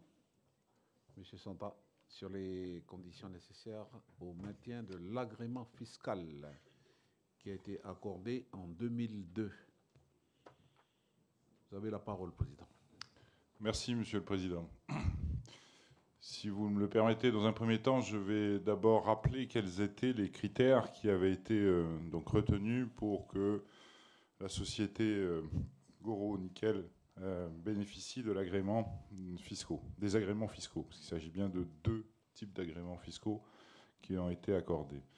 Il s'agissait de respecter d'abord les critères définis par la loi, en l'occurrence le critère d'un montant minimum d'investissement de 50 milliards. Ce critère a été satisfait puisque l'opération, dès le départ, avait été estimée à plus de 200 milliards et on sait tous aujourd'hui qu'elle a été beaucoup plus élevée que cela. Et également le critère d'une création d'emplois minimum de 500 emplois, et ce qui a également été le cas puisque la société a créé dès le début plus de 800 emplois et aujourd'hui on en est à près de 1200. D'autre part, dans l'arrêté euh, d'agrément, il était précisé qu'il s'agissait d'un arrêté donc octroyé à la société euh, Goro euh, au départ, Goro Nickel, SAS, SA pardon, Goro Nickel spécifiquement, et avec l'obligation de créer une usine de traitement du nickel par le procédé de lixiviation à acide sous pression. Et enfin, bien sûr, était précisé dans l'arrêté en question le respect des réglementations provinciales en vigueur en matière d'environnement et d'installation classée. Donc pour répondre précisément à la question qui est posée de savoir quelles sont les conditions nécessaires au maintien de l'agrément fiscal accordé en 2002, euh, il faut donc d'une part que la société continue à exploiter une unité de traitement du nickel par le procédé de lixiviation à acide sous pression, ce qui semble être le cas, il faut d'autre part que la société euh, respecte encore les réglementations provinciales en vigueur en matière environnementale et d'ICPE. Et là, euh, Madame la Présidente de la province Sud pourra y répondre. Je ne le ferai pas à sa place. C'est bien une compétence de la province en la matière. Et il faut surtout que euh, la société ne change pas. Autrement dit, que l'usine reste propriété de la société qui a bénéficié de cet agrément. C'est-à-dire qu'il ne faut pas qu'il y ait de cession de l'actif de l'usine. Si ce n'est qu'un changement d'actionnaire, euh, la jurisprudence considère qu'il s'agit bien du même propriétaire de la même entreprise, même si le nom change, le nom peut changer, mais la société, la personnalité morale reste la même s'il ne s'agit que de changement d'actionnaire. Et jusqu'à maintenant, il s'agissait uniquement de cela. Voilà les conditions qui sont nécessaires pour que le, futur, repreneur bénéficie également des agréments fiscaux euh, dont a bénéficié Goro Nickel dès l'origine. Est-ce que j'ai répondu à la question, Monsieur le Président? Alors, je vais poser la question à mes collègues. Monsieur Philippe Michel. Euh, est-ce qu'il faut comprendre de l'exposé que vient de nous faire le président du gouvernement que les quantités produites, que ce soit de produits nickel ou de cobalt, et le type de produit, que ce soit du NHC ou euh, de l'oxyde de nickel, sont totalement indifférentes quant au maintien de l'agrément? Parce que moi j'ai toujours pensé que Goro s'engageait sur des volumes mais peut-être me trompais-je. J'ai toujours pensé que euh, l'industriel s'engageait sur des volumes, au regard notamment de sa capacité nominale de production, et sur un type de produit. Donc la question que je pose, c'est est-ce qu'on peut passer de 50 000 tonnes à 33 000 tonnes euh, de NHC au lieu d'oxyde euh, sans que ça ait la moindre conséquence sur l'agrément en question? J'espère que ma question est claire. Merci, Monsieur le Président. Je pense que le plus simple, Monsieur Michel, c'est de vous lire l'arrêté d'agrément et les articles de l'arrêté d'agrément, l'article 3 précisément, justification des conditions d'éligibilité. C'est court, hein, vous inquiétez pas. La société Goro Nickel s'engage à réaliser un programme d'investissement permettant la création d'une usine industrielle de traitement du minerai de nickel par le procédé de liquéfiation à acide sous pression, PAL. Le montant de l'investissement est estimé à 200 milliards de francs CFP. Le montant minimum de l'investissement requis pour bénéficier du régime fiscal spécifique étant fixé à 50 milliards de francs CFP. Le nombre d'emplois créés est évalué à 804 emplois directs sur site pour un nombre minimum requis de 500 emplois. Donc il n'y a pas de condition de quantité de production. La notion de quantité de production, par contre, elle fait évoluer l'agrément qui passe d'un agrément en phase de construction à un agrément en phase d'exploitation. Et c'est le cas quand la société, et ça a été le cas en 2016, hein, puisque depuis 2016, la société est en phase d'exploitation, puisque la société a atteint 80% de sa capacité nominale telle qu'elle était envisagée au départ. Mais il n'y a pas de quantité nécessaire pour bénéficier de l'agrément, si j'ai répondu à votre question. Monsieur Michel? Oui, enfin, deux précisions complémentaires. Euh, j'imagine que l'agrément, euh, l'arrêté d'agrément pris par le gouvernement à l'époque l'a été sur la base d'un dossier euh, qui détaillait qui détaillait les quantités à produire, le type de produit, etc. Est-ce que je dois comprendre des précisions apportées par le président du gouvernement que des évolutions sur ce dossier et des évolutions, le cas échéant, significatives? Ce que je veux dire, c'est que quand New Century fait une offre pour produire non plus 50 000 tonnes d'oxyde de, nickel, mais 36 euh, 000 tonnes, si j'ai bien suivi hein, ce que j'ai lu dans la presse de NHC, c'est pas. Enfin voilà, j'ai matière à poser la question. Euh, donc, euh, donc voilà, est-ce que je peux avoir des précisions sur ce, sur ce sujet-là, même si j'ai bien compris que, même si j'ai bien compris les termes de l'arrêté hein, d'agrément, je ne sais pas après dans la doctrine fiscale, dans le dossier, dans les procédures habituelles, s'il y a un impact dans la jurisprudence. Hein. parce que, en tout cas, de ce qu'on a lu dans la presse sur l'offre de rachat de New Century Resources, on n'était plus dans le même schéma que celui, dans le même schéma industriel hein, en termes de quantité et de produits que celui qu'on avait agréé à l'époque. Mais je répète, je pose la question. Le Président. Donc je, vous confirme hein, que dans l'arrêté, aucune, valeur de, quantité de production n'est définie. Euh, c'est clair, hein, il n'y a pas d'ambiguïté. La seule chose, c'est vraiment ce que je vous disais, c'est le passage d'un agrément, des avantages fiscaux de la phase construction à la phase exploitation, qui précise bien qu'il fallait donc une durée de trois mois continue à hauteur de 80% de la capacité industrielle euh, majorée d'une durée, une capacité industrielle, mais il n'y a pas de capacité minimale définie dans l'arrêté en question. Je vais laisser Monsieur le directeur de la DSF éventuellement évoquer la doctrine. Euh, si tant est qu'il y en ait une. Si vous voulez bien, Monsieur le Président du Congrès. Oui, allez-y, Monsieur le Directeur. Je vous remercie, Monsieur le Président. Euh, en, termes de doctrine, pour, pour l'instant, il n'y en a aucune. Euh, effectivement, il y a eu un agrément qui a été accordé euh, à une entreprise, qui était Goro Nickel. L'objectif, en tout cas, ce qui, doit être maintenu, c'est la personnalité morale. un changement des associés ne changera pas la personnalité morale en cas de vente, donc l'agrément perdurera. En revanche, tout, rachat qui aurait euh, une incidence sur la personnalité morale, c'est-à-dire qui entraînerait une disparition de cette personnalité morale, ferait tomber l'agrément. Ça, c'est le premier point.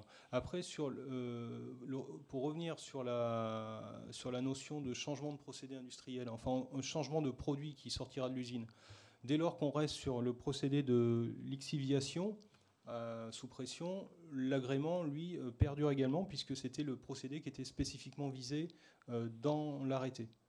Donc le produit, j'allais dire, qui, qui, sort, importe peu au cas présent. J'espère avoir répondu à... Alors, monsieur le député. Merci, Monsieur le Président. Je remercie le Président du gouvernement et le directeur des services fiscaux pour leurs explications concernant le dispositif fiscal privilégié dont bénéficie l'usine du Sud et dont a aussi et bénéficie toujours l'usine du Nord, puisque le dispositif agréé concernait à l'époque ces deux investissements. Euh, je veux simplement indiquer que, bien évidemment, il n'y a pas de doctrine fiscale sur le sujet en Nouvelle-Calédonie, mais que les principes qui sont posés, un agrément délivré, euh, une évolution substantielle de l'outil, doivent peut-être nous conduire, non pas stricto sensu, mais à trouver une jurisprudence qui nous permette d'appréhender si oui ou non l'évolution du dossier de Goro et du, la reprise par euh, une structure, que ce soit New Century hier ou une autre aujourd'hui, euh, peut conduire à la remise en cause de l'agrément fiscal. Ça ne veut pas dire qu'il aurait vocation à être remis en cause par notre Congrès, entendons-nous. Il y a des éléments juridiques, il y a des éléments politiques. Ensuite, notre Congrès pourra délibérer pour, nonobstant ces évolutions substantielles, le cas échéant, maintenir un agrément fiscal. Hein, donc là, je pose juste la question en termes juridiques. Et ma réponse est l'exact contraire de celle du président du gouvernement et du directeur des services fiscaux. Euh, pourquoi c'est l'exact contraire? Parce qu'eux-mêmes ont donné l'élément pour se faire battre. Euh, à quelles conditions l'agrément fiscal est-il obtenu et maintenu? Il est obtenu en fonction euh, des termes posés par la loi, qui donne délivrance de l'arrêté, et ensuite il a été indiqué, à juste titre, qu'il fallait, pendant une durée qui soit de deux ou trois mois consécutifs, pour la défiscalisation nationale, je crois que c'est deux mois consécutifs. Peut-être pour le dispositif euh, chez nous en vigueur, euh, c'est trois mois consécutifs. Euh, pendant deux ou trois mois consécutifs, atteindre 80% de la capacité de production nominale.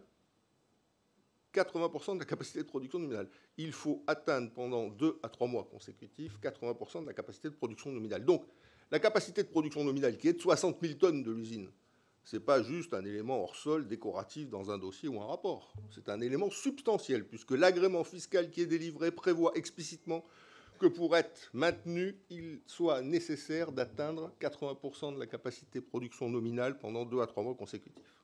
Donc, on ne va pas clore le débat parce que je pense qu'il est d'une part extrêmement euh, complexe et que ça n'intéresse pas automatiquement tout le monde, mais à mon sens, il serait utile euh, qu'on obtienne un rapport d'information de la part des services fiscaux sur le sujet, du gouvernement de la Nouvelle-Calédonie sur le sujet, euh, approfondissant la question de la capacité de production nominale, qui est un élément euh, de l'agrément, comme je viens de le rappeler, comme cela a été rappelé par le président du gouvernement, et le cas échéant, tirant d'une jurisprudence hors Goro et hors agrément fiscal calédonien, des éléments de principe qui nous permettent de nourrir notre réflexion. je conclus en rappelant que notre souhait à tous, euh, indépendamment des oppositions que nous pouvons avoir, c'est bien évidemment que l'usine du Sud puisse continuer à fonctionner, que le repreneur puisse bénéficier euh, de l'agrément que nous avons délivré il y a maintenant euh, une vingtaine d'années, et que le cas échéant, le Congrès pourrait être saisi, si cela était utile, d'une modification des bases qui ont permis l'agrément de Goro, étant donné que la production serait, le cas échéant, inférieure ou que le nickel ne serait plus exactement celui qui avait été prévu à l'origine. Hein. Donc il y, a deux débats, un débat juridique et une question politique qui se posera le cas échéant à un moment donné ou pas de l'histoire. Mais cette question juridique se posait déjà en ce qui concerne l'offre de New Century, elle ne se pose plus aujourd'hui, puisqu'il euh, n'y a plus d'offre de New Century. Voilà, Monsieur le Président, les éléments complémentaires que je souhaitais. Bien, merci Monsieur le député. Monsieur le Président. Oui, sans remettre en cause la, question politique que soulève Monsieur le député euh, et qui est bien euh, l'objet euh, des compétences du Congrès de la Nouvelle-Calédonie, je voudrais juste quand même préciser que d'un point de vue juridique, c'est l'arrêté d'agrément qui est la base de la discussion. L'arrêté, je le répète, ne prévoit aucune valeur en matière de capacité de production. Malgré tout, il y a bien dû y en avoir une puisque ce qu'il prévoit, c'est ce passage d'exonération en phase de construction à une phase d'exploitation. Sachant qu'en phase de construction, les avantages fiscaux étaient supérieurs, bien entendu, à la phase d'exploitation. Mais l'arrêté dit bien l'obligation pour la société, effectivement, d'être en phase à 80% de son nominal pendant trois mois. C'est ce qui a été constaté en 2016 et qui a donc donné le top départ des 15 ans d'avantages fiscaux pour la phase d'exploitation. L'arrêté ne dit pas que ces 80% doivent être maintenus en permanence. On dit juste, l'arrêté précise bien, qu'il faut que pendant trois mois, la société produise 80% de son nominal. Si ensuite la capacité de l'entreprise évolue dans le temps, c'est à mon sens, mais là c'est la discussion juridique, hein, c'est là-dessus où on n'est pas d'accord, je suppose, monsieur le député, c'est pas à mon sens un élément de remise en cause de l'agrément. C'est comme ça que je comprends en tout cas. Juste, euh, on ne s'exprime pas de la même manière.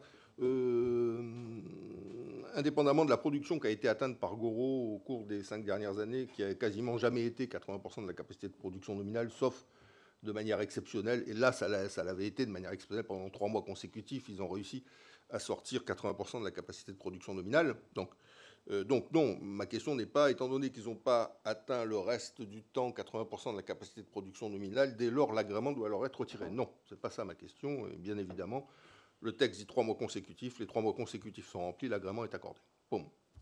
Je dis simplement que la capacité de production nominale était, à un moment donné du dossier, un élément substantiel du dossier, puisqu'on a prévu de passer d'un cas à un autre dès lors qu'on a atteint 80% de la capacité de production nominale. Je dis simplement ça. Donc elle n'est pas dans l'arrêté, certes, elle était bien sûr dans tous les dossiers, dans tous les rapports, dans tous les débats, dans toutes les commissions, et elle a été utilisée pour le passage d'un stade à un autre stade, 80% de la capacité de production nominale. Donc ce chiffre est quand même un élément substantiel du dispositif. Donc voilà, je ne souhaite pas approfondir davantage, c'est un débat... Euh, un débat particulier, mais voilà, c'était bien que ces éléments-là soient mis sur la...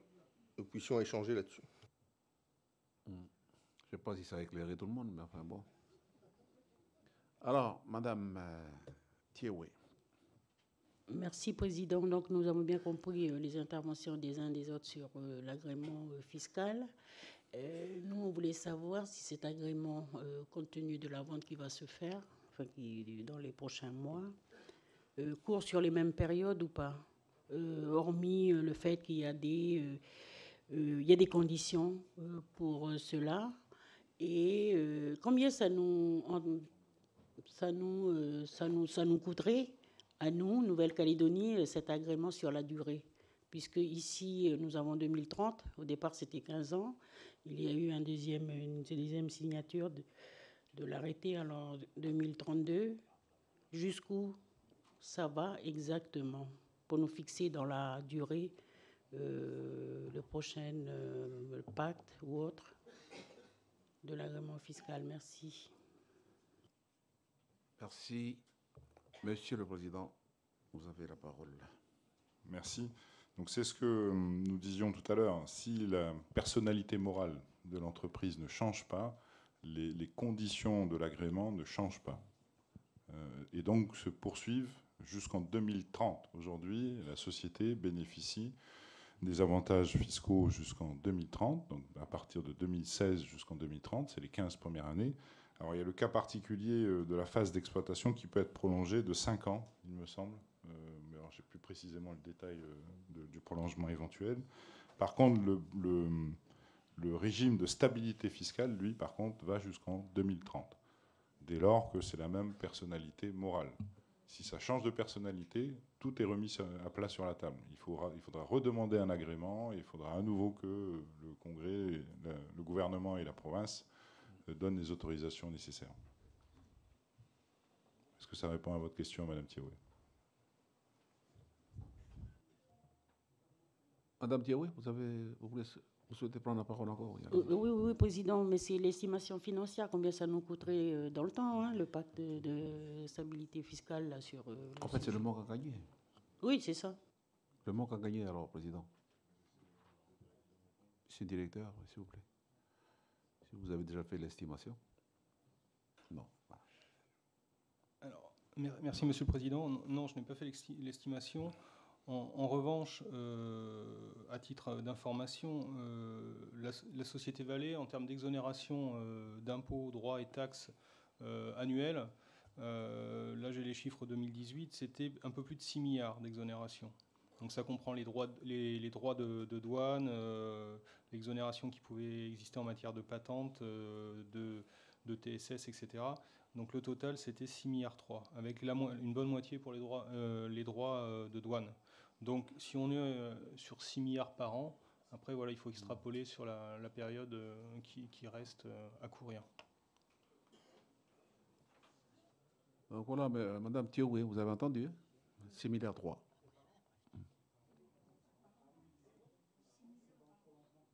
Oui, allez-y, oui. Oui, sauf erreur de ma part, il y a une disposition du Code des impôts qui prévoit que chaque année, il y a un rapport qui est établi par le gouvernement pour informer le Congrès donc du montant des euh, moins-values fiscales enregistrées au titre des différents agréments délivrés.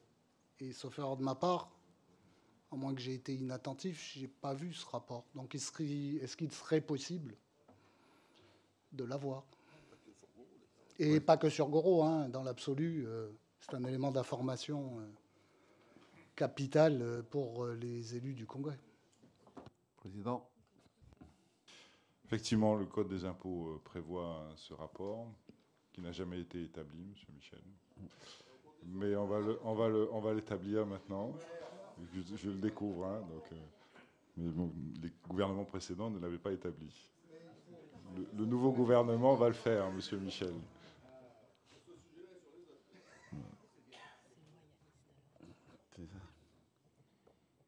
Bon, on découvre des choses intéressantes, bah, du coup. Madame Ruffnac. Merci, Monsieur le Président. Ah ben voilà. Comme on a des précédents en la matière, moi, ma question au président du gouvernement est la suivante. Enfin, peut-être ses services, parce qu'il n'était pas là à ce moment-là, mais euh, lorsqu'il y a eu euh, effectivement une vente de, au départ Falcon Bridge en direction de Xtrata, puis de Xtrata en direction de Glencore, d'une part de l'usine du Nord, est-ce que les agréments fiscaux ont été revus? Et l'autre question que je voudrais poser, c'est est-ce qu'on a aussi un montant des exonérations, du, du montant des exonérations justement euh, depuis le début de la mise en place de de ces agréments fiscaux pour l'usine du Nord également, comme on vient de l'avoir pour Valais, parce que c'est des données intéressantes. Merci. Monsieur le Président. Non, je vous confirme qu'il n'y a pas eu de remise en cause des boucliers fiscaux. Je vais simplifier les choses de cette façon-là, ni pour l'usine du Nord, ni pour l'usine du Sud, parce que l'usine du Sud a changé également d'actionnaire entre-temps. Hein. de Goro, c'est passé à Valais. Et à chaque fois, c'était des changements d'actionnaire. Et donc, pas des changements de personnalité morale, pas des cessions d'actifs et donc pas de remise en cause des euh, agréments concernés. Et la deuxième question, pardon Ça fera partie du rapport euh, qu'on vient d'évoquer et qu'il faudra effectivement compléter de tous les éléments. Bien, merci, monsieur. C'est toujours dans le, dans le même cadre ou... Bon, alors, monsieur Frougy. Merci, monsieur le président. Euh, je ne sais pas si vous allez pouvoir me répondre. Je ne sais pas si vous avez le droit de me répondre. Euh, mais dans le cadre de l'agrément fiscal, euh, donc il y a une exonération de l'IS 35 pendant X années. Est-ce qu'aujourd'hui, vu que vous recevez les liasses fiscales de toutes les sociétés, est-ce que vous avez une idée du, report à nouveau déficitaire de la société Valais aujourd'hui? Monsieur le directeur? Ben non. Hein. Alors, alors, euh, d'une part, je n'ai pas l'alias fiscal, donc je ne peux pas vous le dire. Et, par ailleurs, euh, enfin, à vérifier, mais ces éléments euh, doivent être couverts par le secret fiscal, mais je vais, hmm. on, regardera si ça fait partie de la, de la partie, on va dire, fiscale des choses et pas, et pas comptable, auquel cas on pourra diffuser l'information. C'est Frogier Oui, non, juste simplement pour dire que je pense que on se doute tous que les reports à nouveau déficitaires de la société Valais-Nouvelle-Calédonie sont relativement importants et que là on parle d'exonération sur euh, encore quelques années. Donc quoi qu'il en soit, la société Valais ne paiera pas d'IS 35 euh, pendant encore un petit moment. Merci. Monsieur Philippe Michel. Oui, pour varier les plaisirs, Monsieur le Président, je voudrais passer du sujet fiscal au sujet minier. Et même si la question en bout de course renvoie à une compétence de l'Assemblée des assemblées de province, euh, il s'agit d'une question sur le code minier qui, lui, a été voté par le Congrès de la Nouvelle-Calédonie. Ma question est la suivante.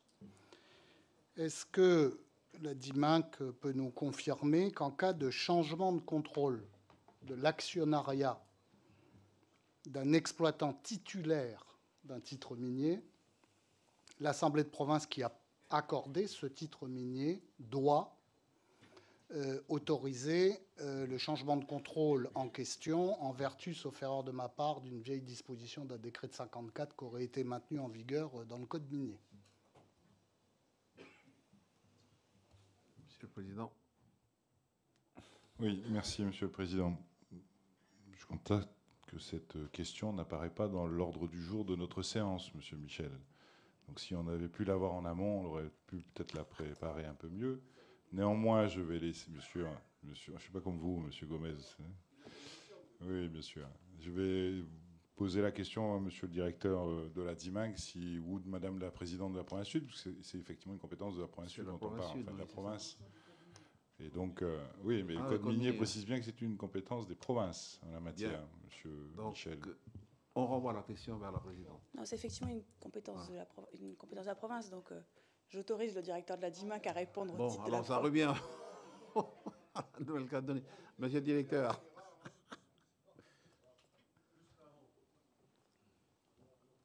Monsieur le directeur, vous avez Je réponds, oui, bon. Merci, Monsieur le Président. Oui, euh, Monsieur Michel. Vous confirme, hein, c'est bien l'article 25 bis euh, du décret de 54 qui a été maintenu en 2009 par voie d'amendement de mémoire euh, au Congrès.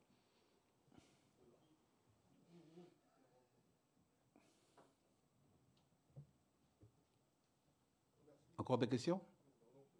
C'est bon? D'autres questions?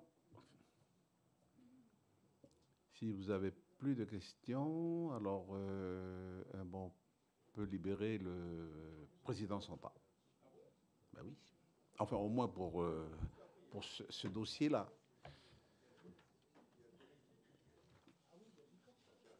Alors, euh, ben oui, parce que nous allons passer donc à la dernière audition. Monsieur le Président, Messieurs les directeurs, merci.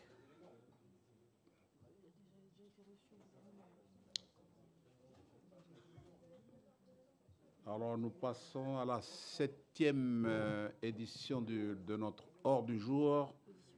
Il s'agit de l'audition des représentants de l'instance coutumière autochtone de négociation LICAN. Ce sera une présentation orale.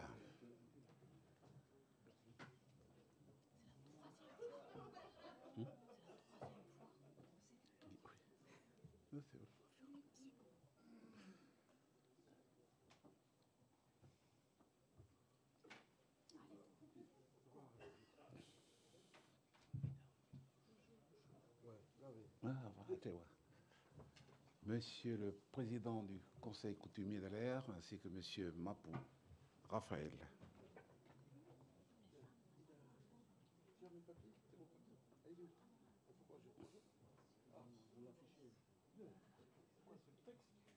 C'est le texte.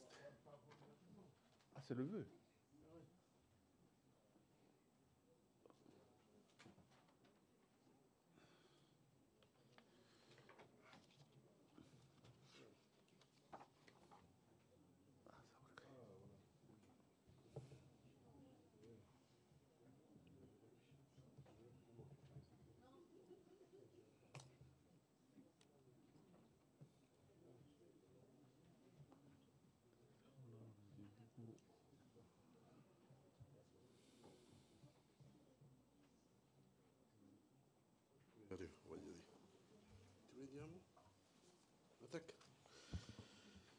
Bien.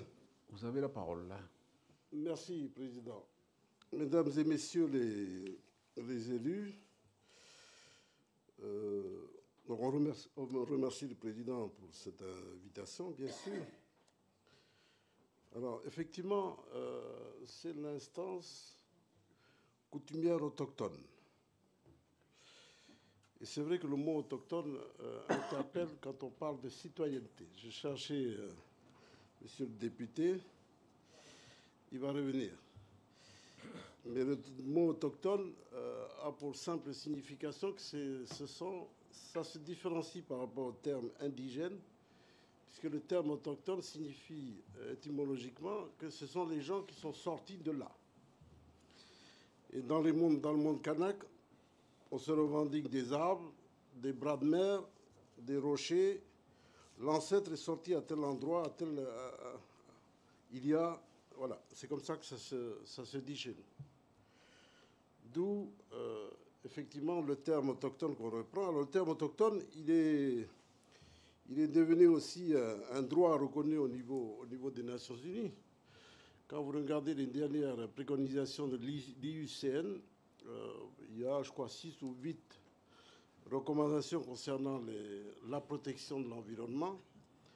Toutes ces recommandations de l'IUCN renvoient donc, préconisent, disons, la, protection des savoirs traditionnels et de cette approche des autochtones de leur environnement. Alors, on va essayer d'aller à l'essentiel, Président. Hein. Donc, il y a des propos liminaires. L'historique du projet, on la, on la connaît. Euh, la session en 91-92, je ne vais pas euh, m'attarder là-dessus. C'est vrai que 2009, il y a eu la 2008, euh, il y a eu la plantation du bois tabou. le bois tabou, pour nous, c'est quand même une parole, et, et c'est pas si peu de le, dire, c'est une parole attachée. En 2002, quand le, plan, le bois tabou a été planté, le message qui était adressé à l'époque à, INCO, c'était INCO, c'est de dire stop. Hein, euh, stop, tu ne peux pas avancer plus loin sans notre accord. Tu ne peux pas aller plus loin sans qu'on ait donné notre consentement. Et donc le bois tabou a été planté par les coutumiers de l'endroit, le grand chef euh, Atiti et la plupart des grandes chefferies euh, des autorités coutumières du pays. Autre élément important, euh, c'est la signature. Alors, je passe rapidement sur les autres événements. Il y a eu beaucoup de contre-expertises hein, qui ont été sollicitées à l'époque et qui ont été établies grâce au concours, de la, enfin, pas la province sud, puisque c'est l'autorité compétente. INERIS, CEREJ, tout pratiquement, il y a eu des contre-expertises. À l'époque, euh, contre-expertises pour vérifier les impacts euh, à partir donc des craintes qui étaient exprimées. Euh, autre chose euh, importante, donc il y a eu des négociations parce que on était voué à, disons, à se battre contre le projet, mais c'est vrai que la, décision était d'abord politique et elle a été assumée à l'époque par le président de la, province sud, hein, M. Jacques Lafleur. Et après, je crois que tous les signataires euh, ont accepté le projet quand il a été, quand il a été lancé.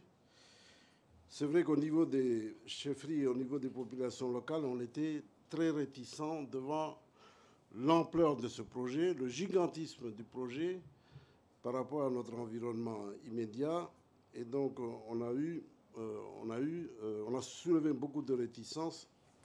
Et après la discussion, il y a eu avec la province sud de l'époque, beaucoup d'échanges.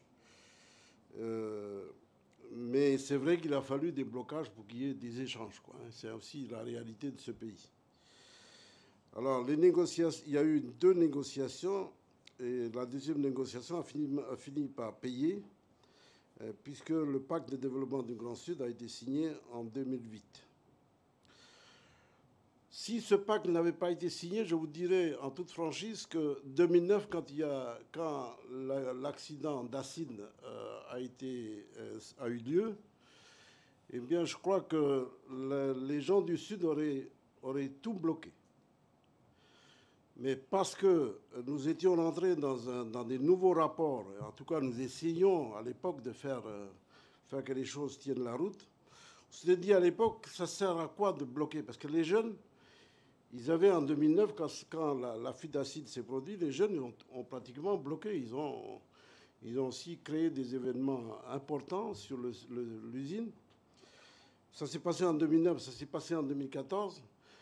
Mais parce que, j'insiste là-dessus, parce qu'il y a eu euh, ce pacte qui avait été signé, euh, les rapports avaient pris une autre dimension. Et quand on nous a posé la question à l'époque, est-ce qu'il faut bloquer l'usine, nous on a dit, à quoi ça servirait de bloquer aujourd'hui, puisque on a là euh, une situation qui est quand même assez, assez de détérioration de l'environnement, qui est assez conséquente, et que si on bloque l'usine, qu'est-ce qu'on fait après? Est-ce qu'on aura les moyens de, reprendre ce qui, voilà, de reprendre ce qui a été détruit?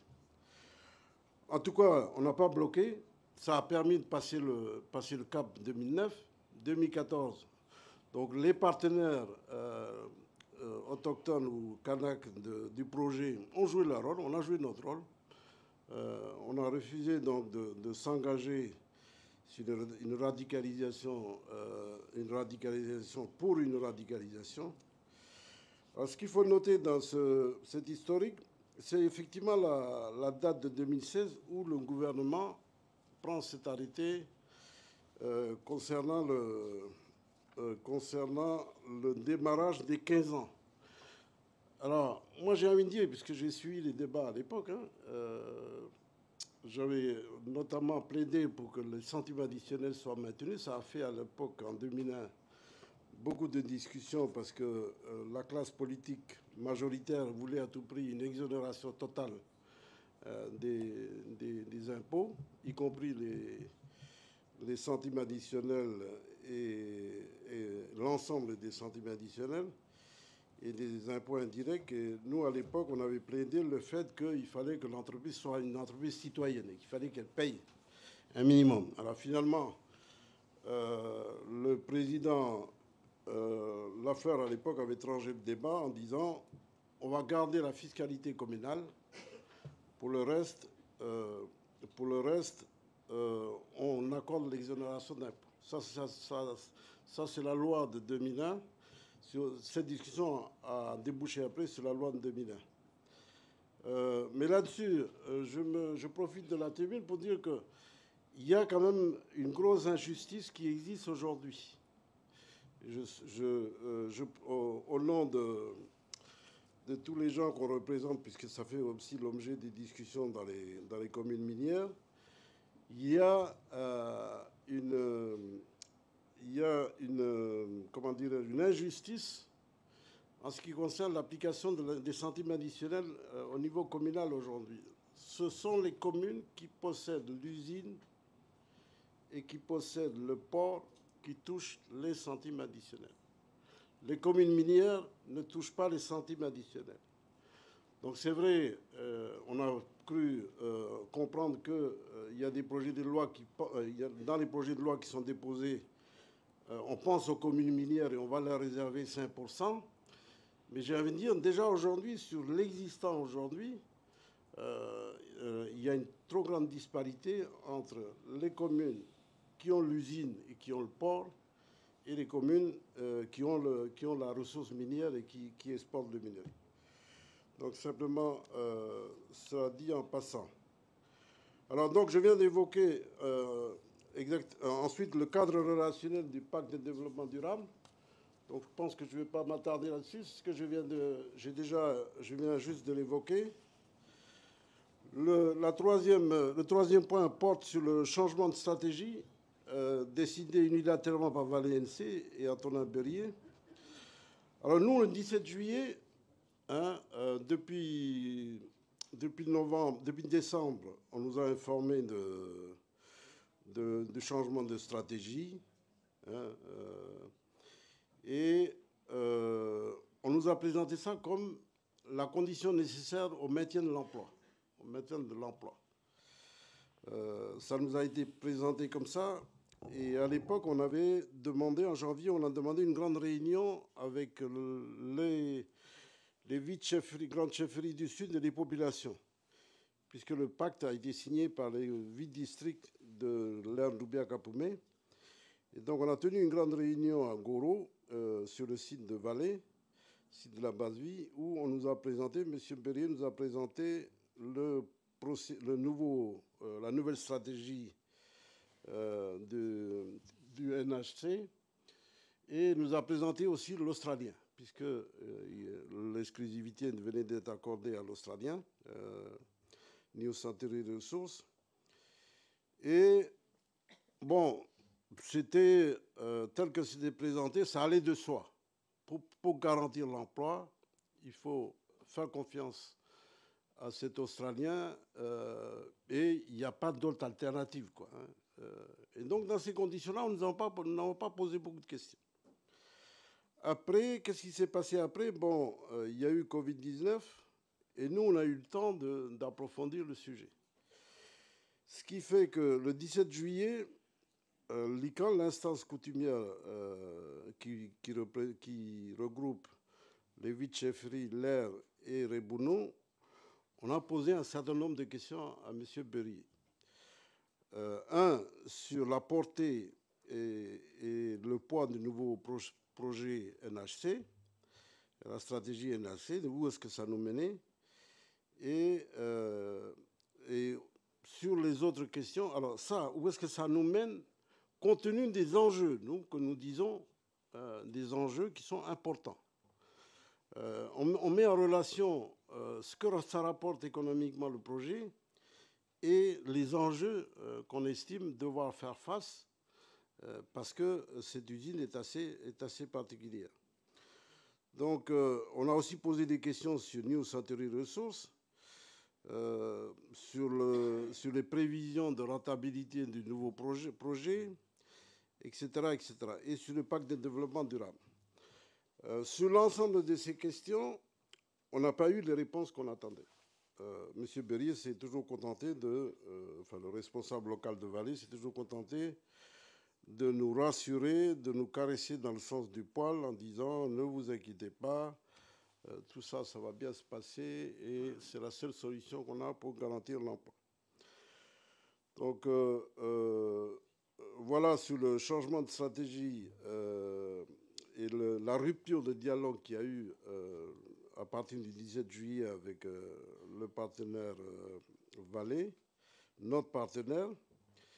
Et en même temps, le partenaire Valais a commencé à couper toutes les, ressources dont dispose le pacte de développement durable. Autrement dit, le, pacte. Alors, le pacte développement durable, deux mots, c'est trois volets. Le volet patrimonial euh, c'est la possibilité de, reboiser euh, les 2000 hectares dans un plan, euh, dans un plan assez, assez déterminé, enfin déterminé sur les 30 ans, planter les, les 2000 hectares qui ont été, qui ont été détruits. Donc ça, c'est le volet patrimonial. Le volet impact socio-culturel, c'est le volet fondation. Et le volet environnemental avec le CCCE, le comité consultatif coutumier environnemental. Donc, c'est ça le, pacte. Euh, il a fonctionné tant bien que mal, mais il a fonctionné euh, jusqu'aujourd'hui, jusqu'à l'annonce de cette, euh, vente. voilà. Alors, ensuite, je vais maintenant faire appel à la vision que nous avons toujours porté sur l'usine du Sud, hein, pour, rappeler un peu la, euh, pour rappeler un peu les choses. Nous avons toujours considéré que le gigantisme de l'usine du Sud de la mine présente, a toujours présenté une grande menace pour nos populations et pour l'environnement, pour les cours d'eau, pour les lacs, pour la qualité de vie des populations, de nos populations la cohésion sociale et coutumière, et que euh, si, euh, d'une certaine manière, c'était une menace aussi sur notre souveraineté du fait de l'ouverture extérieure aux grandes compagnies multinationales. Donc c'est ce qu'on disait au début. Alors, c'est vrai que sur le plan environnemental, les enjeux sont énormes. Hein. J'en citerai deux ou trois. La fosse minière aujourd'hui euh, il y a eu un recours qui a été déposé entre les associations, euh, par les associations environnementales dont Rimbournou, et qui est allé jusqu'au euh, jusqu'au tribunal d'appel de Paris. Ça porte sur la fosse minière, sur les conséquences de la fosse minière. Là, il faut qu'on en parle, parce que nous avons demandé qu'il y ait les meilleures études nous avons toujours exigé que Valais nous fournisse une étude assez précise sur la circulation des eaux souterraines, sur la circulation des eaux souterraines. Parce que euh, cette partie-là où se trouve la tribu de Ngoro, etc., est sujet à des glissements de terrain. Des glissements de terrain. Donc nous avons, euh, nous considérons aujourd'hui qu'il faut bien maîtriser la fosse minière. Le premier projet de Valais voulait renvoyer dans la fosse minière les, déchets de, de l'usine hein, pour faire l'économie de la construction de la, la berme, de la, la, berme de stockage des résidus. Après, ça a été contesté, on avait contesté. Et finalement, euh, c'est un grand puits qui va être construit. Il va, falloir le. C'est un grand trou qui va, une, grande fosse qui est en train d'être euh, construite aujourd'hui, qui va s'étaler sur, euh, sur quelques kilomètres. Et là, il faudra une gestion vraiment pointue de cette fosse minière parce qu'elle présente des grands risques. Et puis, aujourd'hui, il a déjà un impact sur le réseau souterrain le réseau des nappes phréatiques. Il faut savoir qu'il y a une, certaine continuité entre l'espace des grands lacs qui se situe à un niveau supérieur et euh, les, les, rivières qui sont en, aval, autrement dit la cuée, etc. Il y, a, il y a beaucoup de circulation d'eau dans cette région-là. Donc on a un gros souci sur la fosse minière, donc euh, on souhaite que le repreneur prennent beaucoup de précautions là-dessus. On souhaite même aller plus loin, qu'il y ait une gestion, euh, qu'à l'avenir, il y ait une gestion vraiment euh, coordonnée ou euh, entre les gisements qui sont là-haut, entre le gisement de Goro et le gisement de, Prony. Parce que c'est le même, le même bassin versant de, de part et d'autre, de part et d'autre de l'usine. Donc voilà pour la fosse minière. L'autre grand sujet, euh, c'est le stockage des résidus. Le stockage des résidus, il y en a pour deux ans. Il reste deux ans de, stockage, deux ou trois ans de stockage. Valais a différé la construction du projet de Lucie. Alors au départ, ça ne devait pas se faire. Hein. C'est une des raisons qui ont fait que les coûts ont augmenté. Parce qu'au départ, on, on pensait qu'il suffisait de renvoyer euh, les, déchets dans la fosse minière et l'affaire était réglée. Après, euh, à un moment, il était question de renvoyer vers la fosse marine les déchets. C'est ce qui se fait notamment à Papouasie-Nouvelle-Guinée, euh, qui a valu, il n'y a pas très longtemps, des, accidents écologiques importants.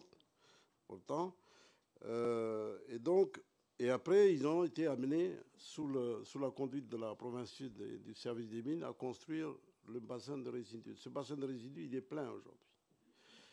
Et c'est vrai qu'un industriel capable de revisiter euh, ces effluents-là, ces, déchets-là, et à la limite de les traiter, de, les traiter, euh, euh, de les traiter avec industriellement, ça aussi, c'est une possibilité. C'est l'intérêt, c'est l'intérêt d'avoir un industriel digne, euh, enfin compétent en la matière, compétent en matière de.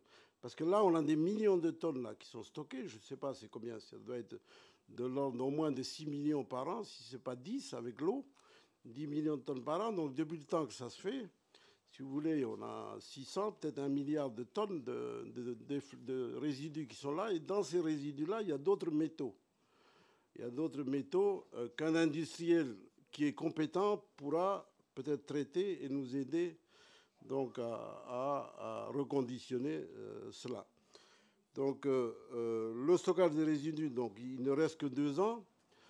J'ai envie de dire, personne n'en parle, M. Perry n'en parle pas beaucoup, mais il semble que, d'après les informations qui ont été données tout à l'heure par, par Sophie Nord, il semble qu'il il faut, il, faut, il faut du monde. C'est une petite usine. C'est 60 employés. C'est 15 mégawatts qu'il faudra pour cette usine-là.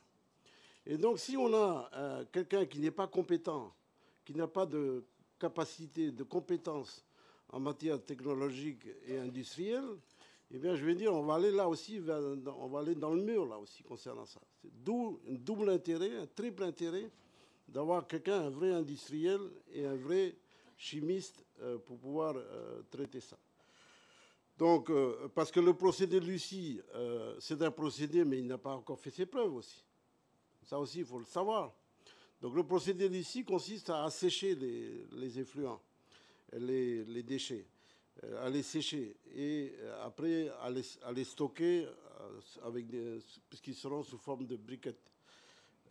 Et donc, mais ce projet, rien n'est garanti pour le moment. On a besoin d'un vrai industriel qui puisse mettre en œuvre cette usine, cette usine Lucie, cette deuxième ou cette troisième usine Lucie.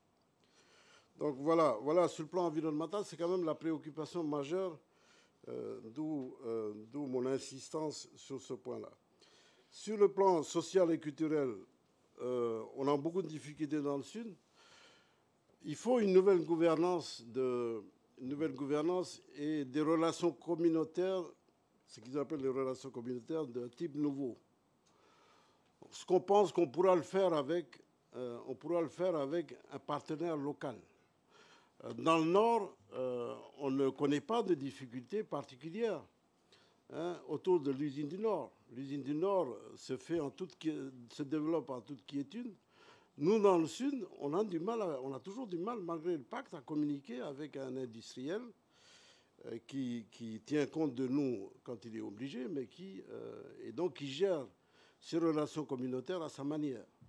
Donc, ce qu'on souhaite aussi, c'est que là aussi, il y ait une nouvelle gouvernance des relations communautaires, des relations avec les entreprises, les sous-traitants, et euh, que là-dessus, donc, les choses se passent autrement.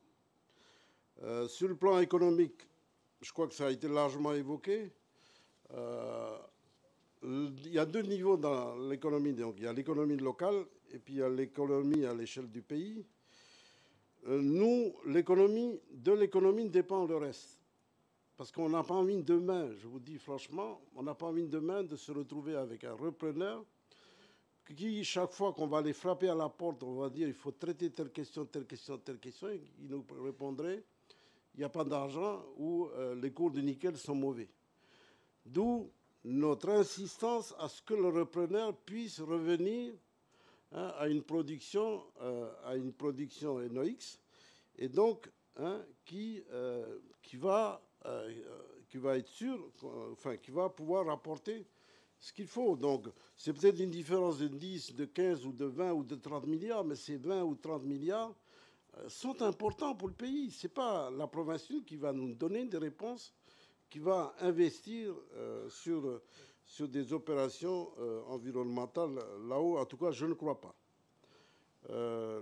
sur le plan social, la tribune Goro a besoin de construire, de se voir construire un vrai lotissement dans le sud et donc euh, un vrai lotissement d'une centaine de lots aussi, là, ça représente, ça représente des, sous, ça représente euh, beaucoup d'argent.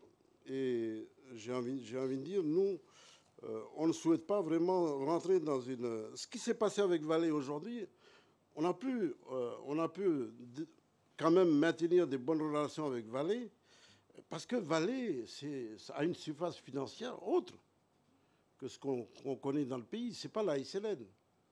Euh, ce n'est pas, pas Eramet. Euh, donc ce qui a été possible avec Valais, euh, on souhaite que demain on puisse le continuer avec, un nouveau, avec le nouveau repreneur et avec, avec le projet pays. Donc, sur la discussion générale, Président, je n'ai pas grand-chose à dire. simplement, sur la discussion générale, je crois qu'on a évoqué un peu les, points qui nous accrochent. Hein, qui nous accrochent. Euh, donc vous, vous êtes dans votre compétence.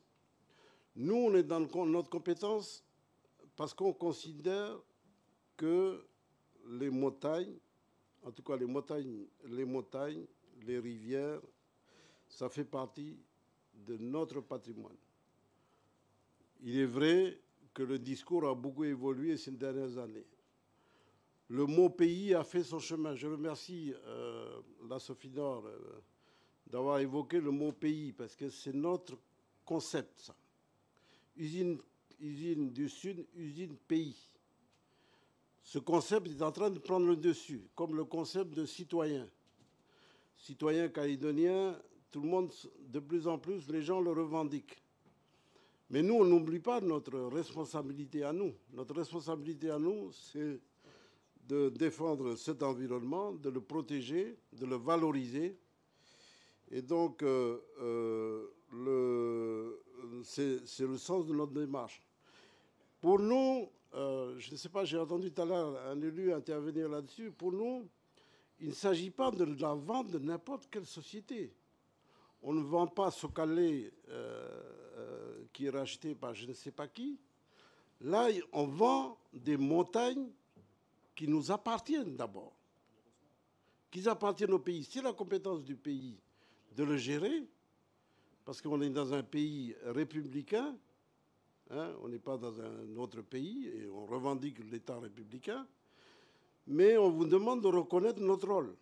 Notre rôle, c'est de défendre, de défendre notre environnement, de défendre nos montagnes. Et c'est pour ça qu'on intervient dans ce sujet-là.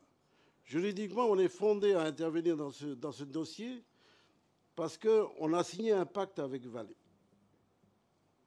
Ça aussi, c'est une réalité d'ici, mais c'est une réalité du monde.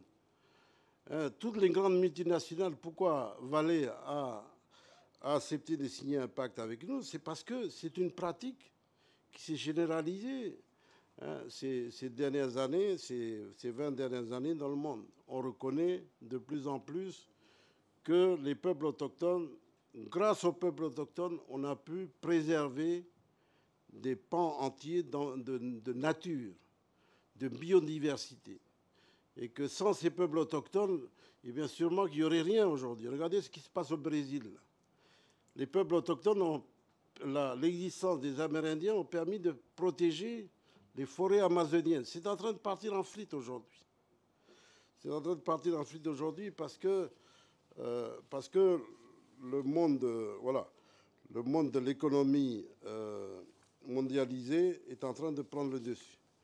Donc euh, ne dites surtout pas, je vous demande s'il vous plaît de, ne pas nous dire qu'on n'a pas le droit d'évoquer ce sujet, que ça ne nous regarde pas. Ça nous regarde. Alors, peut-être pour finir sur la, démarche suivie par l'ICAN et le collectif, j'ai envie de dire qu'on a, on a dit, l'ICAN, le collectif et l'ICAN, on respectera tous les engagements contractuels qui sont pris dans le cadre de l'appel d'offres international qui, pour nous, court toujours. L'appel d'offres international qui a été lancé en décembre, janvier.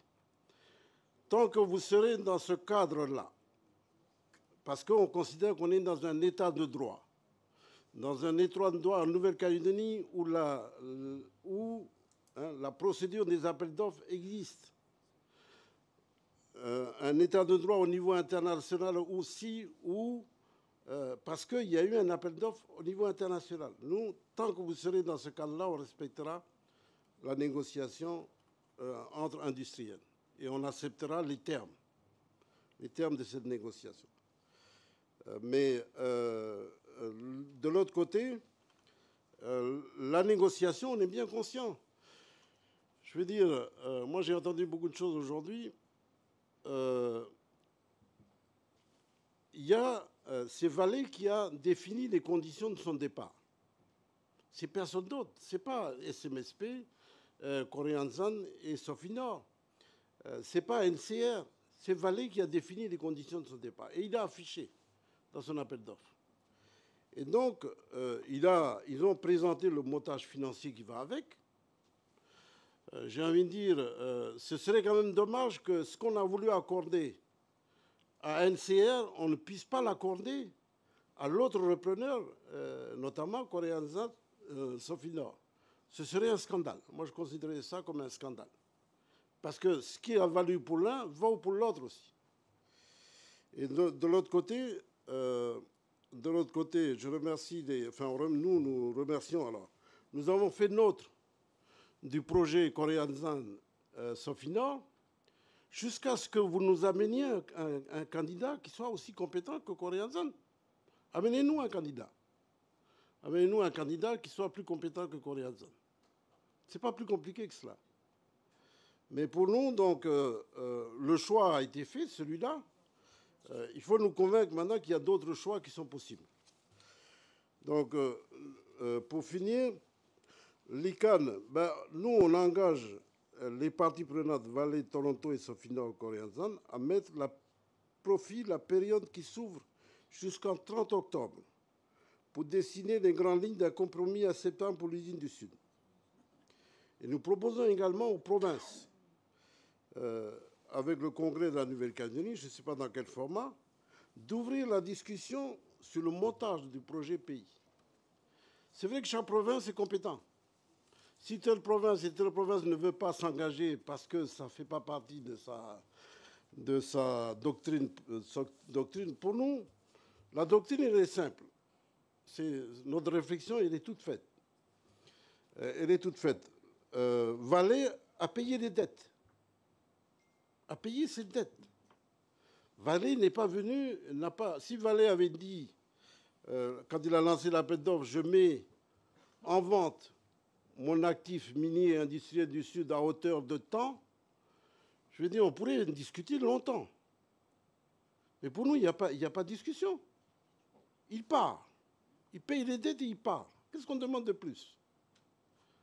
D'où notre affirmation comme quoi il y a une réelle opportunité une réelle opportunité. Maintenant, il vous appartient, à vous les élus, parce qu'on n'a pas mis de se substituer à vous, hein, mais euh, par contre, on va défendre, nous, notre vision des choses. Euh, il vous appartient de décider comment on monte l'affaire. Comment l'affaire se monte avec la Sofinor, avec Promosud, avec Sodil. Et nous, on va défendre nos intérêts là-dedans aussi. Mais euh, on pense sérieusement, alors je ne suis pas en train de vous, de vous donner des leçons, je situe simplement les rôles des uns et des autres. Nous, notre rôle, voilà, il est celle-là. On va vous pousser là-dessus. Ça, vous pouvez nous faire confiance. On va vous pousser là-dessus.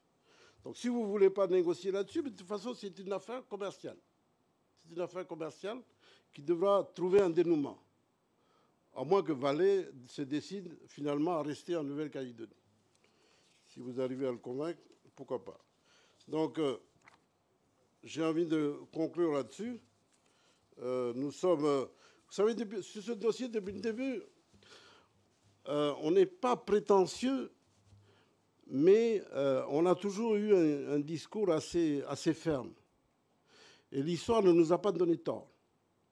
Sur ce dossier, l'histoire ne nous a pas donné tort, puisqu'on est toujours présent. Et par contre, les décisions politiques n'ont toujours pas été judicieuses. Donc permettez-moi de, de, faire appel à mes cheveux blancs euh, pour, le, pour le dire. Voilà. Donc, euh, euh, on, a, on a toujours été ferme sur nos positions.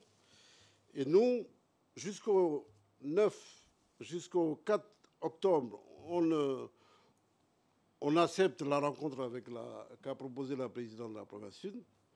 on accepte la mise en place d'un atelier. On accepte de participer au groupe de travail, euh, à l'instance de concertation que vous proposez au Congrès.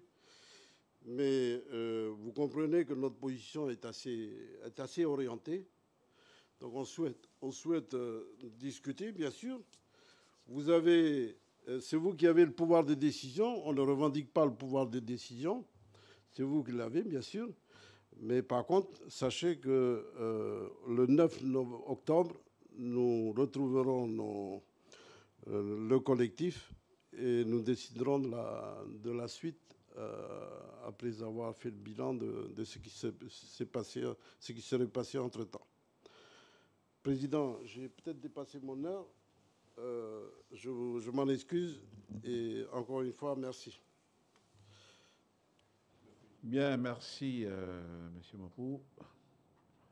Alors, qui souhaite prendre la parole à ce stade? Après ce long exposé, un exposé complet euh, du porte-parole de l'ICAN et du collectif.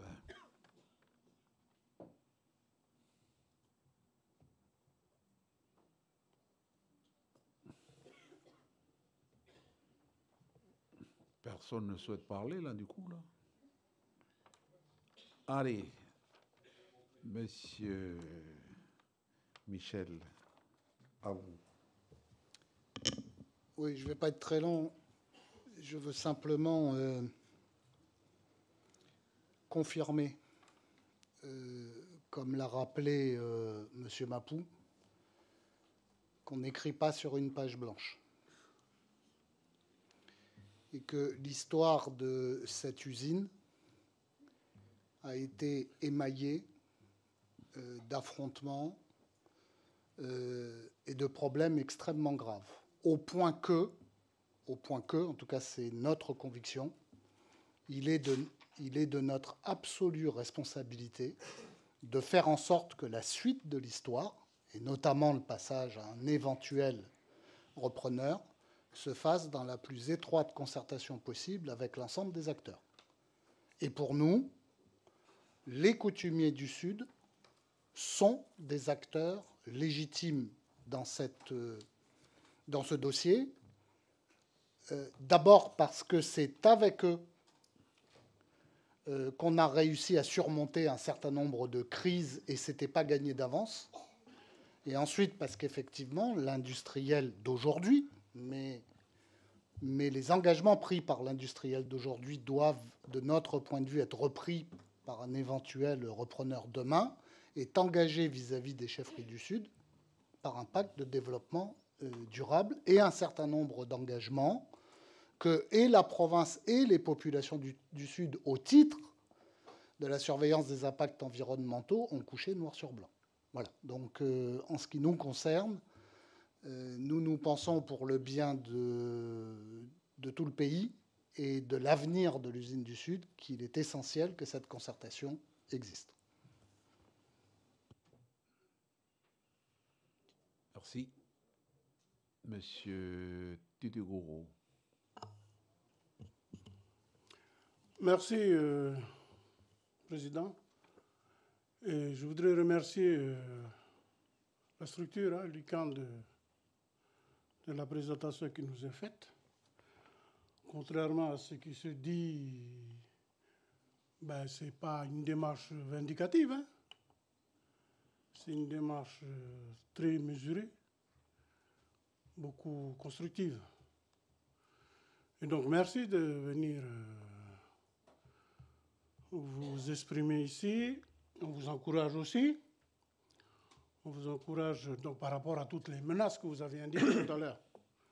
Et donc, euh, on vous encourage à tous les, toutes les, les, façons de faire hein, pour répondre à toutes ces menaces. Nous, on a bien noté que votre volonté de faire euh, quelque chose de fort, hein, une entité pays, la Nouvelle-Calédonie, Malheureusement, on, est bien souvent dans nos provinces nord, provinces sud. Voilà. Et je voudrais, peut-être pour qu'une chance, une chance entité pays puisse, hein, puisse aller au bout, je vais renouveler ici la, demande que je fais à Madame la présidente de la province sud hein, de, rentrer dans la SMSP. Hein, pour qu'ensemble, on puisse euh, porter les choses pour le pays. Voilà, merci, Président. Merci, Monsieur Dugoro. La présidente vous a bien entendu. je ne sais pas si elle souhaite réagir à ce stade. Non, elle fait la moue. Donc, elle ne va pas réagir. Alors, est-ce qu'il y a d'autres euh, personnes qui souhaitent euh, intervenir? Monsieur Gomez, ça va? Vous êtes, calmé là depuis Oui, oui, oui. Faut pas trop lui Monsieur le Président, merci de me donner la parole. Je vais le volcan, là, du coup. Non, non. Jacques Lallier, il ne faut pas provoquer. Ah, monsieur le Président, je... monsieur le député, monsieur Jacques Lallier n'est pas là. Oui, je sais. Et on s'en félicite tous aujourd'hui. Euh, monsieur le Président, je, je me souviens d'un jour pas si lointain où vous étiez en chef de guerre c'était entre 2004 et 2009, sur le site de Goro. Ah vous vous vous souvenez pas? C'est quand en 2004, il y avait une lutte fratricide au sein de l'Union calédonienne, qu'il n'y avait plus aucun indépendantiste à l'Assemblée de la province sud, donc vous aviez du temps et vous l'aviez consacré. Ne retournez pas là-bas, l'épée dans la plaie. le sable d'abattis dans la plaie, non, pas le retourner, mais vous vous souvenez, Monsieur le Président, donc vous aviez du temps à l'époque pour défendre la cause sur le terrain et vous aviez été euh, l'un des agitateurs nombreux hein, euh, de, la guerre contre l'usine du Sud qui était menée par Rebounou euh, et l'ensemble des coutumiers. Je me souviens encore de la manière dont vous haranguiez les foules à cette époque. Alors certes, depuis lors, un certain embourgeoisement vous a gagné, mais... Mais certains disent sagesse. Certains disent sagesse. L'embourgeoisement, c'est le début de la sagesse. Donc on peut que vous féliciter d'avoir suivi ce chemin. Mais euh, je vois qu'il y en a toujours qui sont sur le terrain. Hein. Raphaël Mapou est un point fixe. J'ai vu André Vama aussi, là-bas et quelques autres qui, continuent, chacun à leur manière, à défendre une certaine vision de la manière dont le développement économique doit se faire ici, c'est-à-dire euh, bah, pas comme en Seine-Saint-Denis, hein, sans respect des populations locales, rien n'est possible. Euh, je ne dis pas, en ce qui me concerne, puisque j'ai eu l'honneur d'être président de la province sud à cette époque, de 2004 à 2009, je ne dis pas que c'est simple, hein, c'est extrêmement rugueux, c'est extrêmement difficile, c'est extrêmement long. Euh, on fait beaucoup de pas en avant et quelques-uns en arrière. Mais bon, c'est la manière dont le pays fonctionne. Et on ne va pas le changer, le pays. Hein. Il a sa culture, il a son rapport au monde, son rapport au temps. Et c'est la façon dont nous devons traiter aujourd'hui, fort des enseignements de cette période la question de la reprise d'activité dans l'usine du Sud. Donc, euh, euh, je salue le collectif qui a été créé pour euh, l'occasion et je ne doute pas qu'il sera un partenaire privilégié des institutions et qu'il aura dans ses requêtes désormais la sagesse dont fait preuve Rocomitant. Merci de m'avoir donné la parole, Monsieur le Président, de m'avoir incité même à la prendre. Non, mais c'est très bien. Vous n'êtes pas déçu, là? Non, non, absolument pas. Mais comme je suis président du Congrès maintenant, hein, je n'étais pas à l'époque. je n'étais pas président du Congrès. Donc, euh, je ne vais pas vous répondre quand même, voilà, dans mes fonctions actuelles. Mais en tout cas, je voulais juste dire que euh, c'était à la suite du. C'était le 18 août. Donc, il y avait la réunion du bureau ici. Le, bureau avait rencontré euh, camps Et c'est à leur demande euh, que nous avons mis en place la mission d'information. Voilà. Maintenant, bon, c'est après, ce sera à nous, au niveau du Congrès, de, voir que devient, euh, comment la mission d'information va prospérer par rapport à la délibération que nous allons examiner tout à l'heure. Voilà. Bien, alors, s'il y a plus. Ah, madame, enfin, Madame la Présidente, allez-y. Non, je ne vais pas répondre à la, proposition de mon collègue de rentrer dans la SMSP. Je pense que ce n'est pas le lieu. Euh, simplement indiquer euh, qu'effectivement, les discussions avec l'ICAN ont lieu, puisque nous avons eu l'occasion de les rencontrer à deux reprises, euh, et que euh, un groupe de travail régulier a été mis en place avec eux pour évoquer les avancées euh, dans le dossier de reprise de l'usine du Sud. Donc évidemment, dans la mesure où ils sont signataires d'un pacte qui engage chacun d'entre nous et qui engage, qui, le, qui engage le vendeur et qui engagera son successeur, euh, il est évident que nous devons travailler avec les autorités coutumières. Bien. Merci, Madame la Présidente. S'il n'y a plus d'autres interventions, je vais donc euh, remercier Monsieur le Président, Monsieur le Président euh, Tanao et Monsieur Mapou. Merci, Monsieur Mapou, pour l'exposé et puis pour avoir répondu euh, présent donc, à cette euh, audition demandée par euh, le Congrès de la Nouvelle-Calédonie. Merci.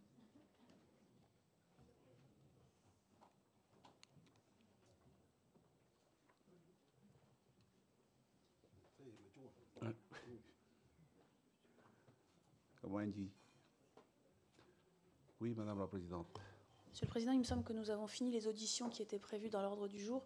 Simplement indiquer que je m'étonne qu'il n'y ait pas d'audition de la province sud, puisque chacun euh, a l'air d'accord pour considérer que c'est bien l'autorité compétente. Je trouve ça étonnant, mais dont acte. C'était pas, euh, pas porté dans la lettre, en fait. Dans la, lettre de, demande de session extraordinaire.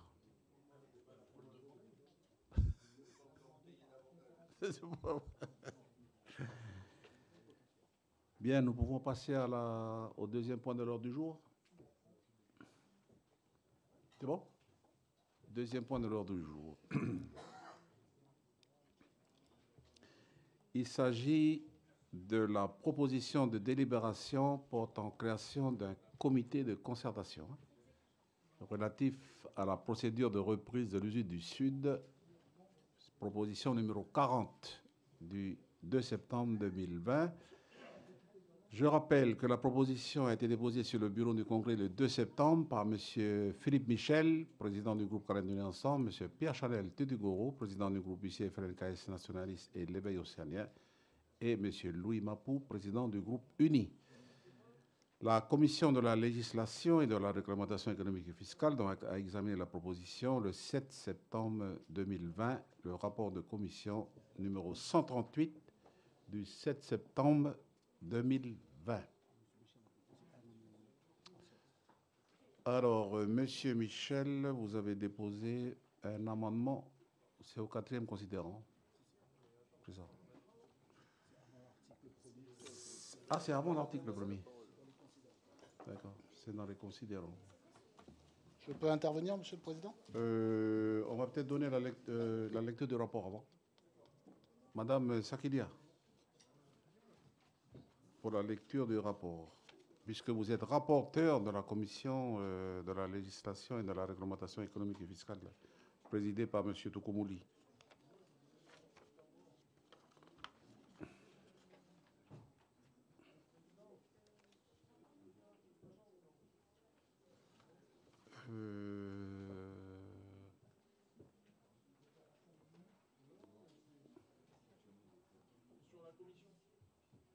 Sur cette commission-là? Bon, ben allez-y. Merci, Monsieur le Président. Euh, je voulais juste rappeler des propos que j'ai tenus euh, au début de la commission, euh, dont on va lire le rapport dans, quelques minutes. Mmh. habituellement, on a les, les, propositions de texte qui arrivent du gouvernement et on a un membre du gouvernement avec l'administration qui vient nous, qui vient nous expliquer et défendre le texte et répondre à nos questions. Là, on avait une proposition de vœux et une proposition de délibération qui était présentée et signée par euh, M. Pierre Chanel Tutugoro, M. Philippe Michel et euh, M. Louis Mapou. Et en commission, on n'avait personne pour nous expliquer les choses, pour défendre le texte ou pour répondre à nos questions. Donc voilà, je voulais porter ça à votre attention, de faire en sorte que les conseillers qui nous présentent des projets euh, puissent être présents pour répondre à nos questions euh, et défendre leurs projets. Parce que à ce moment-là, on s'est quand même retrouvé en, commission euh, sans pouvoir avoir aucune explication, aucune réponse et aucun, donc ça n'a pas débouché sur grand-chose. Voilà. Merci, Monsieur le Président. Bien, merci, euh, Monsieur Faugier. Donc, euh, c'est noté pour les prochaines fois. Madame Sakilia, allez-y. Merci, Monsieur le Président. Dans la discussion générale, Madame Refnac signale qu'il semble transparaître de cette proposition de délibération une certaine volonté de contrôle de la part du Congrès d'affaires intéressant un opérateur industriel et qui ne relève pas de sa compétence. À son sens, l'autorité compétente est frontalement concernée et la province sud, qui ne figure d'ailleurs pas dans le comité de concertation que la présente proposition de délibération propose de mettre en place. Elle s'interroge également sur la pertinence et la représentation de l'instance coutumière autochtone de négociation ICANN au sein du dit comité de concertation. En réponse, M. Travers précise que la proposition de délibération vise à instituer une instance de concertation comparable à la commission Vichère commission spéciale auprès du Congrès que le Congrès a instituée il y a quelques années. Il rappelle en outre que l'article 19 du règlement intérieur permet au Congrès de créer des commissions spéciales, mais que ces commissions sont obligatoirement composées de conseillers de la Nouvelle-Calédonie. Il explique que plusieurs commissions associant ces personnalités extérieures et ne relevant pas de l'article 19 du règlement intérieur ont également été créées auprès du Congrès. Précise ainsi que la proposition de délibération qui vise à instituer un comité de concertation n'est donc pas inédit et que le Congrès a déjà par le passé fait le choix d'instituer ces, ces, types d'instances en marge des commissions intérieures et des commissions spéciales. En réponse à M. Froger qui s'interroge sur le pouvoir qu'aurait ce comité de concertation, il explique qu'il aurait moins de prérogatives qu'une commission intérieure du Congrès. Il n'aurait aucun pouvoir normatif ni aucun pouvoir contraignant. M. Dunoyer ajoute que, contrairement à ce qu'évoque Mme Rufknack, ce comité de concertation ne sera en aucun cas chargé de contrôler l'usine du Sud mais de vérifier la conformité des garanties du repreneur avec le schéma de mise en valeur des ressources minières, les dispositions du Code minier et les lois de pays réglementant le régime de stabilité fiscale. Le Congrès étant concerné par ces textes réglementaires, il apparaît légitime qu'il puisse créer un comité de concertation qui viendrait combler l'absence d'un tel espace d'information. M. Cueno déplore là encore l'absence de la province sud dans la composition de ce comité de concertation, signalant qu'il ne faudrait pas confondre information et interférence hors cadre de compétences juridiques. Il répète que la mine relève de la compétence de la province sud et non du Congrès. À son sein, une proposition de vœu adressée à la province sud sollicitant l'information des élus du Congrès aurait été davantage opportune. Madame Sakila souligne que, que, ce comité de concertation serait un moyen d'obtenir de la transparence et qui serait un message judicieux à adresser aux Calédoniens. En outre, elle estime qu'il serait intéressant d'entendre Valley Canada Limited, qui détient Valley Nouvelle-Calédonie, afin d'obtenir des informations sur les objectifs de cette session. En réponse à M. Froger, qui signale que le Congrès a par ailleurs, par le vote du Code minier, déjà créé des instances compétentes chargées de contrôler la mise en œuvre des réglementations relatives au secteur minier, M. Dunoyer précise que celles-ci ont pour mission de vérifier la bonne mise en œuvre des décisions adoptées par le Congrès et non son information, notamment dans le cas d'une remise en cause des décisions qui pourraient survenir à l'occasion d'un changement de propriétaire. Mme Ruffnac estime que la présente proposition de délibération octroierait au Congrès davantage que son seul pouvoir législatif et lui permettrait d'exercer un pouvoir de contrôle qui ne lui vient pas, et ce en amont d'une session qui est encore en projet. La répartition des compétences n'est donc, selon elle, pas respectée. Madame Machoro signale que les instances créées par le schéma de mise en valeur des ressources minières sont en délégation des provinces pour l'instruction de leurs dossiers concernant les mines, tels que les permis d'exploitation, et ne s'intéressent pas à la cession du capital d'un opérateur industriel à un autre. L'objet du comité de concertation souhaite s'attacher donc bien à cette opération spécifique. Au terme de ces échanges, M. Toukoumili propose au commissaire de procéder à l'examen de la proposition de délibération. Bien, merci euh, Madame euh. Dans la discussion générale, est-ce qu'il y a des orateurs ou des demandes d'intervention? Ah, mais il y a l'amendement. Monsieur Cueno. Merci, euh, Monsieur le Président. Euh, je voudrais simplement euh, remarquer que je, regrette que ce rapport de commission ne nous ait pas été soumis pour validation auparavant parce qu'il y a des, approximations, des inexactitudes, notamment lorsqu'il y est dit que moi-même répète que la mine relève de la compétence de la province sud et non du Congrès. Ce n'est pas ce que j'ai dit.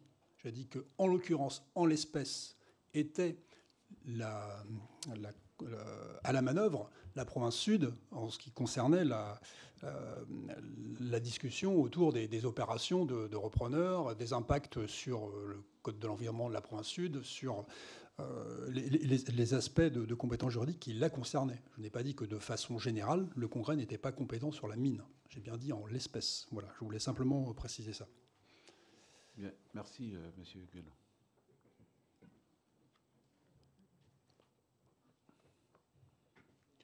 Monsieur Frougier.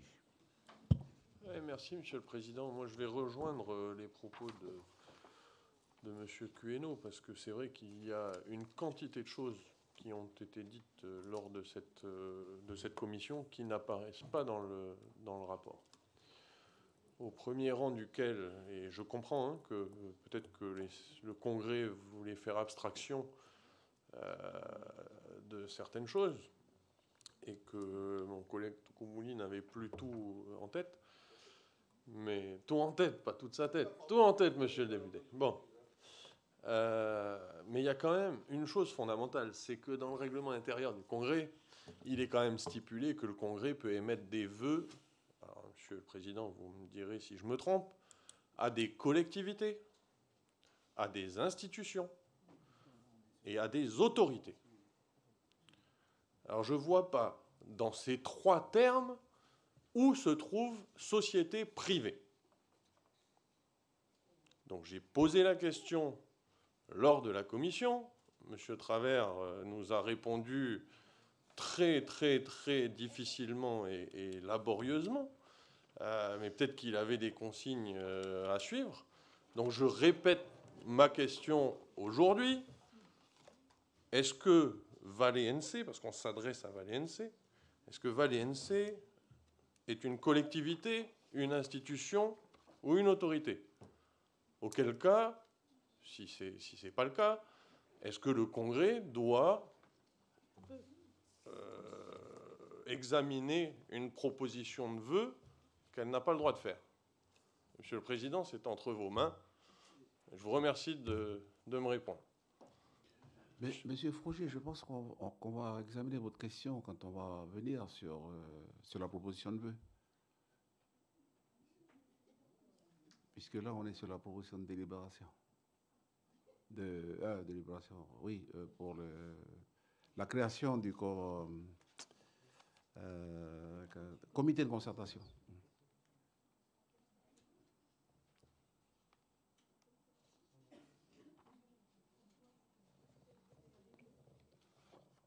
Le vœu vient après. Non, c'est pas ça? Hein? Oui. Madame Sakilia vient de lire euh, le rapport de commission sur euh, la délibération créant le comité de concertation. Non, non, mais je dis ça calmement, euh, monsieur. Non, mais on va venir après, il n'y a pas de problème. Monsieur Froger, on, viendra à cette discussion quand on va aborder la, proposition de Voilà, ok. Alors, sur, euh, le, texte que nous sommes en train d'examiner actuellement, c'est la proposition de délibération portant création d'un comité de concertation relatif à la procédure de reprise de l'usine du Sud. Oui, Madame Bacchès. Monsieur le Président, euh, je pense qu'il y a un, souci euh, juridique sur ce projet de délibération majeur puisque euh, on instaure euh, une entité nouvelle, une autorité nouvelle qui s'installe comme euh, l'interlocuteur, donc avec un article défini et singulier dans, dans, dans, cette opération, alors que le Congrès n'a aucune compétence pour ce qui concerne cette session. Donc, euh, je pense que nous sommes les uns et les autres très respectueux de l'accord de Nouméa et des compétences de chacun. Euh, je pense que là, euh, on est clairement hein, sur une volonté du Congrès de s'accaparer des compétences des provinces, puisqu'il a été démontré tout à l'heure que c'est bien l'Assemblée de la province sud qui doit se prononcer sur la session, que c'est bien qu'il n'y a pas de modification sur les agréments fiscaux, ça a été indiqué par le président du gouvernement et que de toute façon, si ça avait été le cas, ça relevait de la compétence du gouvernement, et que donc le Congrès n'a pas de compétence euh, dans cette opération. Euh, je rajouterai, Monsieur le Président, puisque je vous l'ai dit en mission d'information, que je considère que, le, que vous avez décidé, à la suite des euh, différentes manifestations de, de l'ICAN, de mettre en œuvre, de mettre en place une mission d'information, que cette mission d'information a du sens, puisqu'il s'agit bien d'informer les, élus du Congrès qui ont toute leur place dans euh, justement cette, euh, information concernant la session de Valais. Par contre, le Congrès, le gouvernement, l'ICAN pardon, ne peuvent pas être l'interlocuteur de Valais NC dans, le cadre de cette session. Donc je pense que d'un point de vue juridique, votre mission d'information a toute sa place, mais que ce, cette nouvelle entité ne l'a pas. Bien, merci.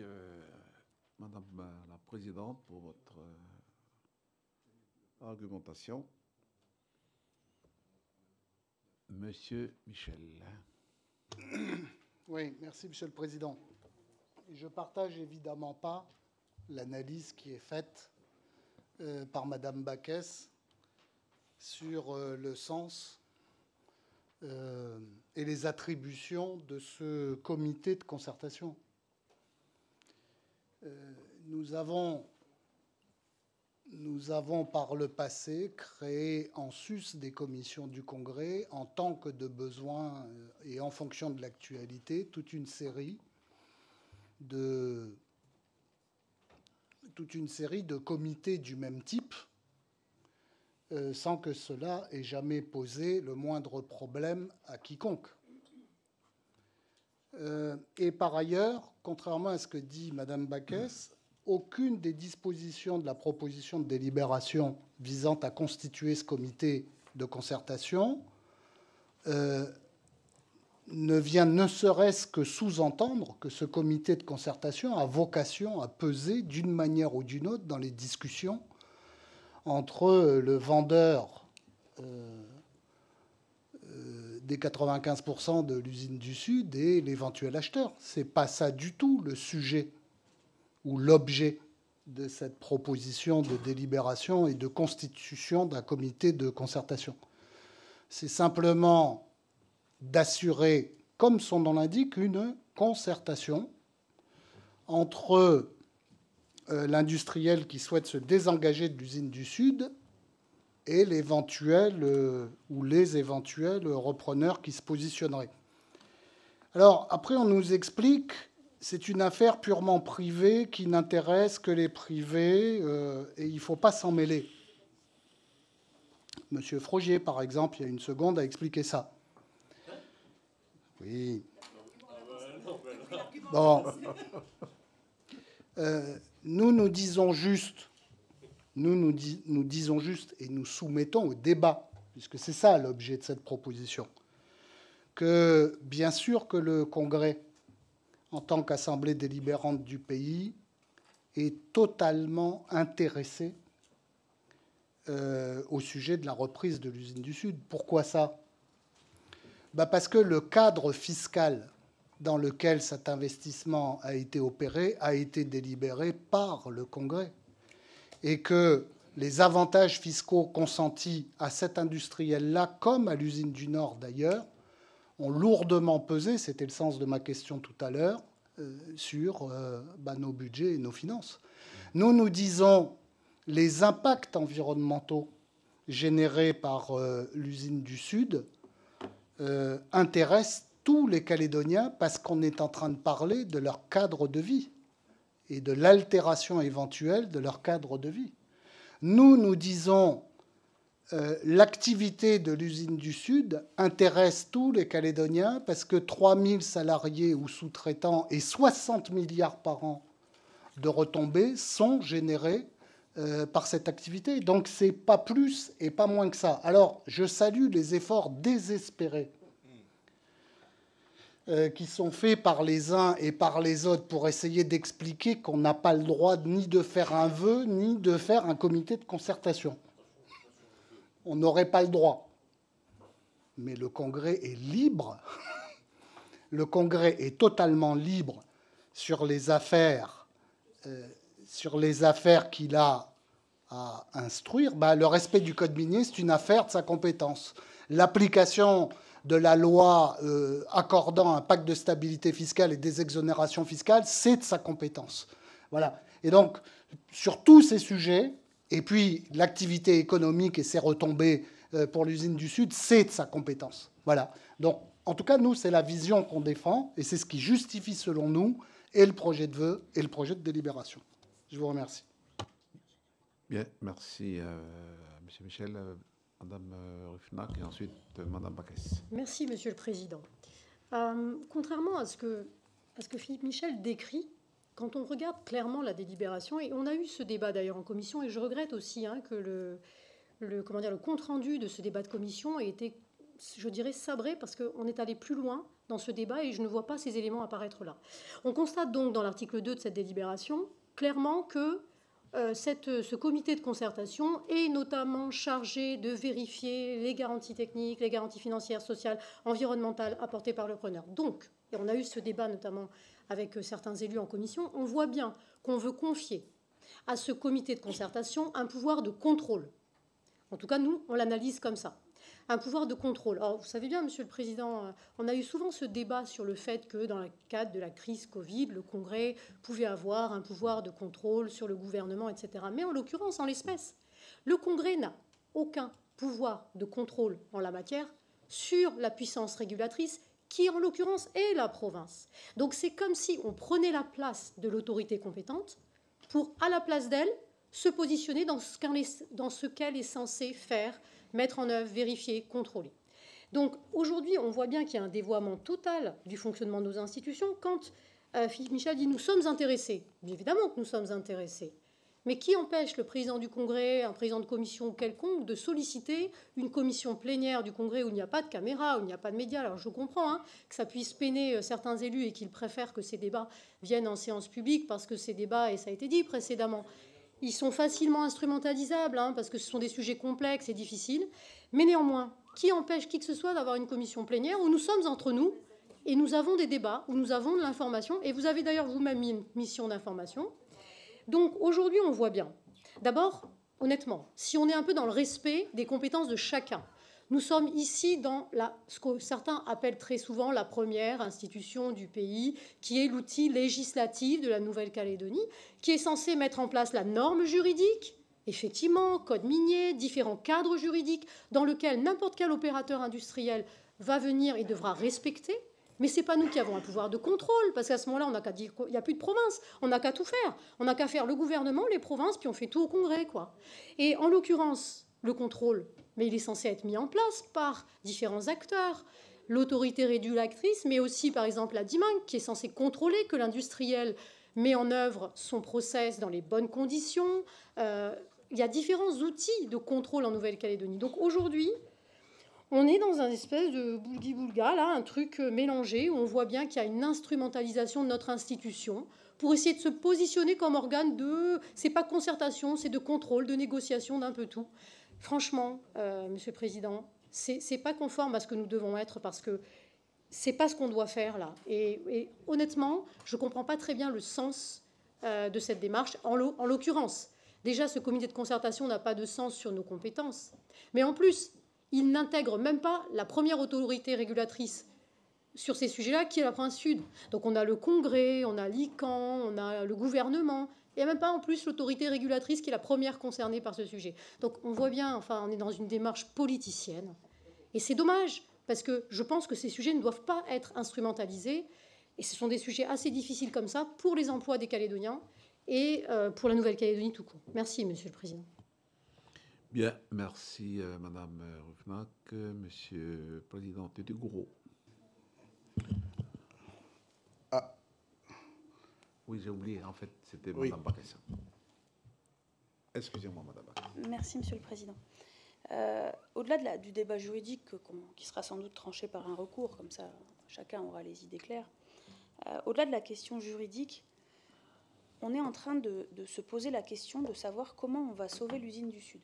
Tous autant qu'on est. D'ailleurs, vous avez fait des amendements qui ont complètement changé le sens de votre vœu, qu'on abordera après, mais pour dire que finalement, il faut sauver l'usine du Sud. C'est bien là-dessus, on est tous d'accord. Donc l'objectif qu'on a tous là, c'est de sauver l'usine du Sud. Et pour avoir eu l'occasion de discuter avec un certain nombre d'industriels extérieurs à la Nouvelle-Calédonie, ils posent une question pour savoir euh, quelle est la stabilité de la Nouvelle-Calédonie. Ils disent Who is running this country? Ça veut dire quoi? Ils demandent à leurs avocats qui c'est qui va décider à la fin. C'est-à-dire qu'ils ont besoin d'avoir un cadre fixe, ils ont besoin de savoir à, tous les moments de la, de, la, de la session qui va prendre les décisions. Et leurs multiples avocats leur ont dit c'est la province sud qui décide. Donc avec qui ils discutent Ils discutent avec la province sud. Et là, on vient dire bah non, en fait, il y a maintenant une instance qui est chargée pas juste d'informer, puisque ça c'est ce que vous avez fait, Monsieur le Président, la, la mission d'information qui, elle, est parfaitement légitime, je le répète. Elle n'est pas chargée d'informer les élus, là. Elle est chargée de vérifier que les garanties, etc., sont bien apportées par le repreneur.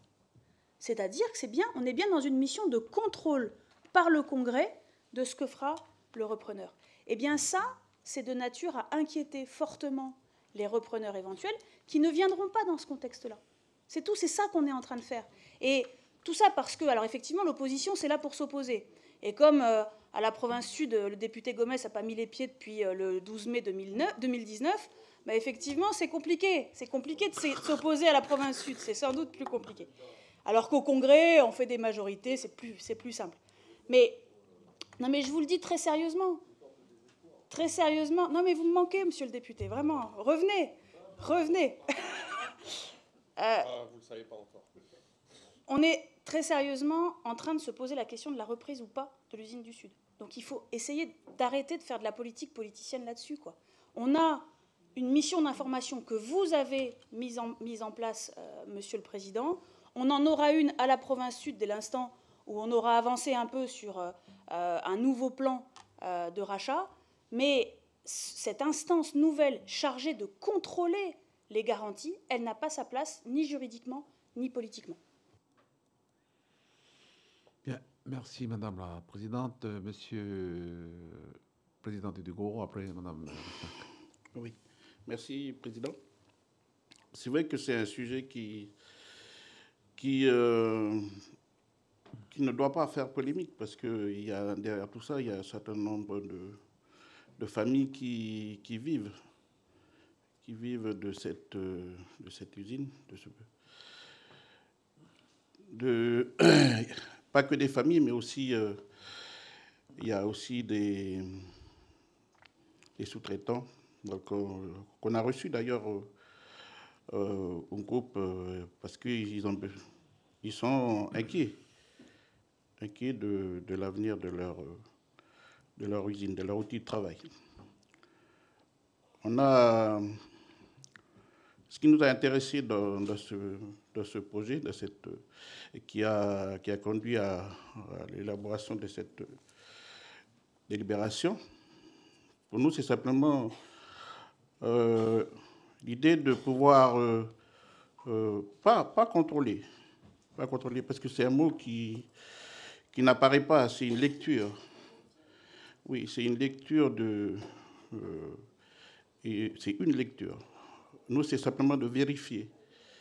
Ouais, L'instance de concertation telle qu'on l'a imaginé, telle qu'on l'a pensé, qui a valu notre, notre soutien hein, à, ce, à ce projet, c'est bien de vérifier la conformité des garanties du repreneur par rapport, euh, par rapport au, texte, par rapport à la réglementation. Mais pas forcément pour euh, pouvoir trancher ou vérifier qui est le meilleur euh, repreneur ou pas. C'est simplement pour donner des éléments aux élus qui correspondent à la, mise en œuvre de, des, des tests qu'on a votés ici.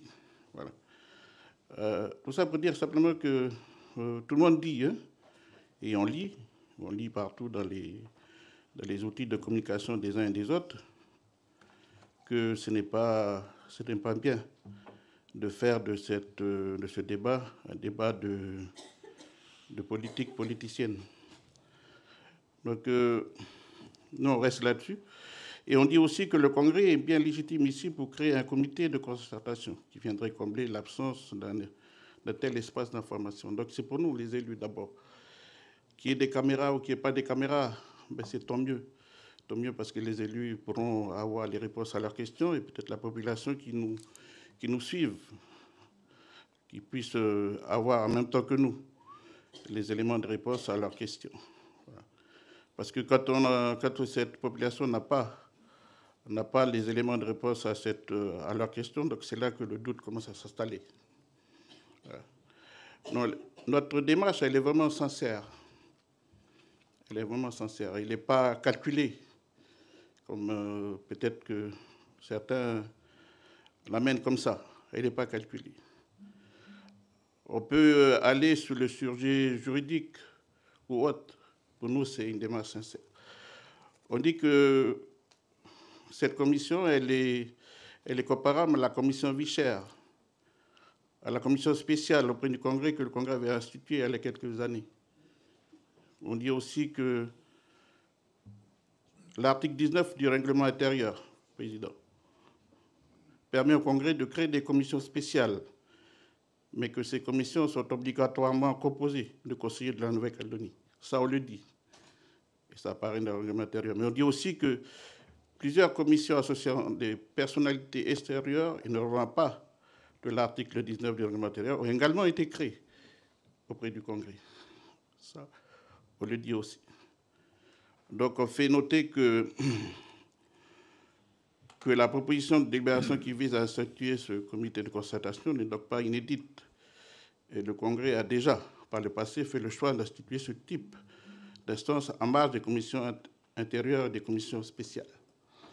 Donc, euh, si on l'a déjà fait auparavant, donc euh, je pense qu'il ne faut surtout pas chercher à polémiquer, surtout quand on est dans cette période de, campagne, parce que les populations ont besoin de, sereinement bien suivre les affaires dont on a la responsabilité de, pas forcément de, piloter, mais de suivre.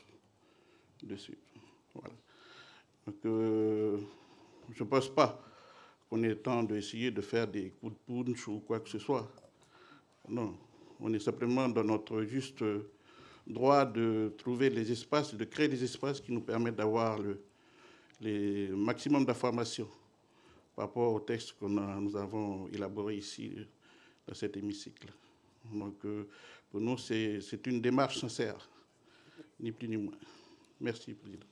Bien, merci, euh, Monsieur Tutugouro, Madame Rufnak et Madame Baguès. On a le droit à deux fois par euh, élu hein, sur chaque sujet. Bien, oui, merci, Monsieur le Président. Juste une chose.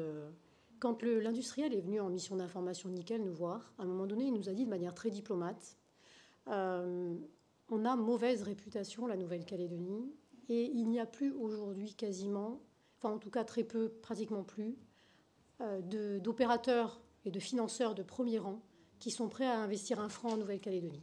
Il nous a même indiqué, il a poursuivi en indiquant qu'il considérait, il pensait, il estimait que cette situation allait perdurer pendant au moins 10 à 20 ans parce que ce que nous vivons au niveau social, au niveau tout ce que nous vivons fait que quand il y a le risque qui augmente, l'industriel, il s'en va.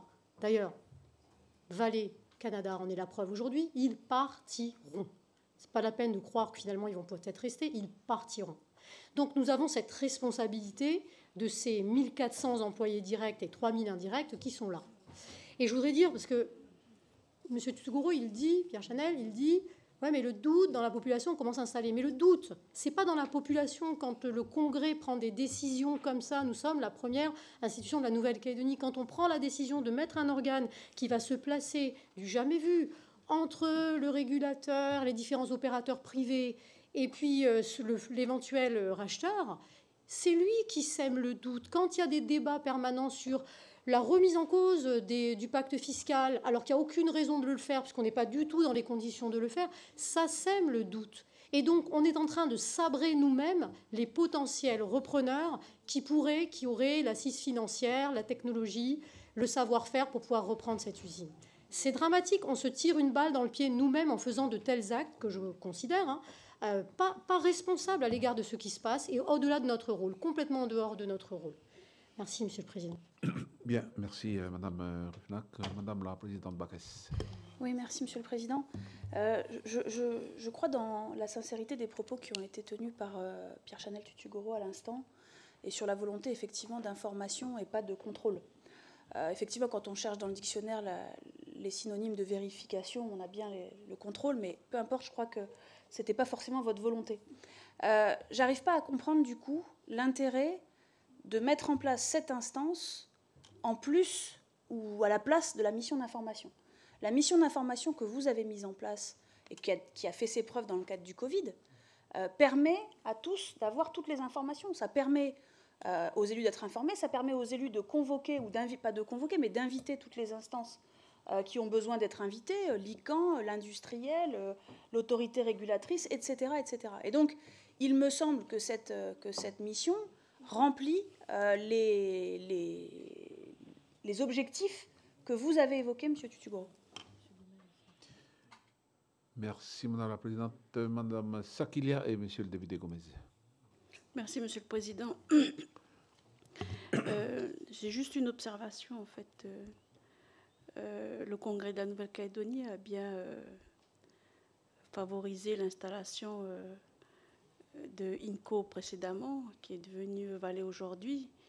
Et euh, pour inciter en fait cet investisseur à venir en Nouvelle-Calédonie, on a bien octroyé des avantages fiscaux euh, qui ont été votés ici même dans cette assemblée. Et euh, donc les conditions sont le volume qui a été précisé par arrêté par le président et notamment les emplois.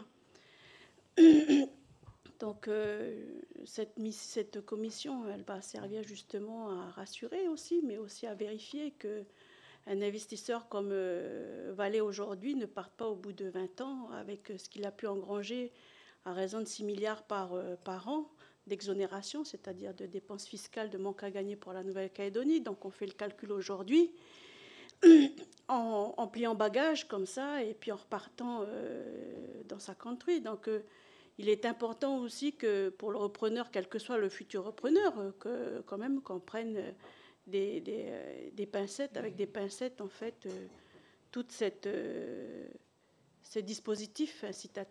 et qu'on vérifie bien que les conditions de maintien de l'agrément sont justifiées ou peuvent être revues, d'autant plus qu'on a quand même un certain montant en fait de manque à gagner pour le territoire. Donc, euh, je pense que dans, ce, dans cette organisation euh, que vous décidez aujourd'hui et qu'on décide en fait de mettre en place en ce qui concerne cette commission, elle n'a ni plus ni moins en fait euh, le rôle quelque part de l'évaluation de nos politiques publiques et notamment en fait les conséquences en termes d'emploi et de maîtrise en fait de, de, notre valeur ajoutée sur le territoire. Donc D'autant plus que dans cette manière de travailler, on va pouvoir euh, avoir une transparence euh, totale sur ce qui se passe entre les différents acteurs, quel que soit euh, le degré d'intervention, notamment pour la, province sud en ce qui concerne sa compétence environnementale. Il n'en reste pas moins que d'un point de vue budgétaire, c'est la Nouvelle-Calédonie qui décide en fait de la recette et qu'il est tout à fait justifié qu'aujourd'hui on, puisse évaluer et, euh, aussi euh, suivre ce transfert, ce transfert d'action entre ces deux opérateurs. le président Santa ne nous a pas donné dans son arrêté quelles sont les conditions de retrait d'agrément, mais peut-être qu'il serait intéressant aussi qu'on s'y penche et qu'on vérifie que les conditions de, retrait d'agrément, quelles sont les, conditions de retrait d'agrément. Donc, euh, pour nous, euh, il semble intéressant et tout à fait justifié que cette commission soit mise en place. Merci, Monsieur le Président. Bien, merci, euh, Madame Sakelian. Le député Gomez. merci, Monsieur le Président. quelques observations sur le débat. D'abord, je suis extrêmement frappé de voir la réticence à ce que ce dossier soit évoqué sur la place publique et que les Calédoniens en soient informés quand même, je dois avouer qu'en 32 ans de vie dans ce congrès, depuis avril 88, j'ai jamais vu ça. J'en ai vu pas mal. Euh, et euh, c'est fascinant hein, qu'une séance publique soit désormais considérée comme un casus belli, alors qu'on a quand même un investissement majeur du Sud euh, qui risque de fermer au 31 décembre et qu'on nous le reproche, et qu'on fasse tout pour qu'elle ne se tienne pas. qu'un certain nombre de membres de ce congrès soient d'ailleurs empêchés d'y participer, tel que ça a pu être le cas dans, la réunion de bureau précédente, que la création d'un comité de concertation qui va décider de rien, hein, euh, qui va décider de rien, qui aura une mission euh, qui a été définie, la création même d'un comité de concertation est considérée comme une menace grave à l'égard euh, de je sais pas quoi, mais enfin une menace grave en tout cas. Un comité de concertation, j'ai jamais vu personne avoir peur d'un comité de concertation. Ben là, Monsieur le Président, on a peur d'un comité de concertation. Euh, donc, euh, je suis très heureux finalement que cette séance ait pu se tenir. Je suis très heureux que les textes examinés puissent l'être.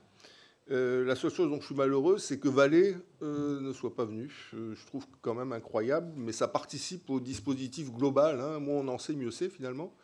que de ne pas vouloir informer ni les assemblées du pays, qu'il s'agisse de la province sud d'ailleurs comme du Congrès, ni les Calédoniens de ce qui se passe effectivement en ce qui concerne la reprise d'activité dans le Sud. Premier point. Deuxième point, Monsieur le Président, euh, l'affaire de l'usine du Sud en 2004, elle était autrement plus houleuse, euh, et vous en savez quelque chose, Monsieur le Président, plus violente que ne l'est aujourd'hui les marches qui sont initiées, même à quelques semaines du référendum du 4 octobre. Euh, en 2004, on avait plusieurs milliards de dégâts. En 2004, le site a été bloqué plusieurs semaines. En 2004, on a tiré sur des VBRG de la gendarmerie. En 2004, il y a eu euh, des euh, actions qui ont troublé sur la durée l'ordre public. Comment on est sorti de, cette nasse dans laquelle on s'enfonçait doucement? Mais pas depuis 2004. Hein. L'usine pilote de, de Gros, c'était 1999 pour ceux qui s'en souviennent, et le lancement du chantier, c'était 2002.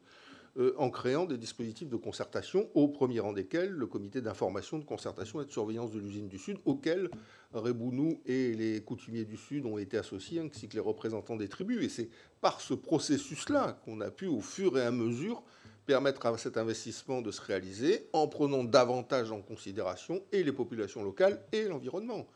Euh, donc, euh, je veux dire que c'est la seule démarche dans notre pays qui peut avoir un sens, c'est celle-là. Autrement, il est clair qu'on n'arrivera à rien. Donc, euh, je le rappelle, je rappelle, Monsieur le Président, vous aviez beaucoup insisté à l'époque pour qu'il y ait une mission de l'ONU qui soit diligentée au travers d'un cabinet spécialisé. pour la prise en compte particulière des revendications des populations autochtones de la région qui étaient venues, qui avaient travaillé. On avait diligenté les expertises Ineris et Cerej pour tenter d'apporter un peu de, science et de certitude aux, inquiétudes majeures qui étaient celles des populations locales par rapport à une usine qui utilisait un procédé, pionnier. Enfin bon, la concertation nous a parti de sortir la NAS sur la durée jusqu'au pacte du développement durable signé en 2008. Donc voilà le, processus. Donc on le sait, on l'a déjà vécu avec l'usine du Sud, ne recommettons pas les mêmes erreurs. C'est tout ce que nous, en ce qui nous concerne, on demande. Enfin, dernière chose, Monsieur le Président, la Nouvelle-Calédonie n'aurait rien à dire la Nouvelle-Calédonie n'aurait rien à dire, la Nouvelle-Calédonie ne devrait pas s'en mêler. Le seul schéma avec le schéma euh, Nouvelle-Calédonie 2025 qui est visé par la loi organique, c'est le schéma minier. Le schéma minier. Le schéma minier qui a été délibéré par notre Congrès après une préparation qui a quasiment duré euh, une décennie. Ce schéma minier, dit exactement qu'il faut concilier l'enjeu économique du nickel avec le respect de l'environnement, les préoccupations sociales et l'efficacité des systèmes de gouvernance. Voilà ce que ne le dit pas par hasard, le schéma minier. Il le dit à la lumière euh, de plus d'un siècle d'activité minière et métallurgique dans notre pays et de l'ensemble des conséquences qui en ont résulté et pour notre environnement et pour les populations locales.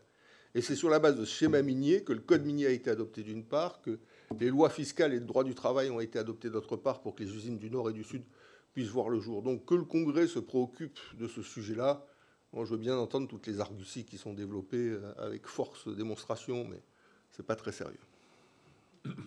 Bien, merci, euh, monsieur le député. Madame la présidente euh, Baquès. Oui, je, serai moins longue que le député. Euh, y a-t-il eu une mission de concertation, comité de concertation au moment de la vente d'Ixtrata à Glencore? Non.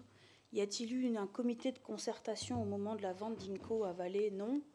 y a-t-il eu une assemblée de province ou une mission d'information ou un quelconque, une quelconque autorité de concertation au moment euh, de la vente d'Inco à Valais en 2006, quand le député était président de la province sud, non, il n'y a pas eu.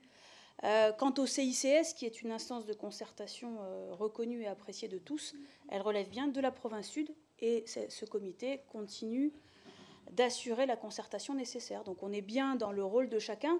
Je crois que, encore une fois, oh, mais si on compte en durée, monsieur le député, j'ai encore beaucoup de retard sur vous encore une fois, hein, je crois qu'on est au bout de l'accord de Nouméa. On a un référendum dans quelques semaines. Monsieur le Président, j'en appelle à la responsabilité de chacun pour respecter les compétences de chacun. Parce que je pense que si on commence à jouer à ça, on va se retrouver dans des problématiques qui vont sans doute à un moment donné nous dépasser tous. Donc j'en appelle, alors je comprends bien encore une fois que quand on est dans l'opposition, on s'oppose, mais de là à pratiquer la politique de la terre brûlée pour essayer d'exister, ça devient un peu compliqué. Merci, Madame Baquès. Euh, alors, Madame Thioué. Merci, Monsieur le Président. Donc, pour le compte de notre groupe, hein, nous, nous voulions prendre la parole au début de la, de la séance au niveau de l'absence de la Société Vallée qui était prévue euh, initialement. Nous, nous regrettons aussi qu'elle qu'elle ne soit pas venue ici. Et euh, s'agissant des délibérations, des discussions actuelle, nous, nous sommes pour, ce, comment, pour la création de, ce comité parce que ça va nous permettre euh, au Congrès, nous élus, euh, qui euh, délibérons sur les exonérations fiscales et, autres taxes concernant les activités minières, sans pour autant remettre en cause les, les compétences de la province sud qui sont aussi justifiées ici, que, cette, comment, que cette commission se mette en place et puisse suivre nous n'allons rien décider. Il, s'agit quand même de plus de. Enfin, c'est 100 milliards. Moins les 54 milliards, ça ferait 50, 54 milliards dont il s'agit ici, ou 50 milliards, je ne sais pas exactement, mais c'est ce que j'ai compris dans les retranchements et le coût réel de cette usine. Il s'agit quand même de, de ce, de ce montant-là et qui concerne toute une partie de la population de notre pays en matière d'emploi et d'environnement. Donc euh, nous, pour le compte de notre groupe, nous voterons euh, la mise en place de, cette, de ce comité. Et peut-être que ce qui manque, c'est euh, la durée, justement, pour éviter que ce soit dans le temps, que ça se fasse. Merci. Bien, merci Madame Thierry. Je crois qu'on a fait le tour là. Monsieur Projet, oui. Merci, Monsieur le Président. Moi, je m'interroge quand même, parce qu'on veut constituer ce groupe-là, euh, pour, pour vérifier les garanties financières, vérifier les garanties techniques, mais on, est qui hein? Vous y connaissez quelque chose, vous, aux, garanties techniques qu'il faut pour, pour une usine? Vous y connaissez quelque chose?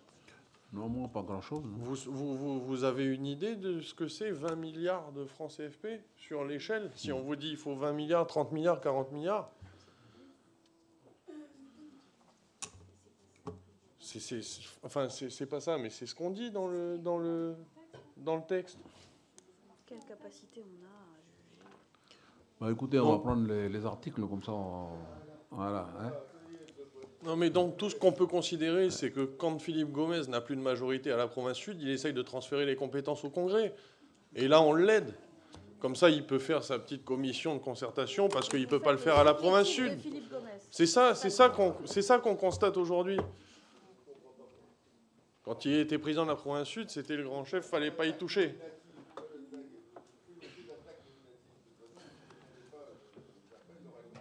Ok. Ah ben on va en parler du règlement intérieur après pour le vœu. on va prendre, euh, on, va, prendre l'examen des articles. Alors je crois qu'il y a un amendement. C'est ça, euh, Daniel hein? Avant l'article 1, il y a un amendement au quatrième considérant, présenté par M. Philippe Michel auteur de la proposition de délibération. Alors, Je présente. Présentez votre amendement, s'il vous plaît. Oui, donc cet amendement est motivé par le fait, Monsieur le Président, qu'au moment où ces propositions de délibération et de vœux ont été déposées, l'annonce du retrait de l'offre de New Century n'était évidemment pas euh, intervenue, ce qui est un fait euh, majeur. Et donc, on propose de manière euh, très simple hein, de substituer au quatrième considérant de la proposition de délibération les quatre considérants suivants. Considérant que le contexte politique dans lequel s'insère ce projet de session et les tensions qui en découlent, notamment les annonces faites par l'ICAN, concernant, euh, considérant que New Century a retiré le 8 septembre dernier son offre de rachat de Vallée, considérant que dans un communiqué en date du 7 septembre, Vallée Monde indique, je cite, hein, débuter les étapes de mise en sécurité et de maintenance de ces installations en prévision d'une fermeture potentielle qui pourrait avoir lieu si aucune solution durable n'est trouvée dans les prochains mois. Et enfin, considérant l'annonce faite par le président de Valais NC, Antonin Beurrier, le 9 septembre, au terme de laquelle il affirmait, je cite, commencer à planifier, préparer, anticiper un ralentissement, un arrêt et une fermeture des opérations. Voilà, c'est juste pour être plus, plus en phase avec l'actualité euh, du contexte. C'est pas plus, pas moins que ça. Bien, est-ce qu'il y a des euh, observations, des commentaires à faire sur euh, cette proposition d'amendement déposée par euh, M. Philippe Michel? S'il n'y a pas d'intervenant, je vais donc mettre au voix cette proposition d'amendement, quatrième considérant, qui est pour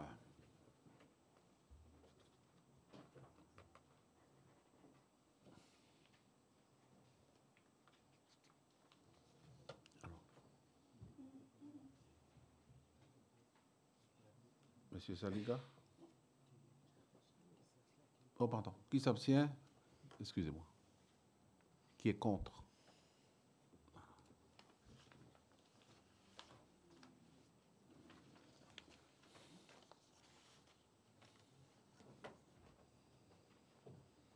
Monsieur Salinga pour les résultats.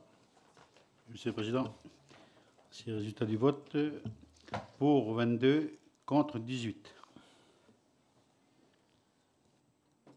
Donc l'amendement est adopté. Nous passons à l'article 1er.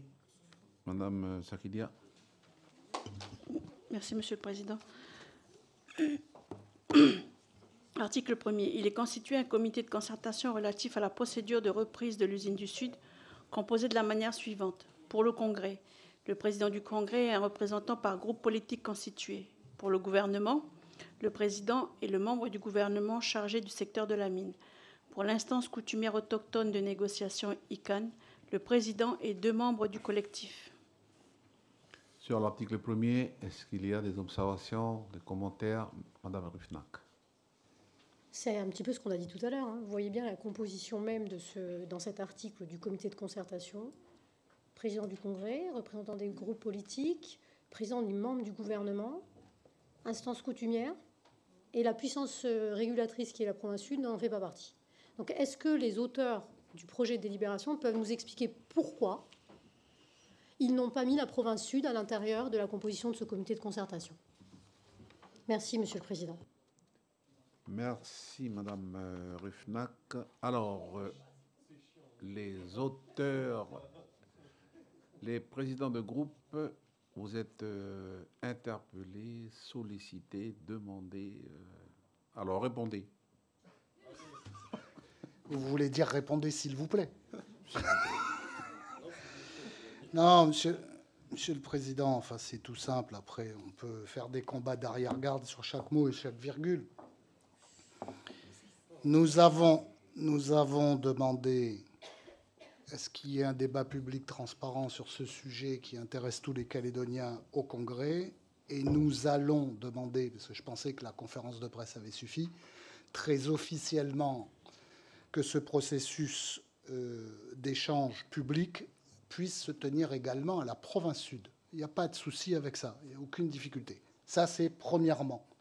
Deuxièmement, je fais gentiment observer à mes collègues que, au travers de la composition des groupes politiques, tout le monde a tout loisir, puisque les conseillers du Congrès sont tous des conseillers de province, je le rappelle. Donc il ne s'agit en aucune manière, en aucune manière, d'écarter qui que ce soit de ce, de ce, de ce processus. Voilà, non, mais j'ai du mal à répondre à une question dont la, dont la réponse me paraît tellement évidente que je ne voudrais pas abuser de votre patience.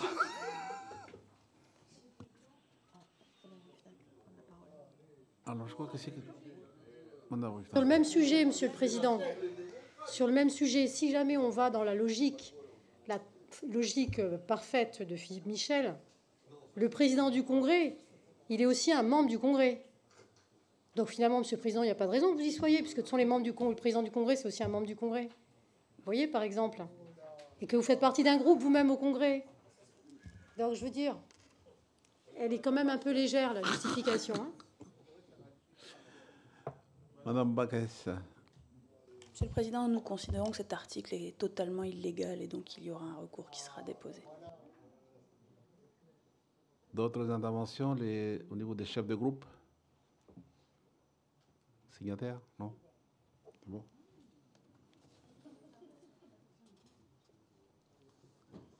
Je vais donc mettre au bois. Vous avez assez débattu ou c'est comment? Vous êtes, fatigué? Ok. Oui, il y a le vœu après, oui. Alors, qui c'est qui souhaite intervenir encore, Madame Bacchès Oui, tant que j'y suis, hein, sur la légalité, euh, dans les 34 signataires du, projet de vœux et du projet de délibération, il y a euh, les 12 personnes qui se sont déportées et qui donc n'auraient pas dû signer ce projet de vœux non plus, et donc ils feront l'objet également d'une procédure en termes de prise illégale d'intérêt. Ouh là là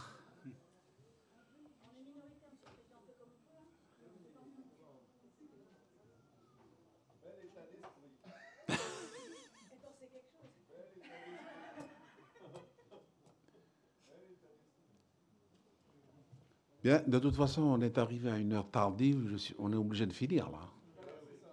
Bah oui, on ne peut pas s'arrêter en cours de route. Voilà. Alors, qui est pour L'article premier, c'est l'article premier? Oui. Qui est pour l'article premier? Qui est contre? Qui s'abstient? Monsieur Saliga Monsieur le Président, pour le résultat, même vote. Pour 22, contre 18. Article 1er adopté. Article 2. Madame Sakilia. Sans observation. Avis favorable. Sur l'article 2, est-ce qu'il y a des commentaires, Madame euh, Merci, Monsieur le Président. Moi, je, voudrais à nouveau, euh, Monsieur tout à l'heure a évoqué ce sujet, mais dans cet article 2, il est donc inscrit vérifier auprès de VNC que les garanties techniques, financières, sociales et environnementales.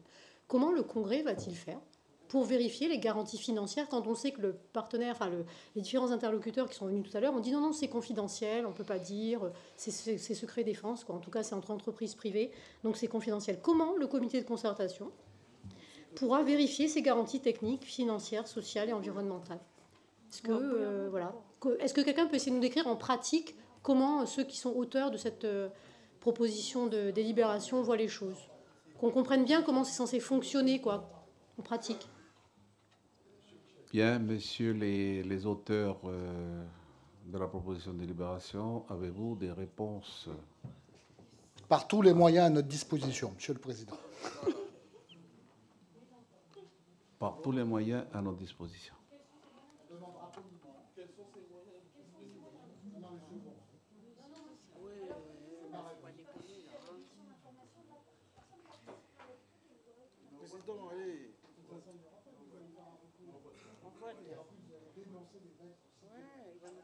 Bien. Donc, Madame Refnac, je crois que vous n'aurez pas plus de réponses que ça. Je, suis, je suis désolé, mais je suis obligé de mettre au, oui, voix. Mais je crois que le comité de concertation non plus n'aura pas de réponse, Monsieur le Président. Oui. OK. Alors, sur l'article 2, qui est pour Qui est contre Qui s'abstient Vote identique, hein Vote président. Hein, Monsieur Saliga OK. Vote identique, donc l'article 2 est d'adopter article 3. Ah, c'est le... Article de transmission. L'article de transmission. Sans observation. Et sur l'ensemble de la délibération, des projets de délibération, proposition, pardon. L'ensemble de la proposition de délibération recueille 7 voix pour et 4 voix contre. Bien. Sur l'article 3, donc sur l'article de transmission, sur l'ensemble de cette proposition de délibération, est-ce qu'il y a des explications de vote? Pas d'explication de vote. Je vais donc mettre au voix la proposition de délibération. Qui est pour Qui est contre Qui s'abstient Vote identique. Monsieur Saliga. Même vote, Monsieur le Président. 22 pour et contre 18 la proposition de délibération qui porte création d'un comité de concertation relatif à la procédure de reprise de l'usine du Sud est adoptée. Nous passons au troisième point de l'ordre du jour.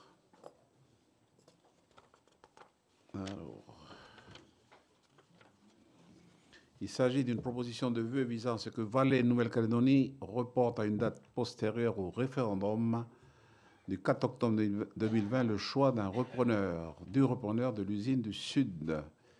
Proposition numéro 39 du 2 septembre 2020. Pour rappel, la proposition a été déposée sur le bureau du Congrès le 2 septembre par M. Philippe Michel, président du groupe Calédonie Ensemble, M. Pierre Chanel Tutugoro, président du groupe UCF nationaliste et l'éveil océanien, et M. Louis Mapou, président du groupe UNI examiné en commission de la législation et de la réglementation économique et fiscale le 7 septembre, rapport de commission numéro 137 du 7 septembre 2020. Il y a trois amendements déposés en séance par M. Philippe Michel. Madame Sakilia, s'il vous plaît, pour la lecture du rapport de la commission numéro 137, page 3, Merci, Cabox 38.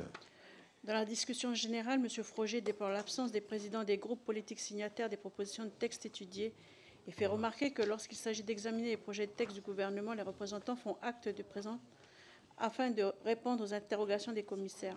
De surcroît, attirant l'attention sur l'exposé des motifs de la proposition de vœux, il indique ne pas saisir le lien établi entre la présente demande de report du projet de cession de Valais Nouvelle-Calédonie et l'agrément fiscal accordé en 2002. Le député Dunoyer signale que les propositions de texte examinées ce jour par la Commission ont été jointes à un courrier de demande de session extraordinaire signé par quatre élus du Congrès le 2 septembre 2020 et qu'il n'est donc pas légitime de considérer les trois seuls présidents de groupes politiques comme uniques responsables. En outre, s'agissant du lien à établir entre la présente demande de report de la cession du capital de Valais Nouvelle-Calédonie et l'agrément fiscal l'exonérant de tout impôt et taxe jusqu'en 2032. Il rappelle que cet agrément avait à l'époque été accordé sur la base d'un projet industriel précis d'engagement particulier. Or, ce projet industriel ne semble déjà plus être le même aujourd'hui. À son sens, il est de l'intérêt du Congrès de s'intéresser à la suite donnée dans le cadre d'un changement de propriétaire. En réponse à Mme Machuro-Régnier, qui interroge les services du Congrès sur une éventuelle obligation de présence en commission des auteurs des propositions de texte, M. Travers, directeur des affaires juridiques et du contentieux du Congrès, convient, que, d'une manière générale, les auteurs de propositions de texte sont présents lors de leur examen en commission pour les présenter et les défendre. Il précise cependant qu'aucune disposition du règlement intérieur du Congrès ne le prévoit expressément. En réponse à Mme Sakilia, qui souhaite un rappel des dispositions du règlement intérieur relatif aux propositions de vœux du Congrès, M. Travers donne lecture de l'article 68 du règlement intérieur de l'institution qui prévoit que les vœux sont des actes par lesquels le Congrès de la Nouvelle-Calédonie attire l'attention de toute collectivité, institution ou autorité autre que l'État sur, sur un sujet relevant de sa compétence ou sollicite son intervention dans un domaine déterminé. Tout membre du Congrès peut, sous réserve de dispositions de l'article 89 et 91 de la loi organique modifiée 99-209 du 19 mars 1999 relative à la Nouvelle-Calédonie, déposer un vœu portant sur un sujet ne relevant pas de la compétence de l'État, il doit être précédé d'un exposé des motifs et signé de son ou de ses auteurs. Le dépôt, le dépôt et la discussion de ces vœux se déroulent selon la procédure prévue par, pour le dépôt et la discussion des projets et propositions définies au chapitre 13. Ces vœux, après adoption à la majorité des membres du Congrès, sont transmis par le président du Congrès au président du gouvernement de la Nouvelle-Calédonie ainsi qu'à la collectivité, l'institution ou l'autorité intéressée. M. Froger attire l'attention des commissaires sur le membre de phrase toute collectivité, institution ou autorité autre que l'État et demande si une société de droit privé entre dans ce cadre. De même, M. Cueno estime qu'une société privée ne constitue pas une autorité. En outre, il lui semble que le secteur de la mine relève de la compétence des provinces et non de celle du Congrès.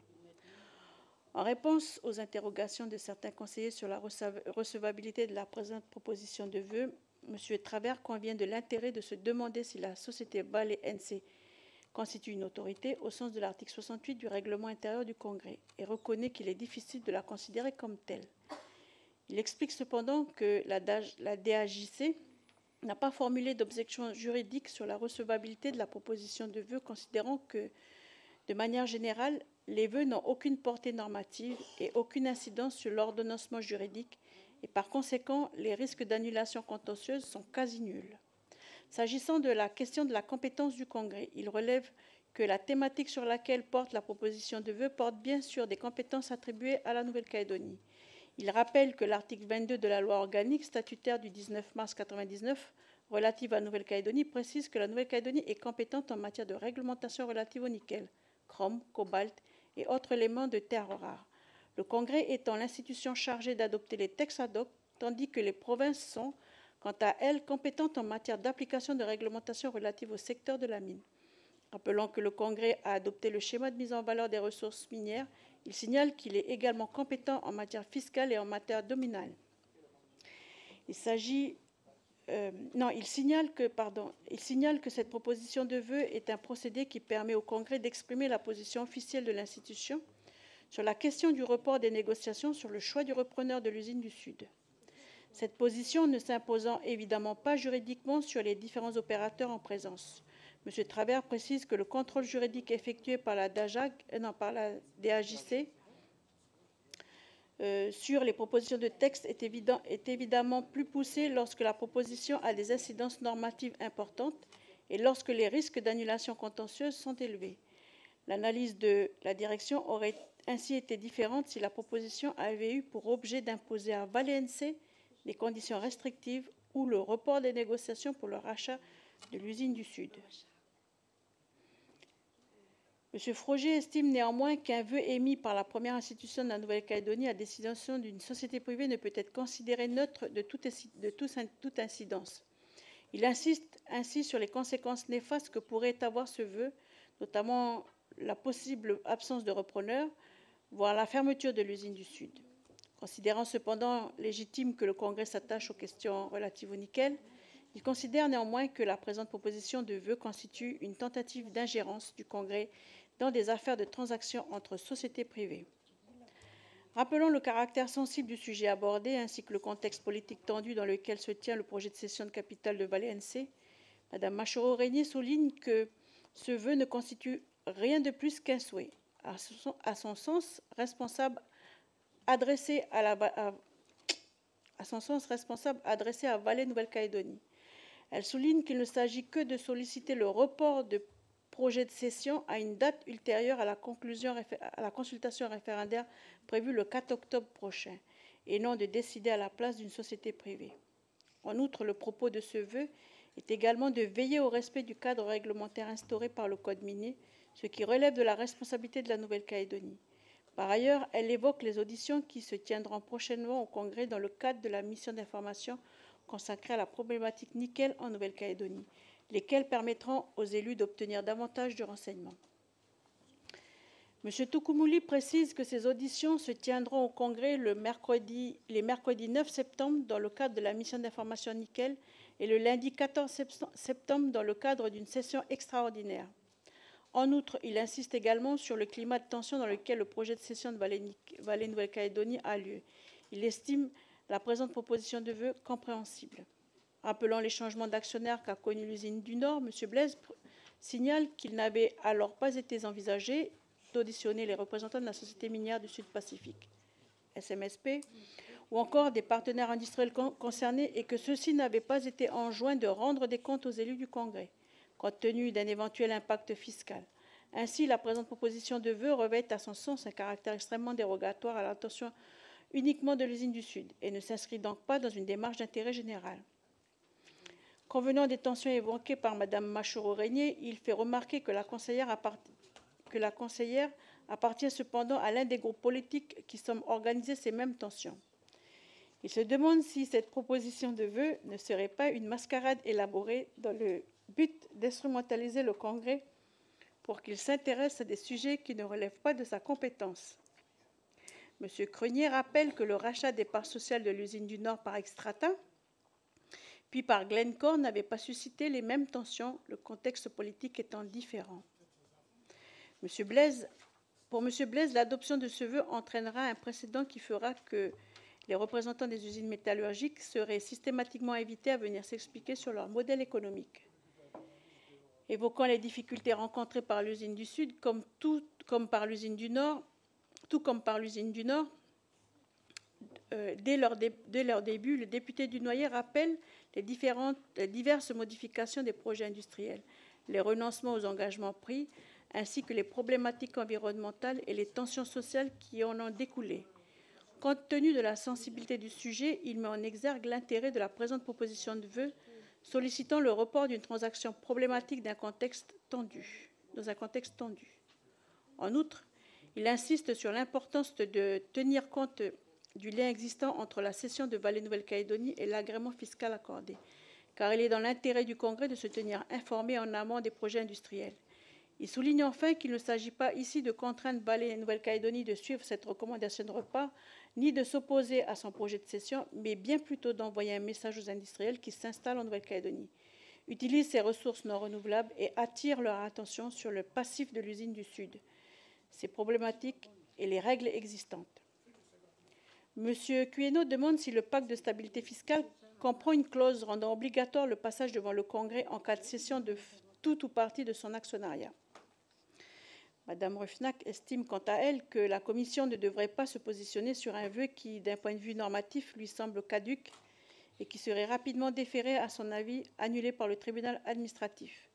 Elle signale en outre qu'une autorité dans le secteur administratif qualifie un organisme auquel est confié un pouvoir de décision, terme qui ne peut donc concerner une entreprise privée.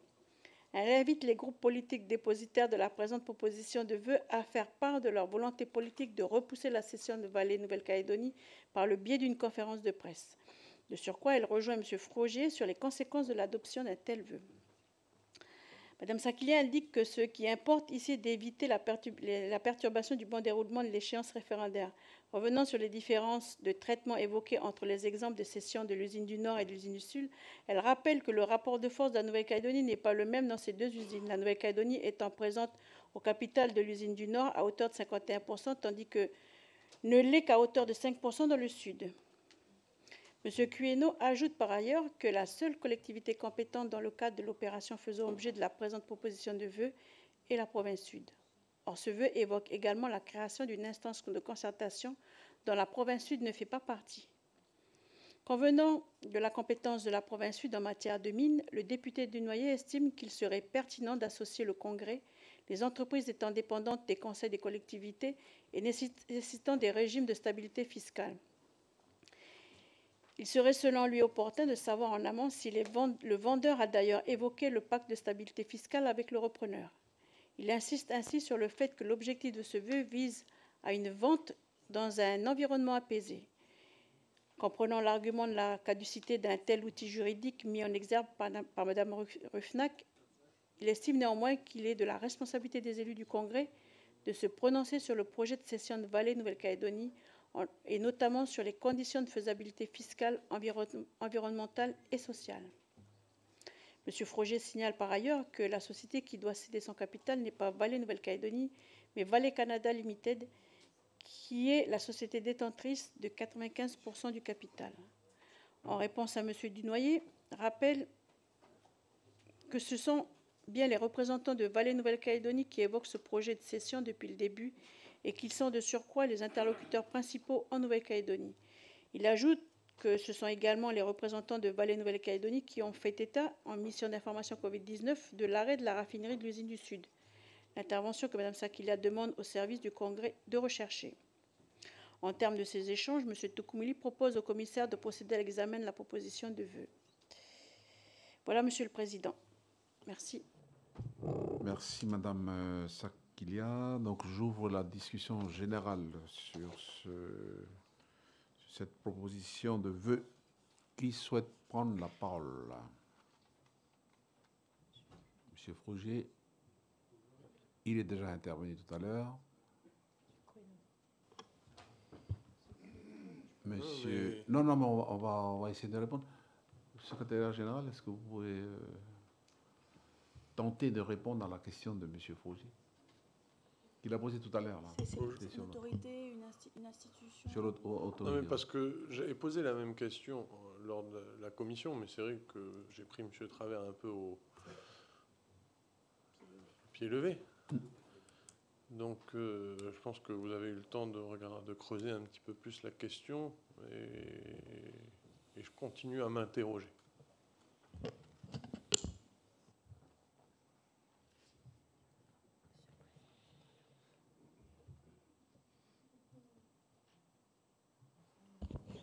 Merci, Monsieur le Président. En fait, effectivement, euh, c'est ce, qui a été dit en commission euh, au sens des dispositions de l'article 68 du règlement intérieur. Euh, les vœux sont des actes par lesquels le Congrès attire l'attention d'une collectivité, d'une institution ou d'une autorité autre que l'État, puisque l'État, c'est les résolutions, sur un sujet relevant de la compétence de la Nouvelle-Calédonie. Et là, effectivement, on l'a parfaitement convenu hein, lors de la commission, le vœu qui est proposé s'adresse à un opérateur euh, économique, une société privée, qui n'est ni euh, littéralement une institution, une collectivité ou même une autorité.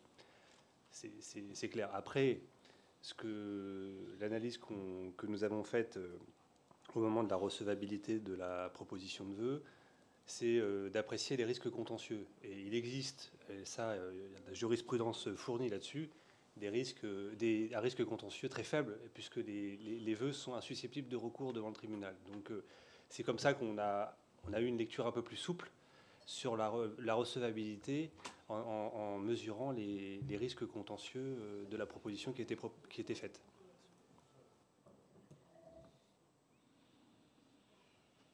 Monsieur Frougier. Oui, merci, Monsieur le Président, parce que je, de ce que je comprends, c'est que donc, le Congrès n'a pas le droit enfin, n'est pas légitime à envoyer un vœu à quelqu'un d'autre, autre qu'une institution, une collectivité, une autorité. C'est vous, Monsieur le Président, qui allez envoyer le vœu.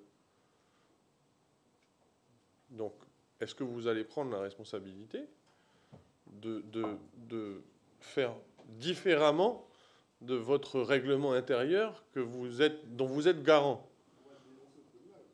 Non, mais c'est une question. Est-ce que vous allez faire différemment que le règlement intérieur de l'institution que vous présidez?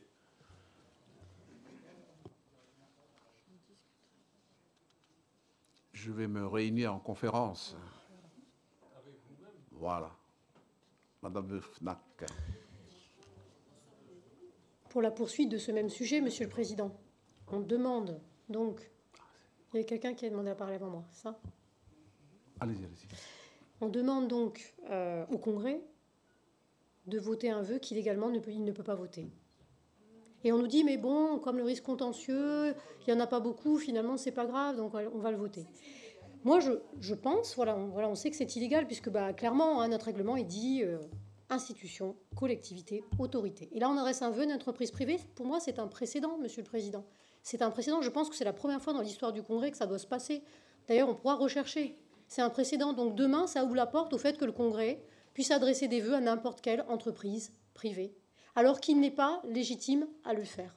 Vous voyez un peu le côté ridicule de la situation dans lequel, dans lequel ça nous place tous, et, vous, à premier titre, en tant que président du Congrès de cette institution.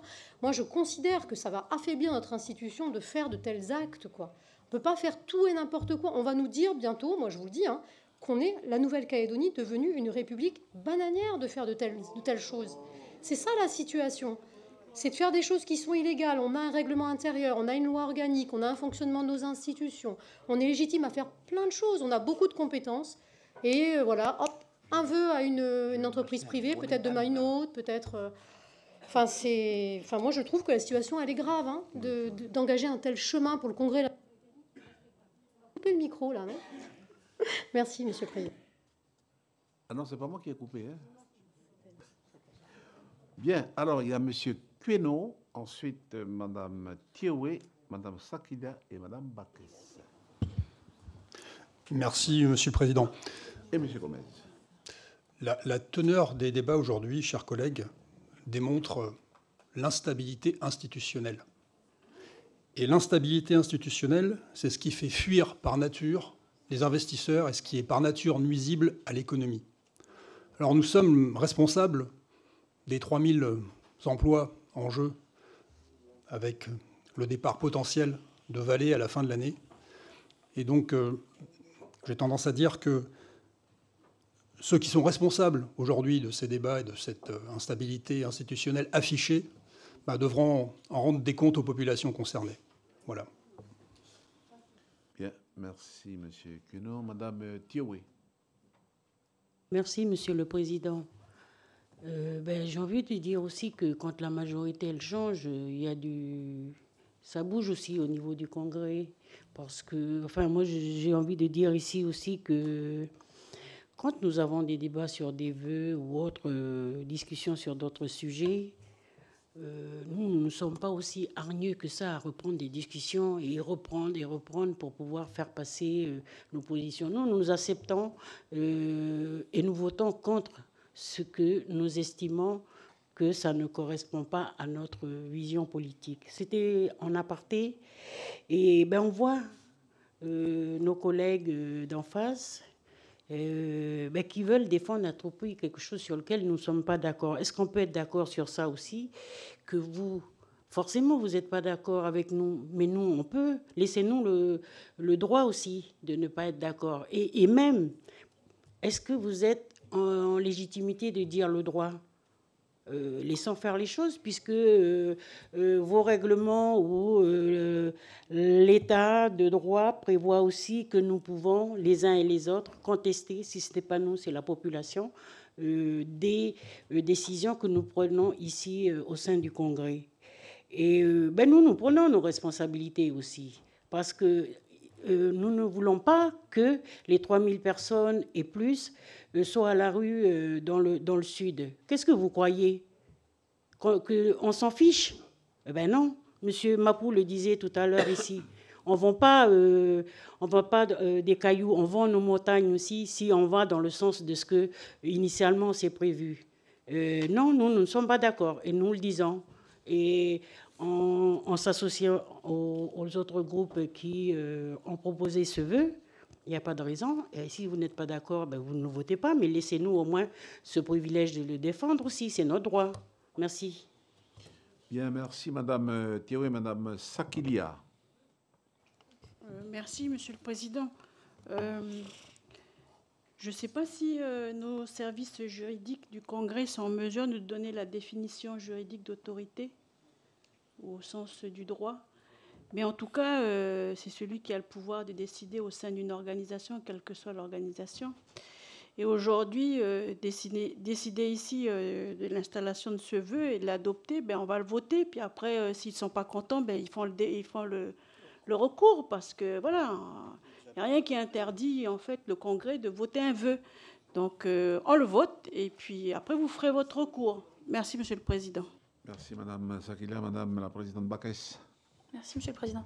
Euh, d'abord, euh, répondre à Madame Tioué, c'est pas nous qui lisons le droit. Monsieur Frogy a pris la peine d'interroger le directeur des affaires juridiques, qui lui a dit qu'effectivement, le Congrès n'avait pas à voter un vœu à une entreprise privée. Ça avait le mérite, ça avait le mérite d'être limpide. Moi, la question que je vous pose, Monsieur le Président, c'est que si on sait que ce vœu est illégal, pourquoi le voter? Parce qu'évidemment, vous pensez bien que Valais Nouvelle-Calédonie regarde attentivement nos débats d'aujourd'hui. Et vous pensez bien que donc il a eu la réponse aujourd'hui de savoir que ce vœu n'a aucune valeur, et donc il fera bien ce qu'il voudra. Donc on fait tous ici, et, franchement, ça dévalorise notre institution, Monsieur le Président.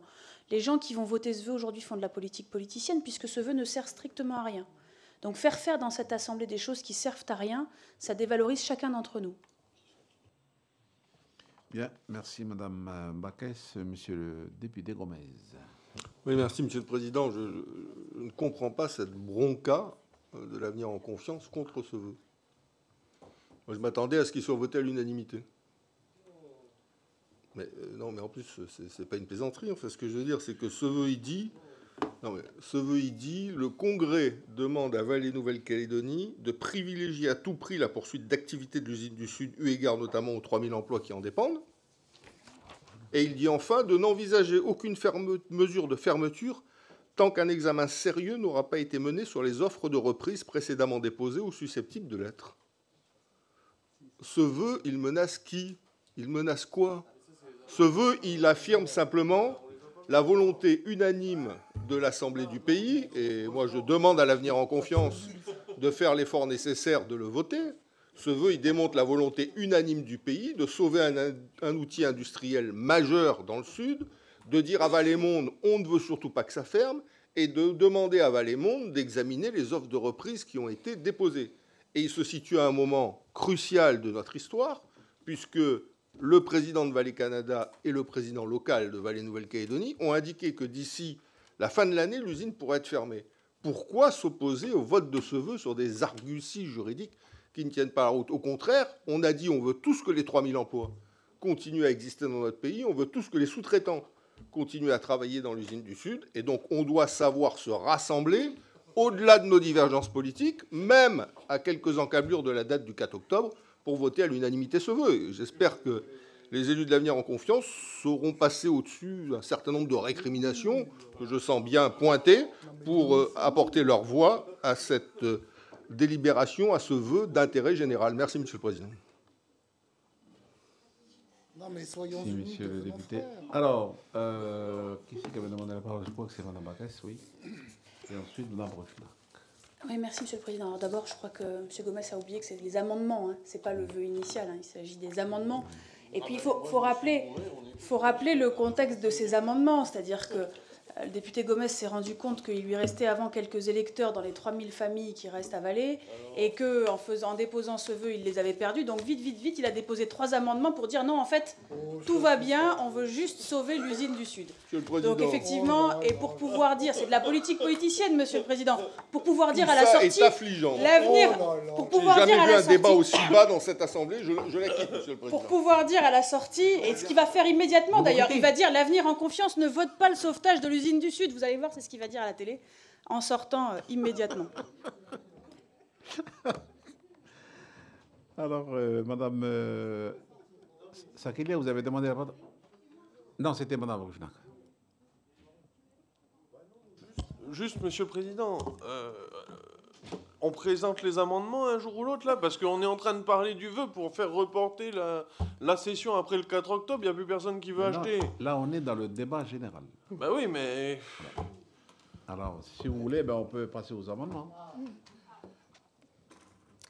Sur euh, l'intervention du député Gomez, l'avenir en confiance, en tout cas ces élus, ne sont surtout pas prêts à passer au-delà du droit et à s'asseoir sur le droit et la légalité.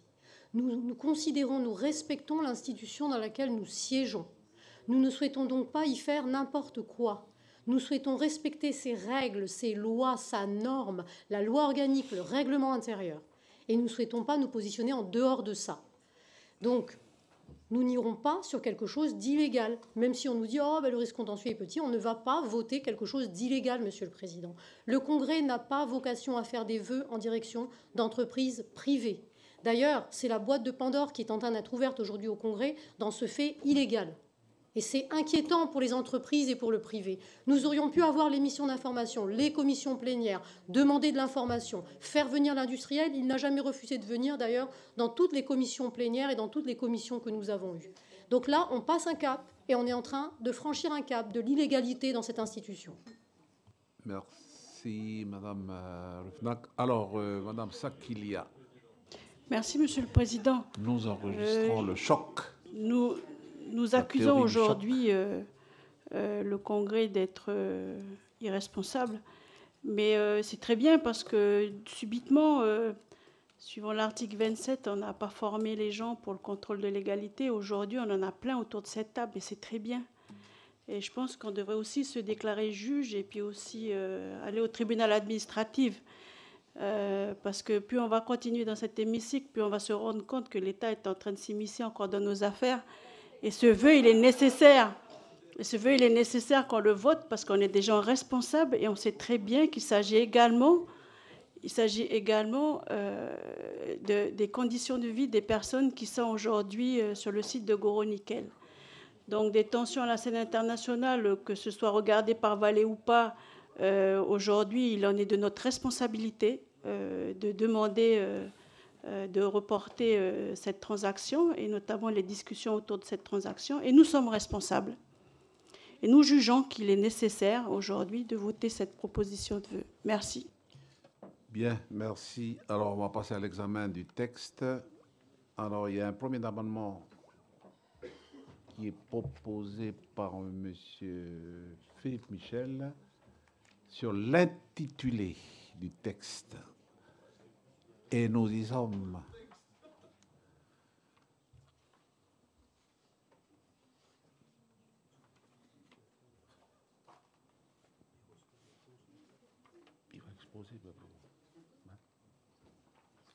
Vous exposez? Parce qu'après, on a quelque chose à vous dire.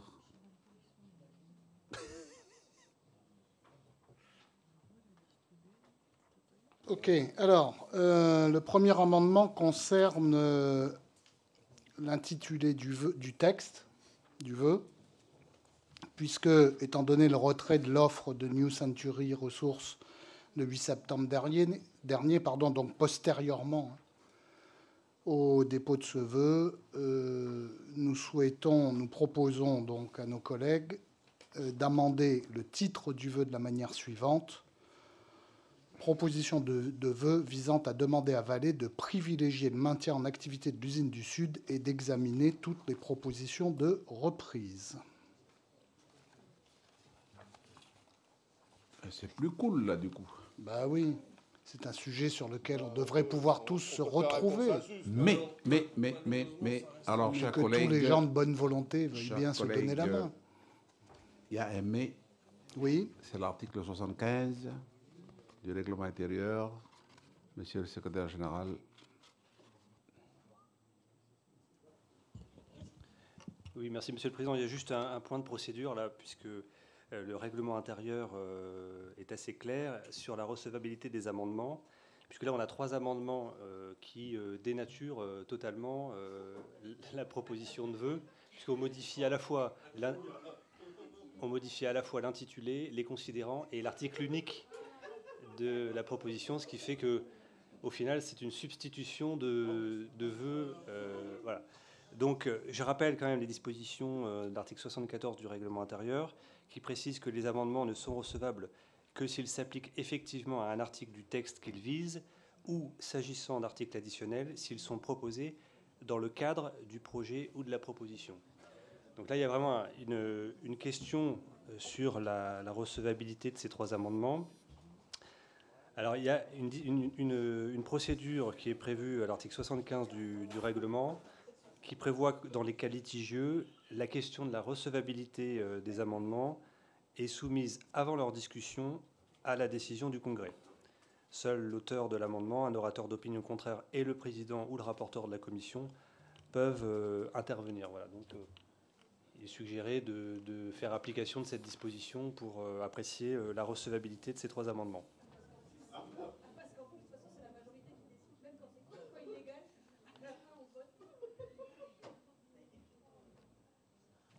Bon, alors le contenu, en fait, change, hein. non? C'est plus le même vœu. Alors, euh, Philippe Michel. Alors, en application des dispositions du règlement intérieur, et notamment de l'article 75, en tant qu'auteur de la proposition d'amendement et orateur qui soutient donc cette proposition d'amendement, je voudrais préciser, Monsieur le Président, euh, deux éléments. Le premier, c'est que ce qui a changé, ce sont les circonstances de fait.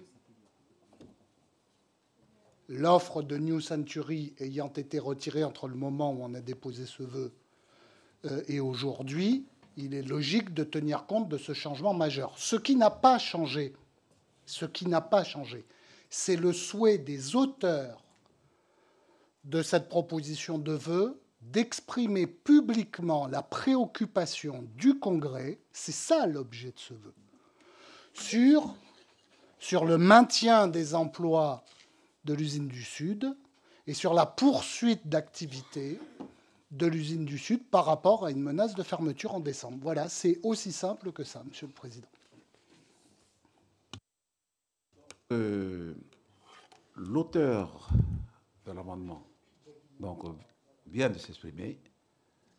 En application de l'article 75, maintenant, je vais demander à un orateur d'opinion contraire de s'exprimer. Monsieur le Président, euh, Monsieur Michel a fait part de l'objectif de cet amendement et de la, volonté euh, de leurs auteurs. Euh, je pense que dans la mesure où on est sur un vœu complètement nouveau, puisque le contexte a changé, c'est important qu'un vœu soit redéposé, qu'il puisse être redébattu en commission. Je pense que c'est important qu'on prenne le temps, parce que effectivement, le contexte a changé. Je pense que c'est important que tout le monde puisse participer, apporter des arguments euh, dans. que Monsieur le Président.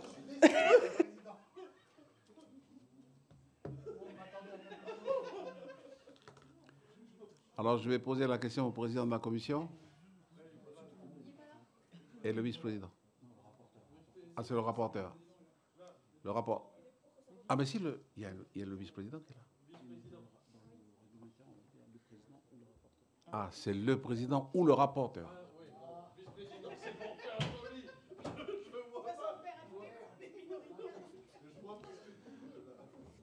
Madame Sakilia.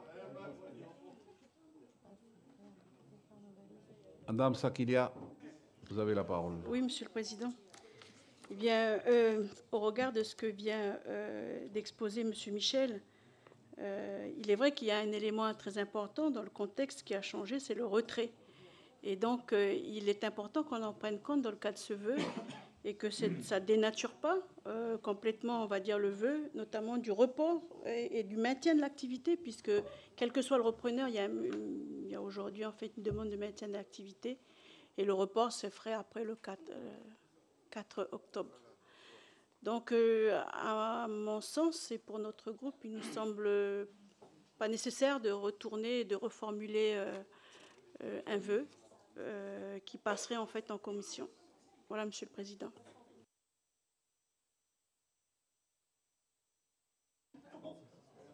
Bien, alors donc vous vous êtes, vous vous êtes exprimé. Je vais vous poser la question. Si le Congrès accepte cet amendement. C'est la recevabilité hein, de cet amendement. Qui Qui est pour Qui est contre Ah ben voilà, c'est ça, c'est le groupe. Qui s'abstient Personne. Monsieur le Président, oui. 22 pour, 18 contre. 22 pour, 18 contre. Donc, le, la nouvelle mouture, on va dire, est recevable. Je vais maintenant poser la question qui est pour voilà, cette nouvelle mouture. Mais peut-être, euh, non, on va peut-être, vous voulez, vous voulez discuter ou non? Donc on vote. Alors, qui est pour? L'amendement numéro 1 Vote identique, hein? Allez, c'est adopté. Ensuite, euh,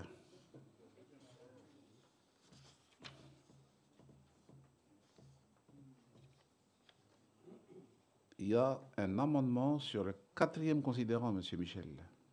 Oui, c'est ça, Monsieur le Président. Il est identique à l'amendement sur les considérants qu'on a déjà mhm. adopté sur la proposition de délibération. Il vise à prendre en compte les nouveaux éléments. Et donc, il s'agit en substance de remplacer le quatrième considérant par quatre considérants rédigés comme suit. Considérant que le contexte politique dans lequel s'insère ce projet de session et les tensions qui en découlent, notamment les annonces faites par euh, l'instance coutumière autonome de négociation, concernant, considérant pardon, que New Century Resources a retiré le 8 septembre dernier son offre de rachat de Vallée Nouvelle-Calédonie, considérant que dans un communiqué en date du 7 septembre, Vallée Monde indique, je cite, débuter les étapes de mise en sécurité et de maintenance de ces installations en prévision d'une fermeture potentielle qui pourrait avoir lieu si aucune solution durable n'est trouvée dans les prochains mois. Et enfin, considérant l'annonce faite par le président de Vallée NC Antonin Beurier le 9 septembre, au terme de laquelle il affirmait, je cite, commencer à planifier, préparer, anticiper un ralentissement, un arrêt et une fermeture des opérations.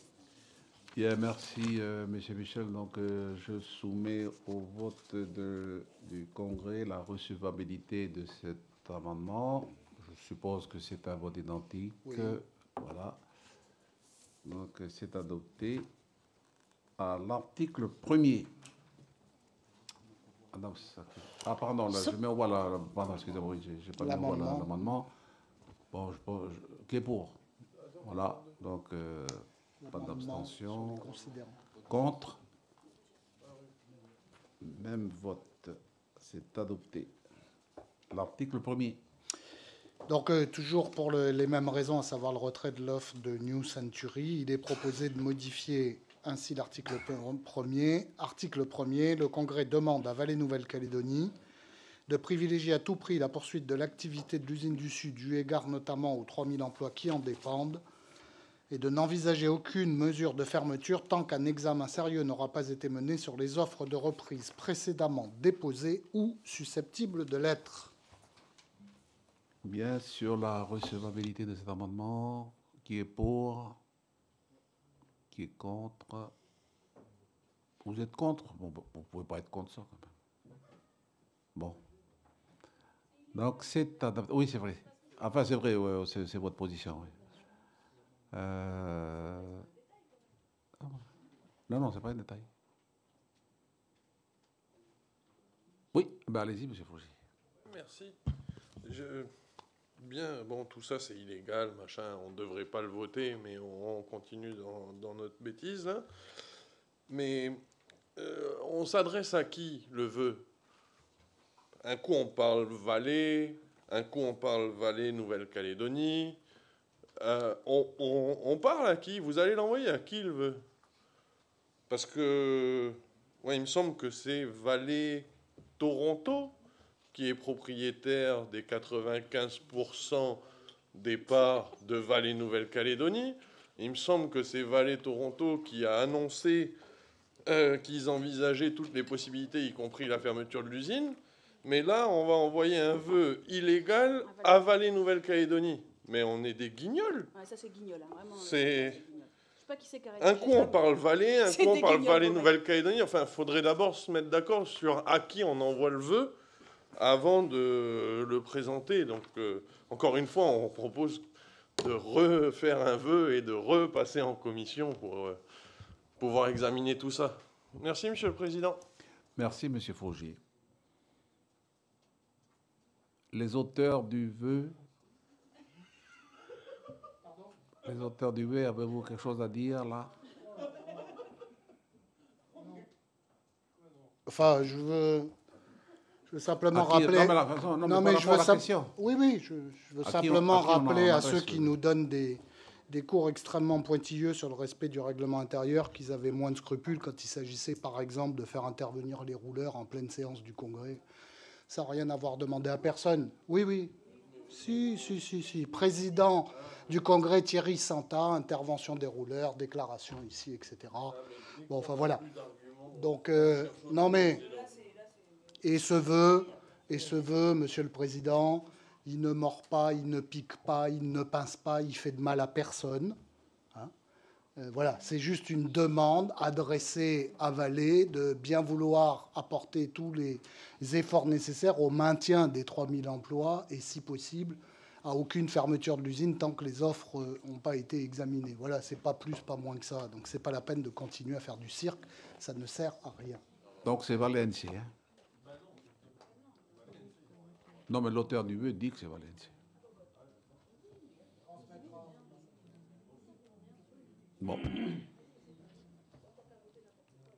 Madame Sakilia. Merci, Monsieur le Président. Euh, jusqu'à preuve du contraire, ici dans cet hémicycle, on a reçu Valence. Notre interlocuteur ici sur le territoire, cette autorité privée, c'est Valence. Les actionnaires Valais Toronto, euh, on ne les connaît pas. Merci, Monsieur le Président. Merci, Madame euh, Sakilia. Alors, écoutez, je vais vous mettre tous d'accord. on va voter, enfin, je vais mettre, soumettre au vote cet amendement. Hein? Alors, euh, ah non, c'est pas un amendement, c'est. Oui, c'est ça, c'est l'article Alors, qui est pour? Qui est contre? Vote identique, c'est adopté. L'article 2. Sans observation, avis favorable de la commission.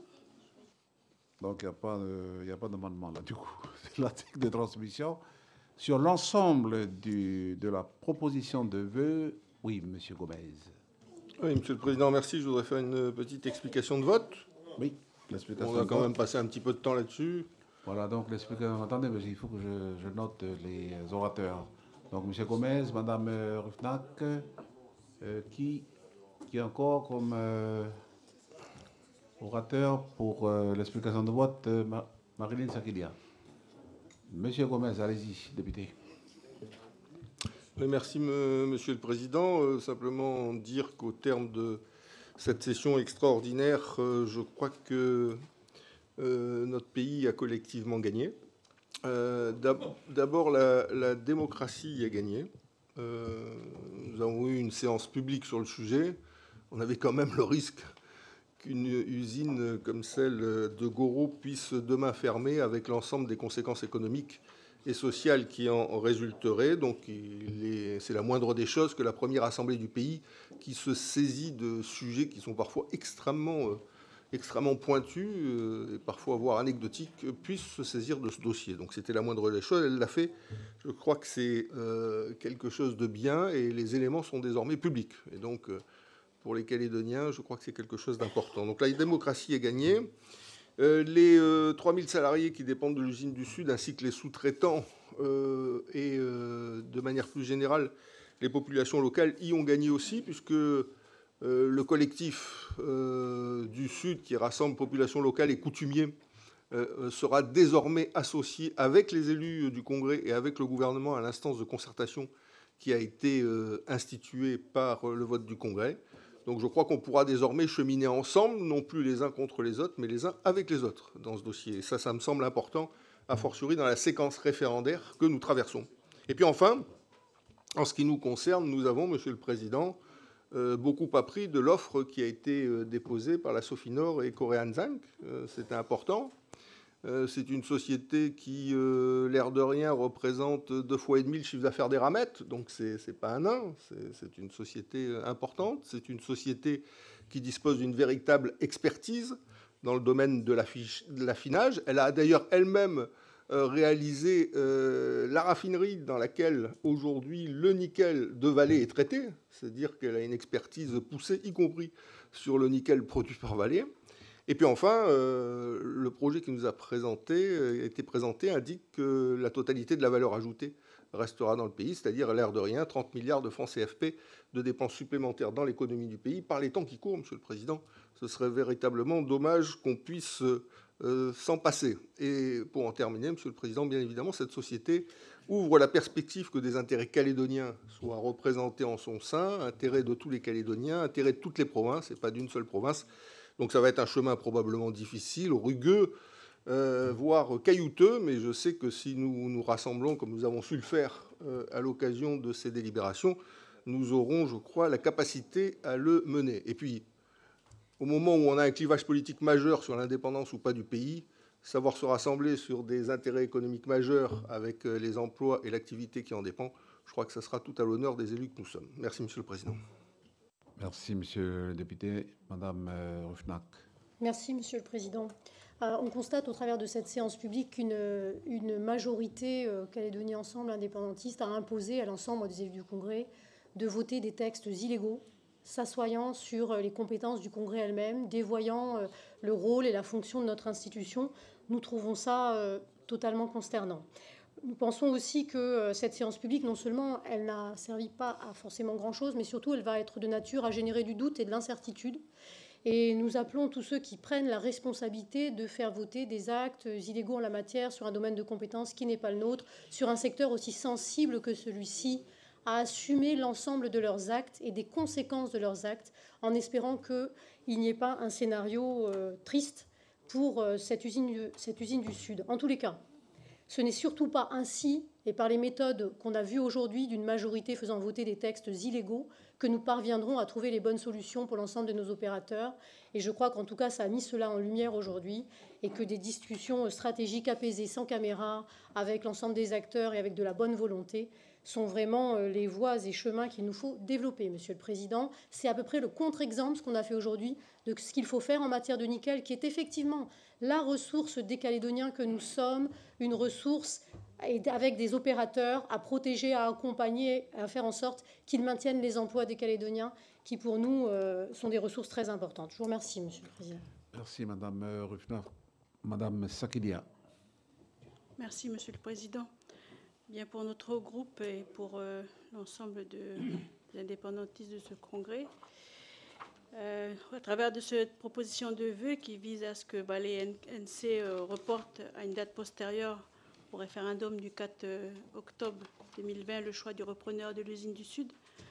Nous pensons que c'est la démonstration euh, de la transparence euh, des décisions qui sont prises au sein de cette institution, qui est le Congrès de la Nouvelle-Calédonie, d'une part, et d'autre part, en fait, qu'on s'inquiète également et qu'on prend conscience que les Calédoniens qui sont aujourd'hui impactés par cette transaction se sentent concernés, et nous nous sentons concernés par les conditions dans lesquelles euh, ils vivent, et notamment en fait euh, euh, l'intérêt que les élus de notre congrès portent en fait à leurs conditions de vie et aux conditions des générations futures, c'est-à-dire des emplois qui vont être préservés et notamment de la transparence sur, sur ce pacte fiscal qui a été octroyé euh, en 2001 euh, à cet opérateur, euh, cet industriel minier. Il est important aussi pour nous qu'on note aujourd'hui que la démocratie a parlé au sein de cet hémicycle et que la majorité, ce n'est pas nous qui l'avons inventé dans le cadre de la démocratie et que, en ce qui concerne en fait l'illégalité de ce vœu, nous, jugeons que l'État, dans son contrôle de l'égalité, aura la responsabilité de juger si nous avons pris une décision quelque peu euh, euh, erronée et qu'au travers de cela, on ait quand même conscience que euh, notre population est impactée. Ça démontre aussi qu'au sein de cet hémicycle, au travers des échanges que nous avons eus avec l'opérateur Sofinor SMSP, qui aujourd'hui détient 51% de, de, l'usine du Nord, est en mesure, a été en mesure de contractualiser notamment de trouver un partenaire coréen sûr, euh, comme l'a rappelé euh, notre députés qui puissent arriver en fait à, engranger dans le sud le même modèle économique que nous avons dans le nord. Donc, bah, les NC seraient en fait l'usine du sud, comme on l'a évoqué dans cet hémicycle, et et qu'en rien euh, euh, on laisserait passer, on va dire, l'opportunité de pouvoir euh, garantir à nos générations futures, en fait, le pain sur la table pendant encore plus de 25 ans. Merci, Monsieur le Président. Merci, Madame Sakilia. Personne d'autre souhaite prendre la parole pour l'explication de vote, donc je vais mettre au voix cette proposition de vœu. Alors attention, il ne faut pas se tromper là du coup. Hein. C'est la proposition de vœu visant à demander à Valais de privilégier le maintien en activité de l'usine du Sud et d'examiner toutes les propositions de reprise. Qui est pour? Qui est contre Qui s'abstient Monsieur le secrétaire de séance. Monsieur le Président, 22 pour, 18 contre. 22 pour, 18 contre. La proposition de vœu est adoptée. Maintenant, euh, ceux qui ont voté contre, ils ne sont pas, ils sont pas euh, comment dire, euh, satisfaits. Alors, il y a toujours la possibilité voilà, du, recours ou du contrôle de l'égalité. Voilà. Bien, mais je crois qu'on a épuisé l'ordre du jour. Ça va? Vous n'êtes pas trop fatigué? Non. Mais attendez, monsieur le député, c'est pas fini. Alors, je vais demander à M. Saliga, secrétaire de séance, de procéder à la lecture de l'arrêté de clôture, quand même, de la session extraordinaire avant de se lever. L'article premier, la session extraordinaire du Congrès de l'Académie déclare déclarée ouverte le lundi 14 septembre 2020 à 15h30 et clôturée le même jour à 20h58. L'article 2, le présent arrêté sera transmis au commissaire. Transmission. Voilà, mes chers collègues, merci de cette longue séance de 6 heures d'affilée. Et nous allons nous retrouver demain, 14 heures. Euh, pardon. Oh non, je ne suis pas le premier. 13h30.